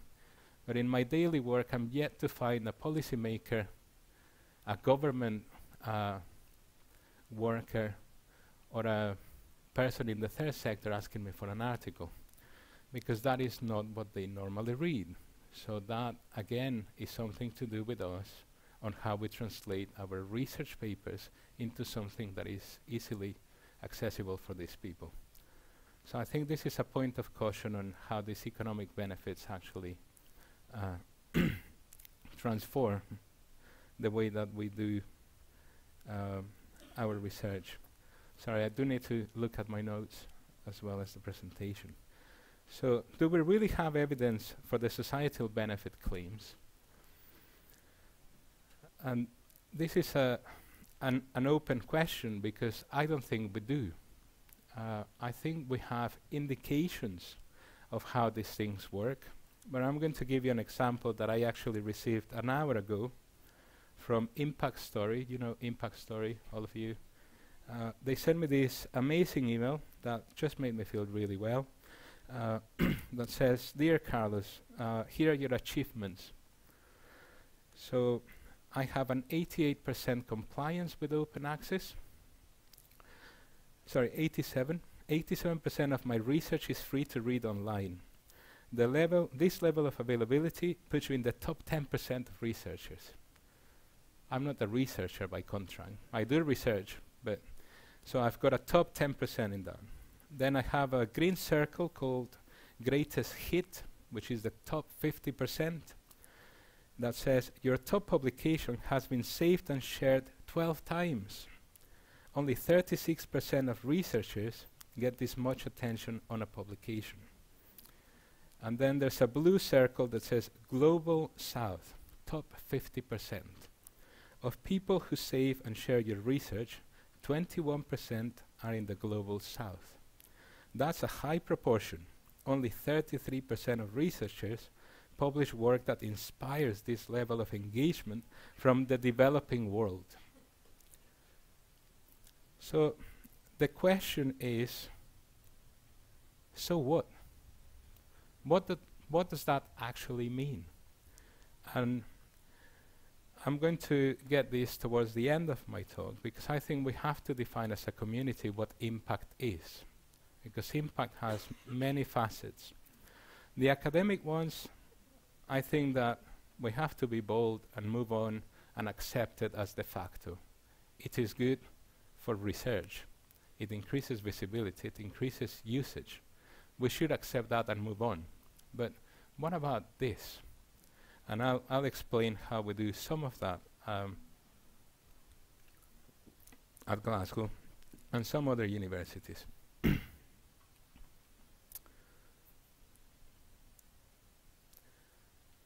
So I think that with regards to that, in that respect, I would say that open access is a necessary but not sufficient condition for impact outside our usual metrics. Uh, we need to close the loop. And what does this mean? Um, I have to ask this question all the time because that's my job. I go around my college, I've got about 800 academics, and I help them realize the potential of their research. And the scariest question that somebody can ask an academic is, so what? You publish 100 articles, so what? Who cares? Because as we know, you've been cited 1.5 times. So that doesn't really make a difference. Uh, if we do a very clever economic analysis of all of this, we could arrive at some kind of monetary value. But it still doesn't answer the question of what the impact of that is. It just tells us that somebody cited your work. Your work. So Curt Rice this morning said, "How are we going to disrupt the system?" And uh, I think this is one of the ways that we can disrupt the system. And I believe that we have to reconceptualize the understanding of knowledge in a digital economy, because we live in a digital economy. All these things that we're talking about is how to make money out of this, to be simplistic, whereby our users, whoever they are and at large, understand the attribution challenge and join the game of acknowledging, because I believe this is the only way of cl closing the loop. If nobody acknowledges the importance of this work, either for your own work or for another objective, we'll still be in the dark on what happened to that work. So this is a quasi-moral proposition because it is appealing to how people behave and it involves raising awareness and re-educating the user base, which is no mean feat. So in order to frame this problem, uh, I think one way that this can be done is fr framing this challenge in terms of three interwoven contexts. These are the individual, the social, and the material. So the individual context includes all the factors held by the individual that affect the choices and the behaviors he or she undertakes. These include an individual's values, attitudes, and skills, as well as the calculations he or she makes before acting, including personal evaluations of costs and benefits. So these are the people who make the research and those who read the research. Uh, and I know that it's uh, it's difficult to think uh, in terms of the whole system, but our non-academic users, whoever they may be, do they understand this? You know, the claims of open access are clear within universities and research, but are these people outside actually aware of this? How many businesses have turned themselves into multi-million dollar companies without ever citing an article? Some of them may have read some articles, some of them may have come to a talk, got an idea, and off they went. And I think Salvatore illustrated that very eloquently in his talk because he said it is a social contract. So, with regards to that, I think we have to rethink this as a social contract where everybody understands that we all benefit. Now, high energy physics seems to be highly evolved in the understanding that the sum of the system is better than individual contributions. But I don't think that in the social sciences, for example, where I come from, we play this game. We very seldomly put out an idea that is half constructed for fear of losing that idea or losing the acknowledgement of that idea. And then if you take that out of the university circles, you're in bigger problems. Uh now, the social context, which I've just lumped into that because I'm a psychologist, so the two go hand in hand, includes all the factors that exist beyond the individual in the social realm, yet shape his or her behaviors. These influences include understandings that are shared amongst groups, such as social norms and the meanings attached to particular activities, as well as people's networks and relationships, and the institutions that influence how group of individuals behave. And I think this is extremely important And finally, you have the material context, which is the factors that are out there in the environment and the wider world. And I think is where you come in with the uh, policies and the ways of doing things. And I think the question I would like to ask is, can we not use our own systems to actually start tracking how these particular changes outside in the world can be measured? And perhaps it shows my age, but you know, a risk tag would be fantastic. Because if people took the care, if we could re-educate people to actually input that metadata, we could then start seeing how a particular publication, whatever that may be, has changed something. Now, we have the techniques available. Is it a big task? You tell me. Can we retrospectively map all the IDs, unique identifiers, to this risk tag that will be about impact? For example, all the acknowledgements in papers, can they be data mined and attached to a particular author? So you can actually see who's contributing to a field, but is not properly acknowledged as a co-author.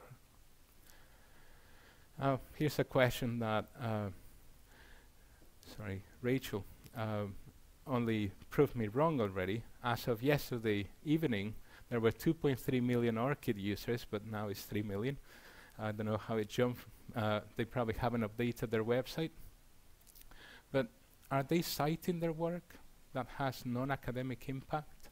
Or are we still focusing and forcing these people to just focus on academia per se. Uh, this is incredibly important for us in the United Kingdom, but also for Europe, because we all have a commitment to doing something outside academia with our research. Europe is still not imposing this. Our motto is academic excellence with impact in mind. so whatever we do, we have to demonstrate what has happened as a result of that research. And finally, technologically speaking, can we mine IP addresses to the point that is sensitive, that is not in breach of any confidentiality, so we can actually map where our research is being read, and people can actually use that as a proxy to approach those organizations that may be wanting to use that research. so I'll show you two examples uh, to to conclude, because I'm getting close now, uh, of how we do this. This is a little diagram called the personal impact plan, and it has a, an amalgamation of definitions. but when I talk about impact, I'm talking about the demonstrable effect, change, or benefit beyond academia. It includes academic benefit, but it could be absolutely anything. And I think this is what terrifies people. Because if there are no guidelines, we cannot fulfill them. And I cannot tell the community to just log everything. Um, but this is part of my project to raise awareness and change how people behave so they can actually start understanding that they can no longer just sit in the room and produce their articles and waiting for the citations to happen. Some people may be able to do that. Some people are very good at writing. We should support those people who are very good at that. Those who are not very good at writing or are not very good at getting citations need to start working out different ways of working so they can get uh, to the next stage in this impact agenda. Uh, so this has very simple questions. I have copies here if anyone wants to take one at the end. And I already have to uh, update this in some way or form because it changes all the time. But I must stress, I do not worry about open access in my institution because my library does a great job of that. We have a system that works. Everyone has to be open access compliant because of the higher education sector in the UK. Our repository is both open to individuals, but also you can delegate someone to fill in your information for you. We don't have a problem with regards to that, and we have the mechanisms to pay for it, irrespective of the cost and the transactions that Katie mentioned earlier on. And the example, the final example that I would like to talk about is how do you close the loop? Well, we have this repository at Glasgow. It's not unique, it's Enlighten, everyone can have it, but we decided to redevelop the repository to actually start gathering impact and knowledge exchange evidence. Because this is the only way that we can close that loop and go back to the funders and tell them what has happened as a result of your academic activities. So if I was to do this myself, you, you can deposit an item, which can be an activity or a piece of evidence, because remember, it has to be demonstrable. So I cannot go back to my office on Thursday and say, oh, I had a great time, everybody loved it. I have to find something that tells me that you did. So it could be my 12 tweets that have reached the global south, or it could be an email that says that this was very interesting, or, for example, the reason why I'm here. I was at a conference last year, I met Nina, we had a chat, something ran through in her head, and she invited me to come. So if I report back on this, that is a measure of impact, because thanks to me giving a presentation, something else happened. And that is the only way that I can reconstruct that famous impact outside academia. So this repository is working. Uh, it's got many, many fields. It's interoperable with all of our systems. It has research funders data. It has HR data. It has contractual data. And anything you put in gets curated by the library and as a research impact officer, which is my ridiculous title, I can sit down and mine that data and create connections between researchers. I can look at who are who we're working with. I can look at the opportunities that we have in the pipeline. It connects with all the publications, so I can actually map an entire college by publications. I can look at those publications with regards to organizations that we work for. I can find gaps, I can find strengths, and this goes hand in hand with my personal impact plan. And I was speaking to somebody earlier on at lunchtime because we have to generate trust and rapport with our researchers. We cannot just impose a vision on them and wait for them to change. We have to do the legwork and show them how it can be used. So as a result of this, we've already had some successes, which again goes back to economics. Thanks to some of this information, we have put researchers together and won very lucrative research funding opportunities. So we're at a point where people see the value and they can sit down, fill in the repository. This fits into their annual reviews for career progression and everybody wins. And if this was to fall down tomorrow, they can download all, the all their data and take it with them and put it in their CV. So we're making their life easy because whatever they do is portable. Thank you very much.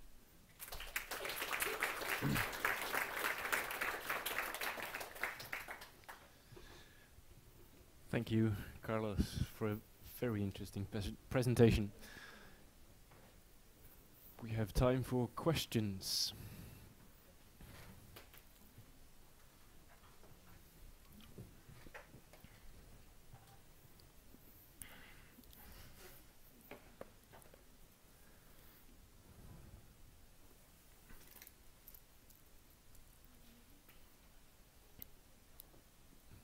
We have one question up there. Okay.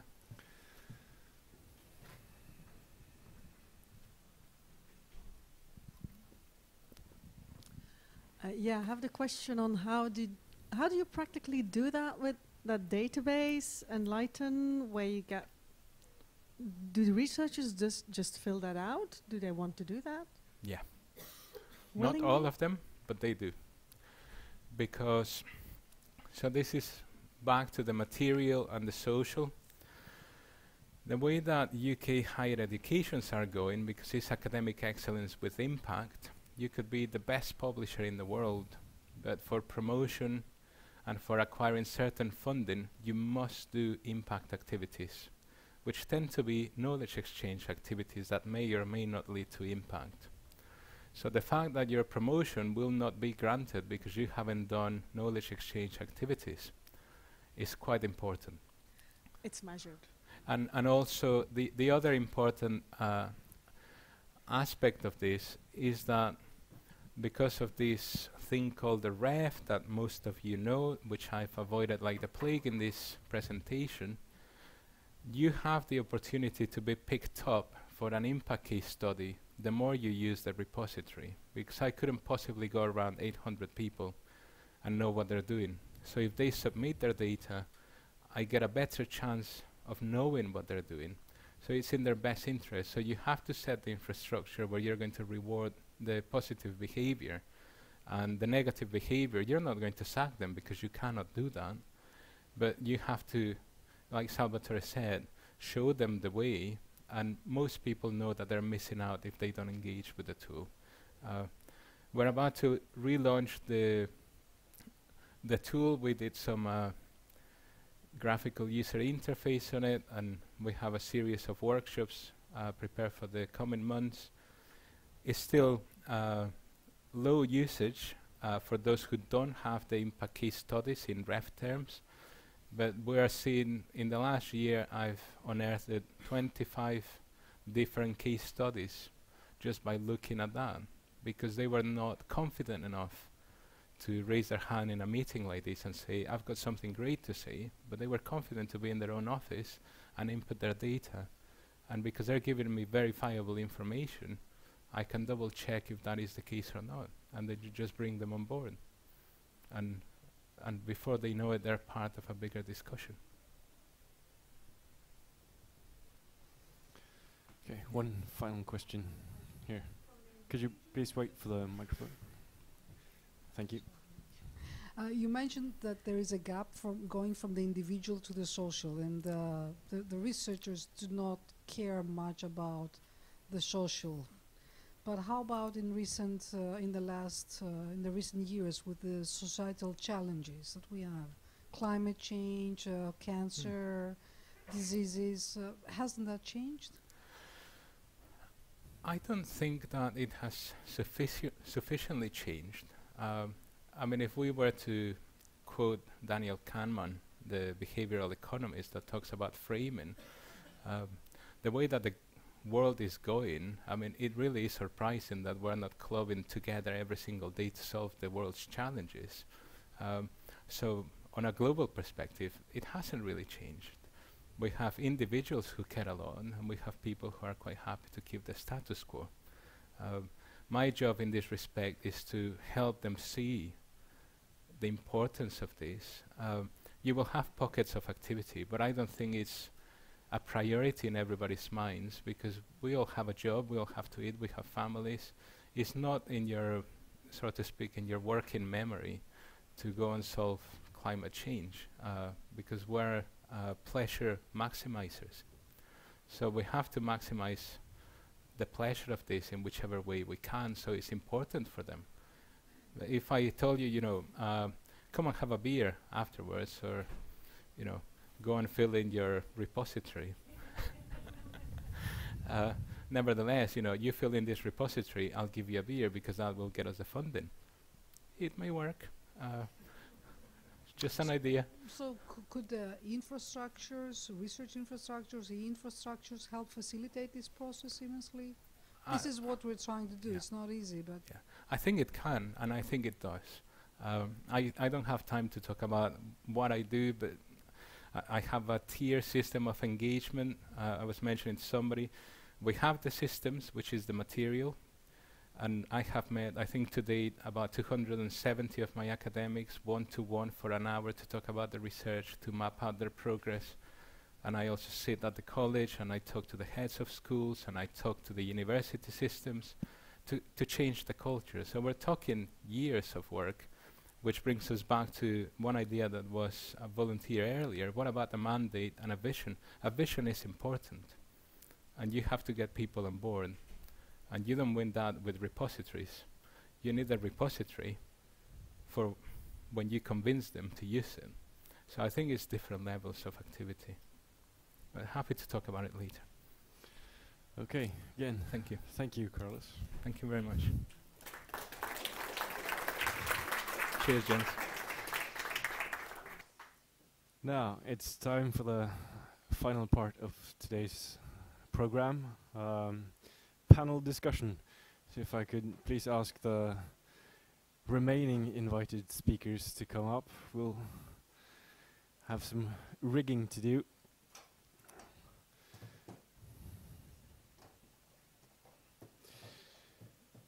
The uh, moderator of uh, today's panel discussion is Katrine Weisteen Bjerde, Director of Research Services at Ceres.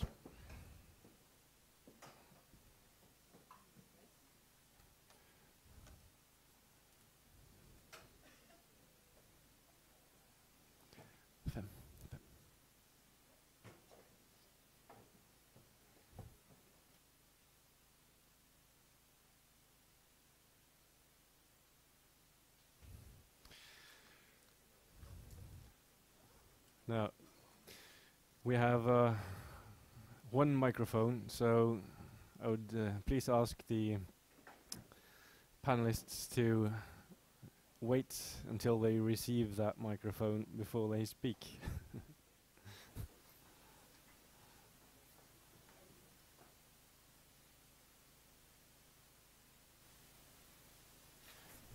Thank you.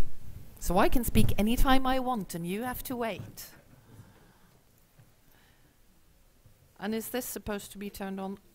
It's working? Is that? Yeah. Okay. So, welcome, dear panelists.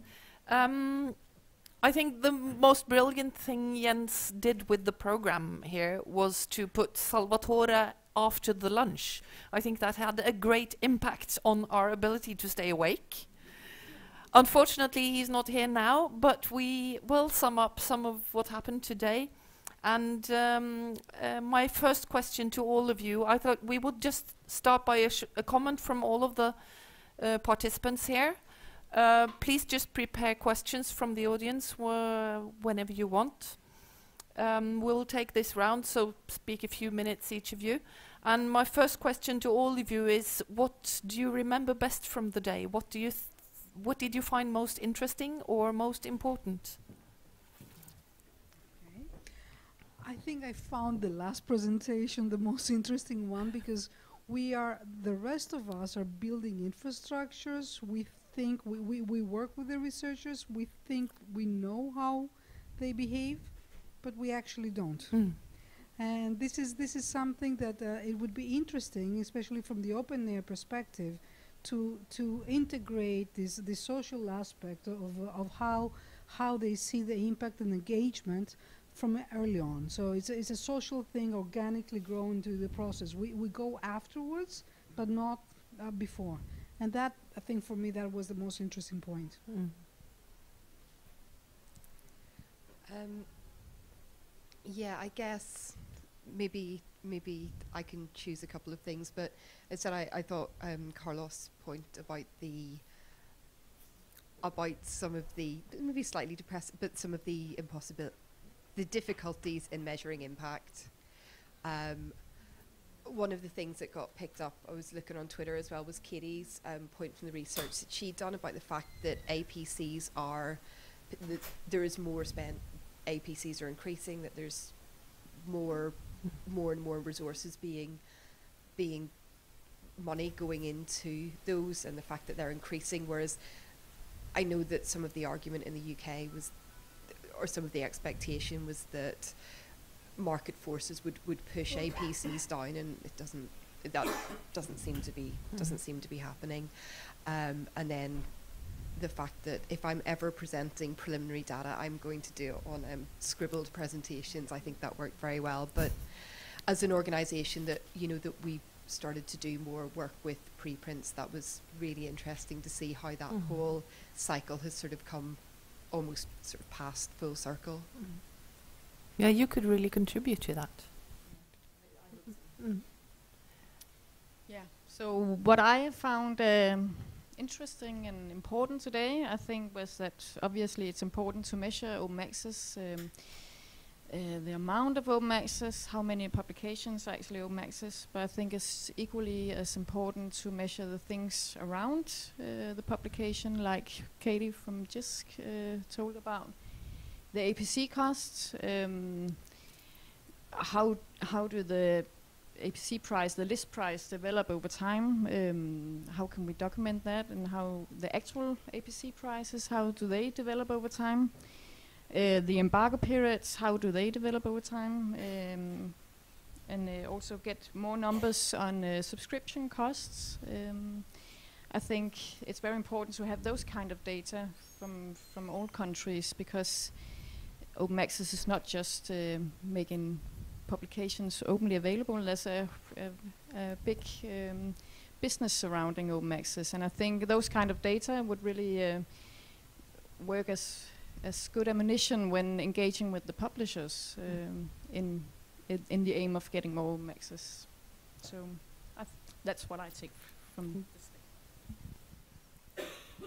Okay, I think I will uh, add to what you most of you have said that I think uh, what was shown today, both in Salvatore's and also Antonio's uh, presentation, and what you finally uh, showed here, is that there are huge differences in um, the evidence of open access impact, and also the way we measure different kinds of open access.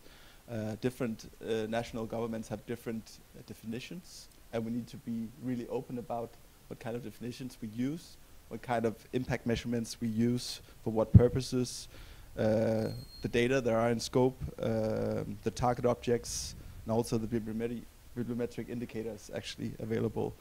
Uh, otherwise, it won't make sense to uh, Mm. to to benchmark uh, numbers and. Uh, is 40% better than 30% in some countries? I mean, what what are the targets in scope? That's really important, I think. I, I've learned so much today. It's very difficult to pick just the one aspect. Um, I think if I was to pick one, is how some people have, well, some countries uh, have gone all the way down to the mandate, and some people to the gentle.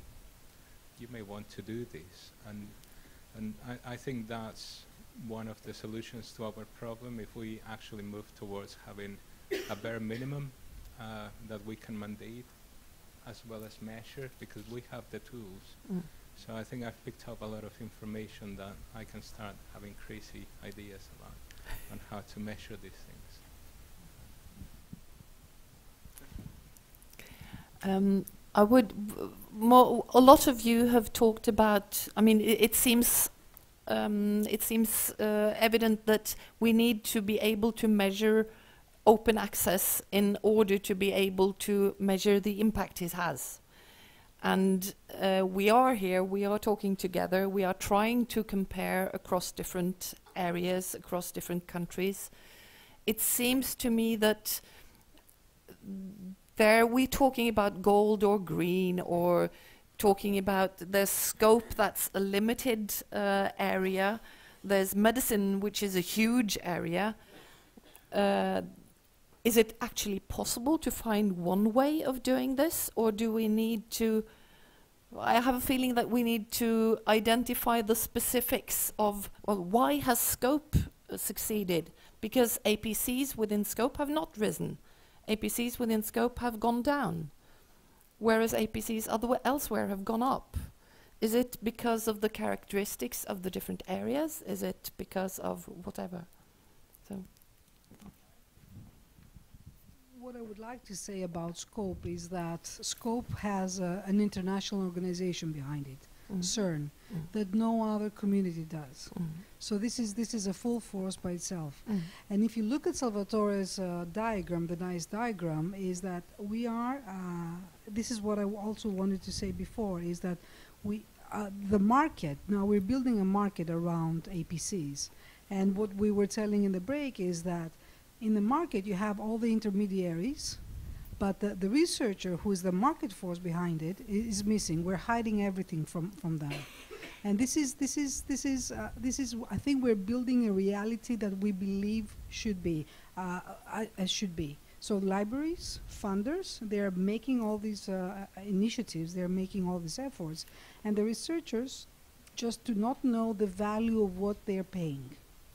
And this is this is something that that you know, I'm not sure if it's going to be successful at the end or not because we're trying to do the market without uh, all the forces.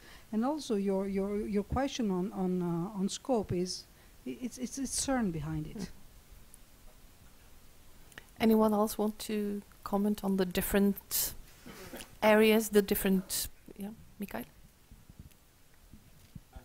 Uh, I'll try to highlight some of the different uh, publishing models or business models at the open access market because we have seen a really uh, sustainable one in scope uh, and some that are not sustainable when we look at some of the, the first calculation from the offsetting deals that have been done. Uh, we have seen in Germany that they have a price cap on the APC, but it's not even close to the goal APC to the price cap. Then we have in the humanities some interesting stuff around uh, library partnership subsidies. Where we Mm. have an APC that's below three dollars. I mean, so it depends on what the community wants. Mm. And for example, the Open Library of Humanities, I think it's a fantastic business model that the community should embrace and uh, and try and solve these things instead of looking at, at some of the commercial systems. And we have seen a fluctuation of some uh, high esteemed journals into that publication platform because it's attractive to, to publishers. So, so initiatives like this, we should definitely support it throughout the whole community. I think also libraries and funders. I would say uh, something related to that because I'm not a librarian. Uh, it's been a passion of mine in the past, but never properly like yourselves. I, I think there is a relationship between uh, having impact through academia and having impact through other means. And if we were to recognize that there are different types of ways that a researcher can make a contribution, then we can actually get them on board. So perhaps you're in humanities and your publication horizon will be probably 10 books if you're lucky, maybe 60 if you're phenomenal, maybe a few articles if you're absolutely out of this world. But, but that is what your field looks like. So how are you going to contribute? Can you include exhibitions? Can you include working with the community? Can you include making presentations to policymakers? I think you should. Mm. We do. But who's going to be interested in picking up some of our data for that end? I doubt many people will. And there are some confidentiality concerns as well because that's our unique selling point. So Mm. we'll be able to talk about the high level stuff of who we are working with, but we couldn't reveal specifics. But I think we have to widen our definitions. I know that Julia Lang of uh, Julia Lane has been she's been working a lot on the impact of science, and one of her early findings was that um, publishing, re- people reading, has a lot less impact than people talking together and working together.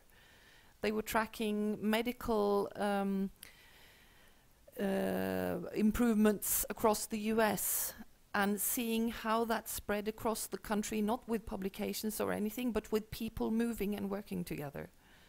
Um, yeah, okay. B- opening up for the public now. Uh, questions for any of the panelists? Yeah.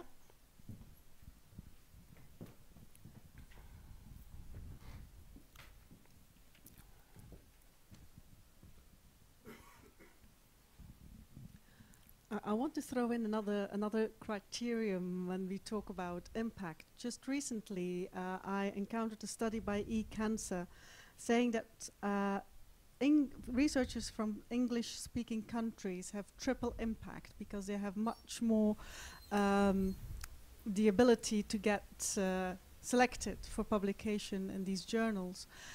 That's again another bias that we have here uh, in, in, in journals. And then I see all these uh, exploding APCs and the way we are handling, and I see yet again reasons why we have to invest more in an infrastructure supporting all researchers, not only those from English-speaking countries, uh, to to to get to excellence and to get to be visible.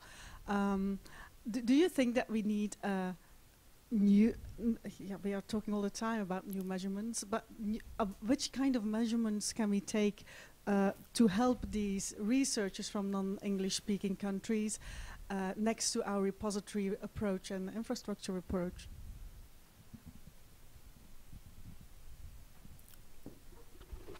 I would like to comment on that because I think uh, what has really been lacking in the CRIS and repository community for the last 10 years is actually the kind of development uh, supporting uh, file sharing and maybe some social media platforms where researchers easily from peer to peer can share content. And you've seen that the commercial sector has exploited this this gap uh, with the ResearchGate, academia, other platforms popping up now. So I think there's a definitely a lack in, in the way we build the repositories that we don't facilitate that kind of social engagement, to call it the social uh, factor. Mhm. Uh, that's one huge challenge I think we should look more into uh, in the future.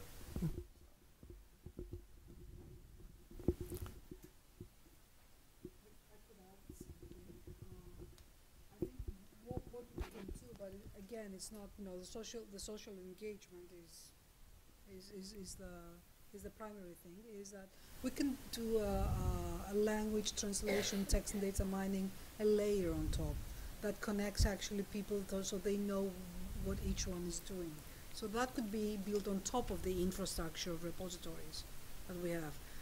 Probably not on top of the publishers because the publishers are do not have all these have all these legal and um, technological barriers, but repositories could certainly fill in uh, fit in this uh, role.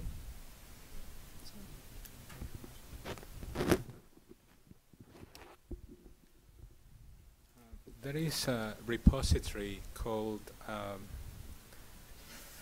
Scotland's Environment Portal uh, that I worked in uh, through another project a couple of years ago that tried to open up the academic community to policymakers.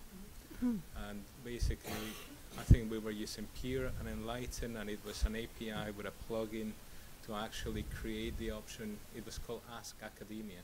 Hmm. So you have all the documents that the policymakers use that we knew they were using because we had them on board, and their portal of government documents were plugged into Aberdeen University's Enlighten and Peer tools to widen the access.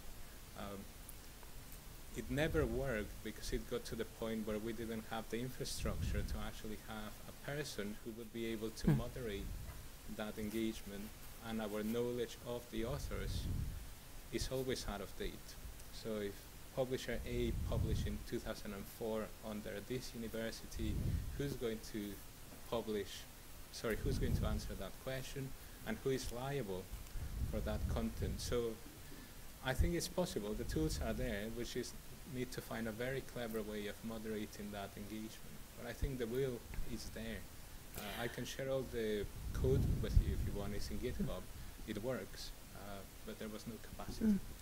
You touched upon it in your speech that uh, if you invited those people for a beer uh, as a reward for actually answering those questions. I mean, it the, all the time. If you ask, keep asking researchers to do more with no reward, of course their days are full.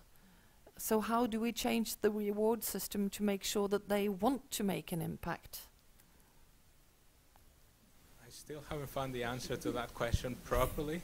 Um, I think that I, I can share with you a, a interview I did for the German Psychological Association. I think very broadly I class academics in two typologies. We have old-fashioned academics and new wave academics. The old-fashioned academics think is publish or perish. I think they're outdated. They're going to just die happy. the, the new wave academics understand that they don't need to publish as much. It's about how they publish something, and this is what I say in the personal impact plan. Your publication is the beginning of your research, it's not the end. Mm. If we can get them to think that way, Yeah. and we get the systems to acknowledge that it's quality, not quantity, Mm. I think we could move, not the world, I mean, I, I'm an idealist, or a friend says that I'm only four letters away from being an idiot, which is very true, but we can, we can get somewhere. Mm. Uh, and I think it's highly needed, because the last thing we need is more papers that Mm. nobody reads, Yeah. or that they download to do I don't know what. Okay, yeah, crossroads. So, yeah, I think. Um, I think you need to keep it quite close to your mouth. So I think, um, to your point that people have no time, I think the more that can be done to automate things, aspects of that for researchers, the better. Um, you know, in the same way that, you know, if you're if you publish with an organization, you get a DOI, there's a landing page, your content gets maintained there. But having ways then for the um, for there and there are different you know initiatives. There are things like um, kudos and other initiatives that mean that things like this are, are happening sort of more automatically for for researchers, um, and for that to kind of be picked up. I know that I used to work with a, a social sciences journal, and they said, well, there was a bit of pushback against it by researchers because they're researchers because it felt like they would be boasting, or you know, or or sort of you know blowing their own trumpet for lack of a better word.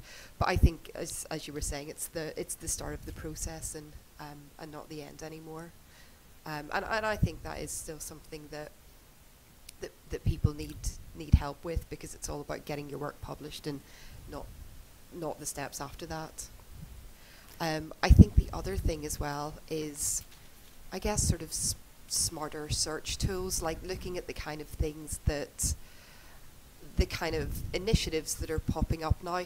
It is often sort of overlays on top of things like arXiv or overlays, you know, search services that sit on top of the scholarly literature to say, hey, if you're um, if you're a you know, if you're a medic, if you're a GP, here's the stuff that we think is going to be most relevant to you. So trying to put that layer on top of the masses of, of publications that are that are out there so that people can go to and find the ones that, that are most relevant to them and you know you can see that's with um, like Chan Zuckerberg that's where that kind of investment's going which is which is interesting Absolutely. Um, it seems that you're all talking about the that we do we do need the infrastructure, then we need the culture change to actually use it for communicating the results that lie in the infrastructure. So you've touched on some issues that we well, what are the additional if we have the perfect infrastructure what are the additional um, ideas the addition adi- additional um, tools or changes that we need to make in order to actually have that content make an impact? And please join in from the audience. Andras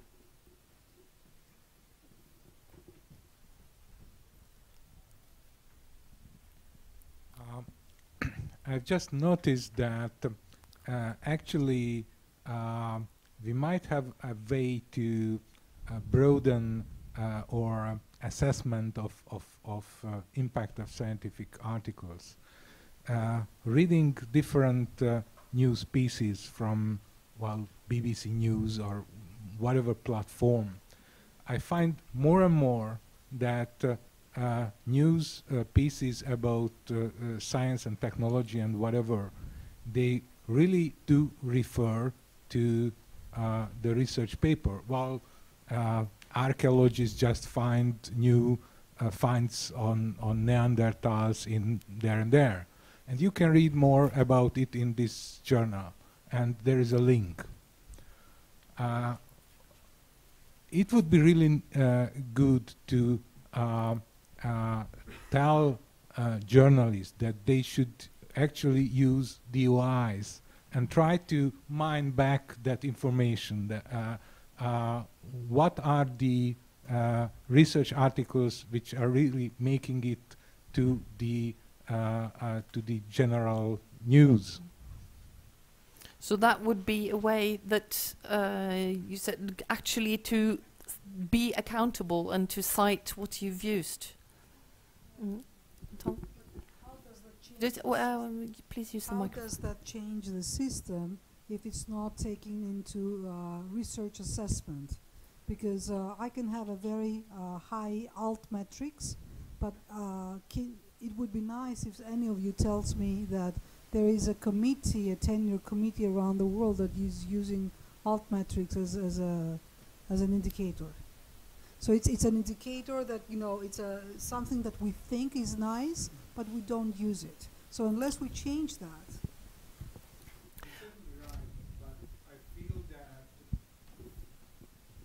again, it might not necessarily get into uh, the research assessment of individuals, but it certainly should get into the assessment of institutions, universities, whatever.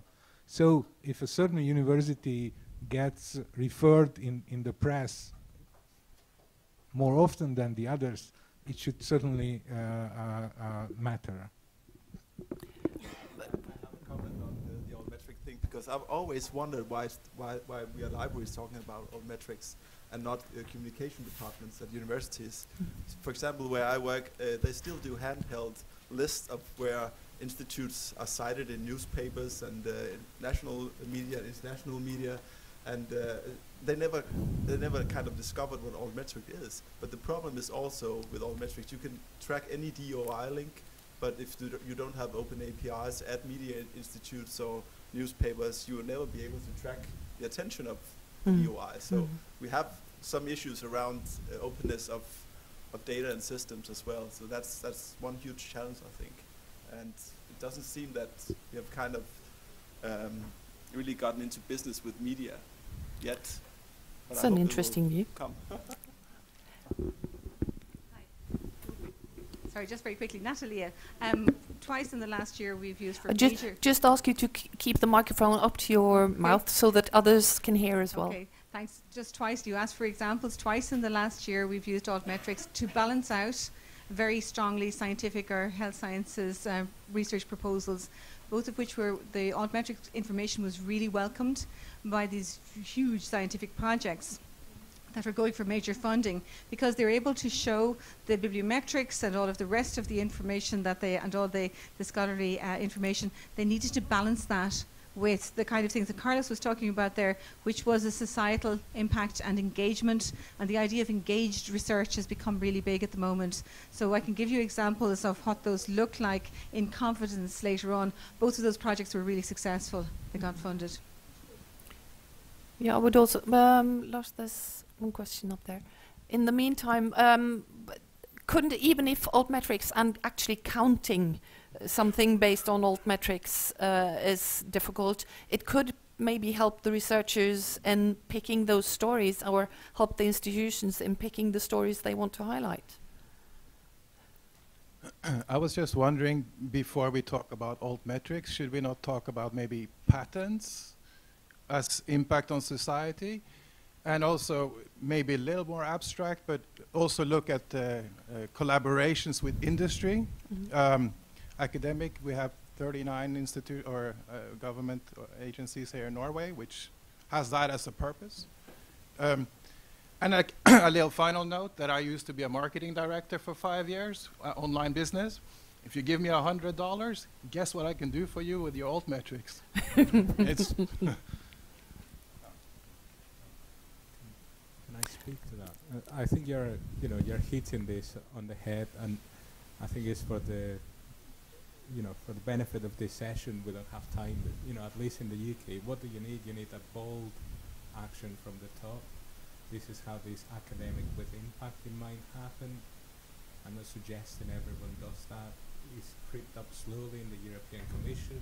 You have your academic and your im- your impact uh, side of things but these are included in our assessments. We we talk about collaborations with industry. Uh, that's why I talked about activities and outputs. I don't want to talk about books or journals or whatever. So I think if we could together resist the temptation to be too specific and have a wide enough framework to capture most facets of academic experience, that at a later time can be mined for patterns, we would be better off. Mm. And it doesn't take much for that. Environments like these are the, the good ones for that. And perhaps, you know, uh, press associations have standards. I know somebody who does uh, that in California. The stock exchange have one of the best interoperable databases, so it wouldn't be difficult to dictate that they must comply with some of these, or that we include theirs. Mhm. Uh, so perhaps for the next workshop, some of their representatives should. Yeah. That's a bad So idea. missing out. Mhm. Really. Also including industry. Uh, anyone else commenting on this? Um, Rachel, did you want to? Yeah, to um, to your comment about um, patents as well, that's something that we've been um, we've been working with an organisation called Cambia in Australia for a couple of years, and um, about assigning DOIs to patents. We've been um, we've introduced assigning them to things like standards, and that's so that we can look at which papers are citi- citing specific patents, um, which which again is it's not maybe inferring you know sort of value impact, but it's it's a thing that then we can that then can be looked at and measured and and assessed in their own rights. But I agree that you know that's it's a it's a really important um, thing to to look at in the same way that we've got sort of publications grouped around say specific um, specific clinical trials. So yeah, to that point, I think there are are other methods like that. Um, I guess the other thing is, I'm I'm quite a sort of visual. I like examples. So um, a while ago, there's the Publishers for Development conference that um, the INASP run, and they were talking about so impact for um, some of the some of the researchers and librarians who spoke at there were in cases in and I um, I'm sure people like um, Eiffel can talk about this much more authoritatively than I can, but um, talking about impact in um, in say in places in Africa where the results of research have actually gone into you know into how areas are farmed, irrigation, things like that. So, you know, I, again, I think they're sort of highlighting and, and speaking to examples like that is Mm. um, is really important too. I know that Cameron Neylon at some point was talking about all these different examples of picking up stories from altmetrics and saying that yes, this um, this woman in this kindergarten read this article and that changed the way they were treating the children in that. So it's a small example of impact, but it's still impact. You, you can't you can't measure can't quantit so that combination of quantitatively measuring and qualitatively assessing. It's i mean it's like the uk REF. It's a combination now isn't it of counting the number of articles but you need to add um, a piece of text describing the impact that it has done. So some sort of combination um, moving to stakeholders, we, we were touching on um, high level, bold politicians. We've touched on uh, institutional leaders. We've, we have the researchers, we have the librarians, we have industry. Who needs to move in order to uh, make something happen?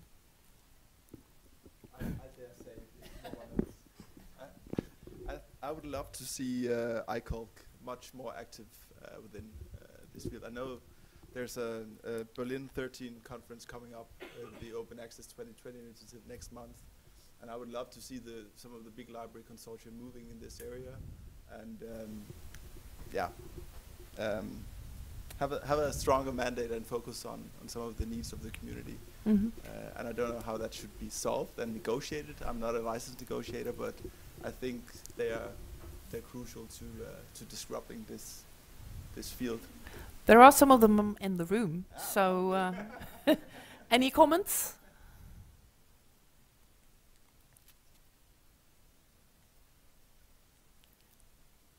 Other stakeholders that should could make a difference? Mm-hmm. Money talks. What could they do? Mm-hmm. uh, Natalia, the microphone.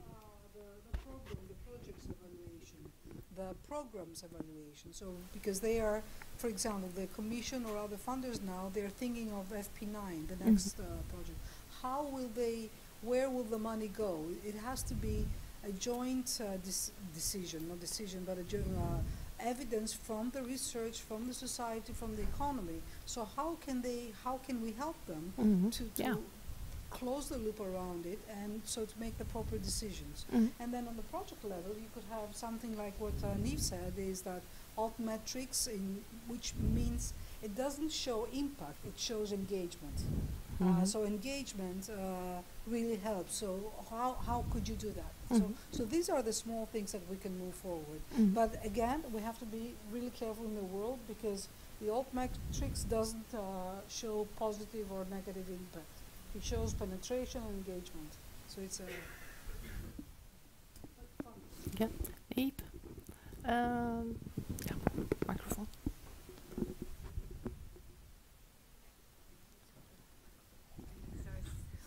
I just think that's a really important comment that uh, Natalie has made.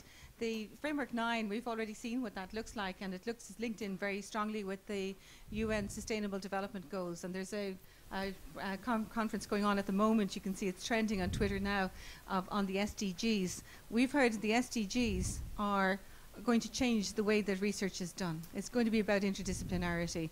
This is a massive opportunity for open access where we break down all of those barriers. But I think that we need to find those kind of tools and we need to engage with policymakers and people who are involved with the SDGs, whether they are the international development researchers or they're policymakers in governments who recognize that impact doesn't happen at the end of a project. It happens at the very beginning, at the proposal stage, when that starts off.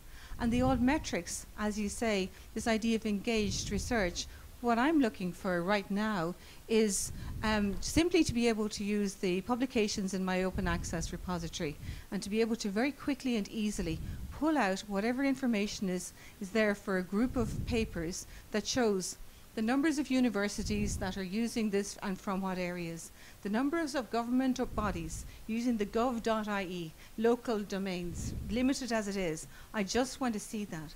I want to see the schools in my country who are using this information. And that is something that I think is available to us here and now, but the tool simply isn't at my fingertips to be able to use it right now. I have to add to this that we're proud that in, in OpenAIRE Connect, which is a project that just started uh, uh, in uh, January, we have a local SDG community. We're helping them build the national, uh, the national SDG uh, open data with open research data with open publications, moving to Mediterranean, if possible, moving. So, so this is this is the way that infrastructures can help because we have the knowledge, they have the discipline knowledge, they know about the data, they just don't know how to connect everything together. very quickly to that, and that is that in Dublin, when uh, University College Dublin welcomed um, and Jeffrey Sachs, who wrote the um, Sustainable Development Goals and, and is working with the United Nations on this. And at the end of the speech welcoming him and honouring him with the James Joyce uh, Ulysses Award um, for services to humanity, he, um, the Professor um, pa Paul Walsh, uh, Professor of Economics and International Development, said that open access was key to the attainment of the Sustainable Development Goals. And I think he said that publicly, it's on record with Jeffrey Sachs, so that's something that we could really develop on.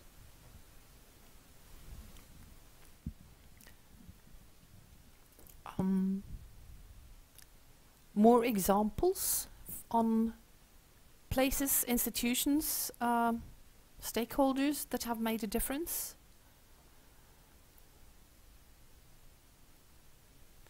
I think we're, well, it's something that's starting to move. We're, yeah.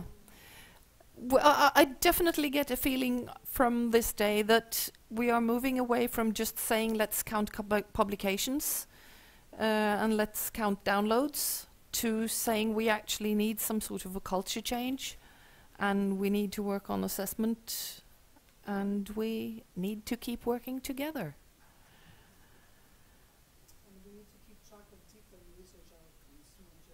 Yeah, absolutely. Mm. I don't know whether we need to continue until this is at the end. I don't think people would mind going home a bit early. Um, Jens, you want some final words? Thank you for your contributions.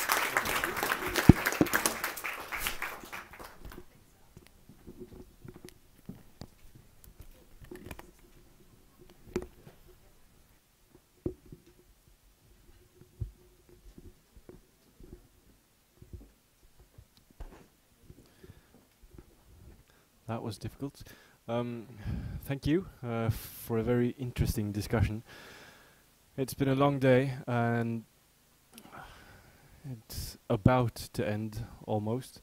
Um, but first, we have uh,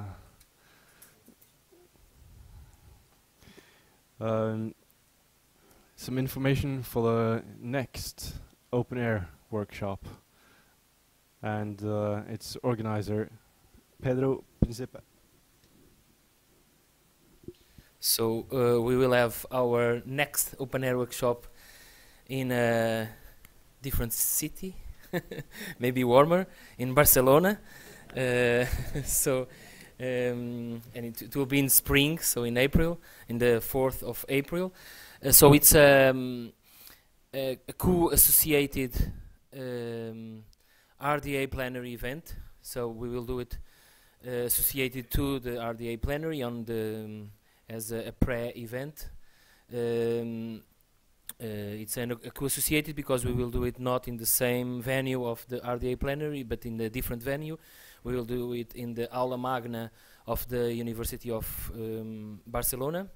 We will have our colleagues of University of um, Barcelona hosting hosting this um, workshop. Uh, FECYT from Spain, Eva is is there. Uh, is also supporting to to welcome you in Barcelona to this uh, OpenAIRE, the eighth OpenAIRE workshop, not the last one of OpenAIRE 2020 we will have another one, and we will have also a fair conference in September.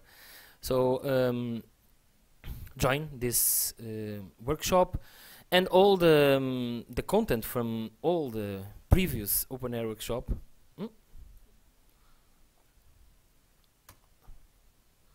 are not available in this page. Okay, this one. So. Um, all the content are available via our portal, also recordings and slides and things like that. Okay, thank you.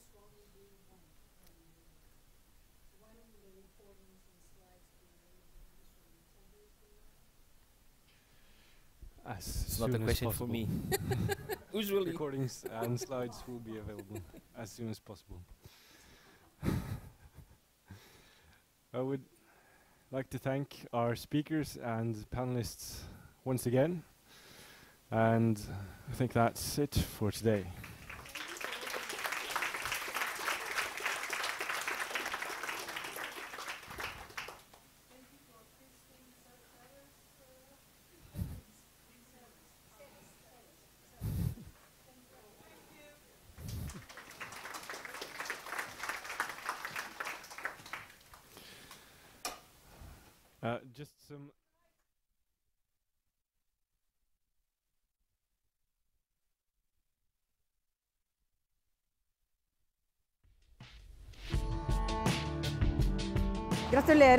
Studieplass ved Høgskolen i Oslo og Akershus.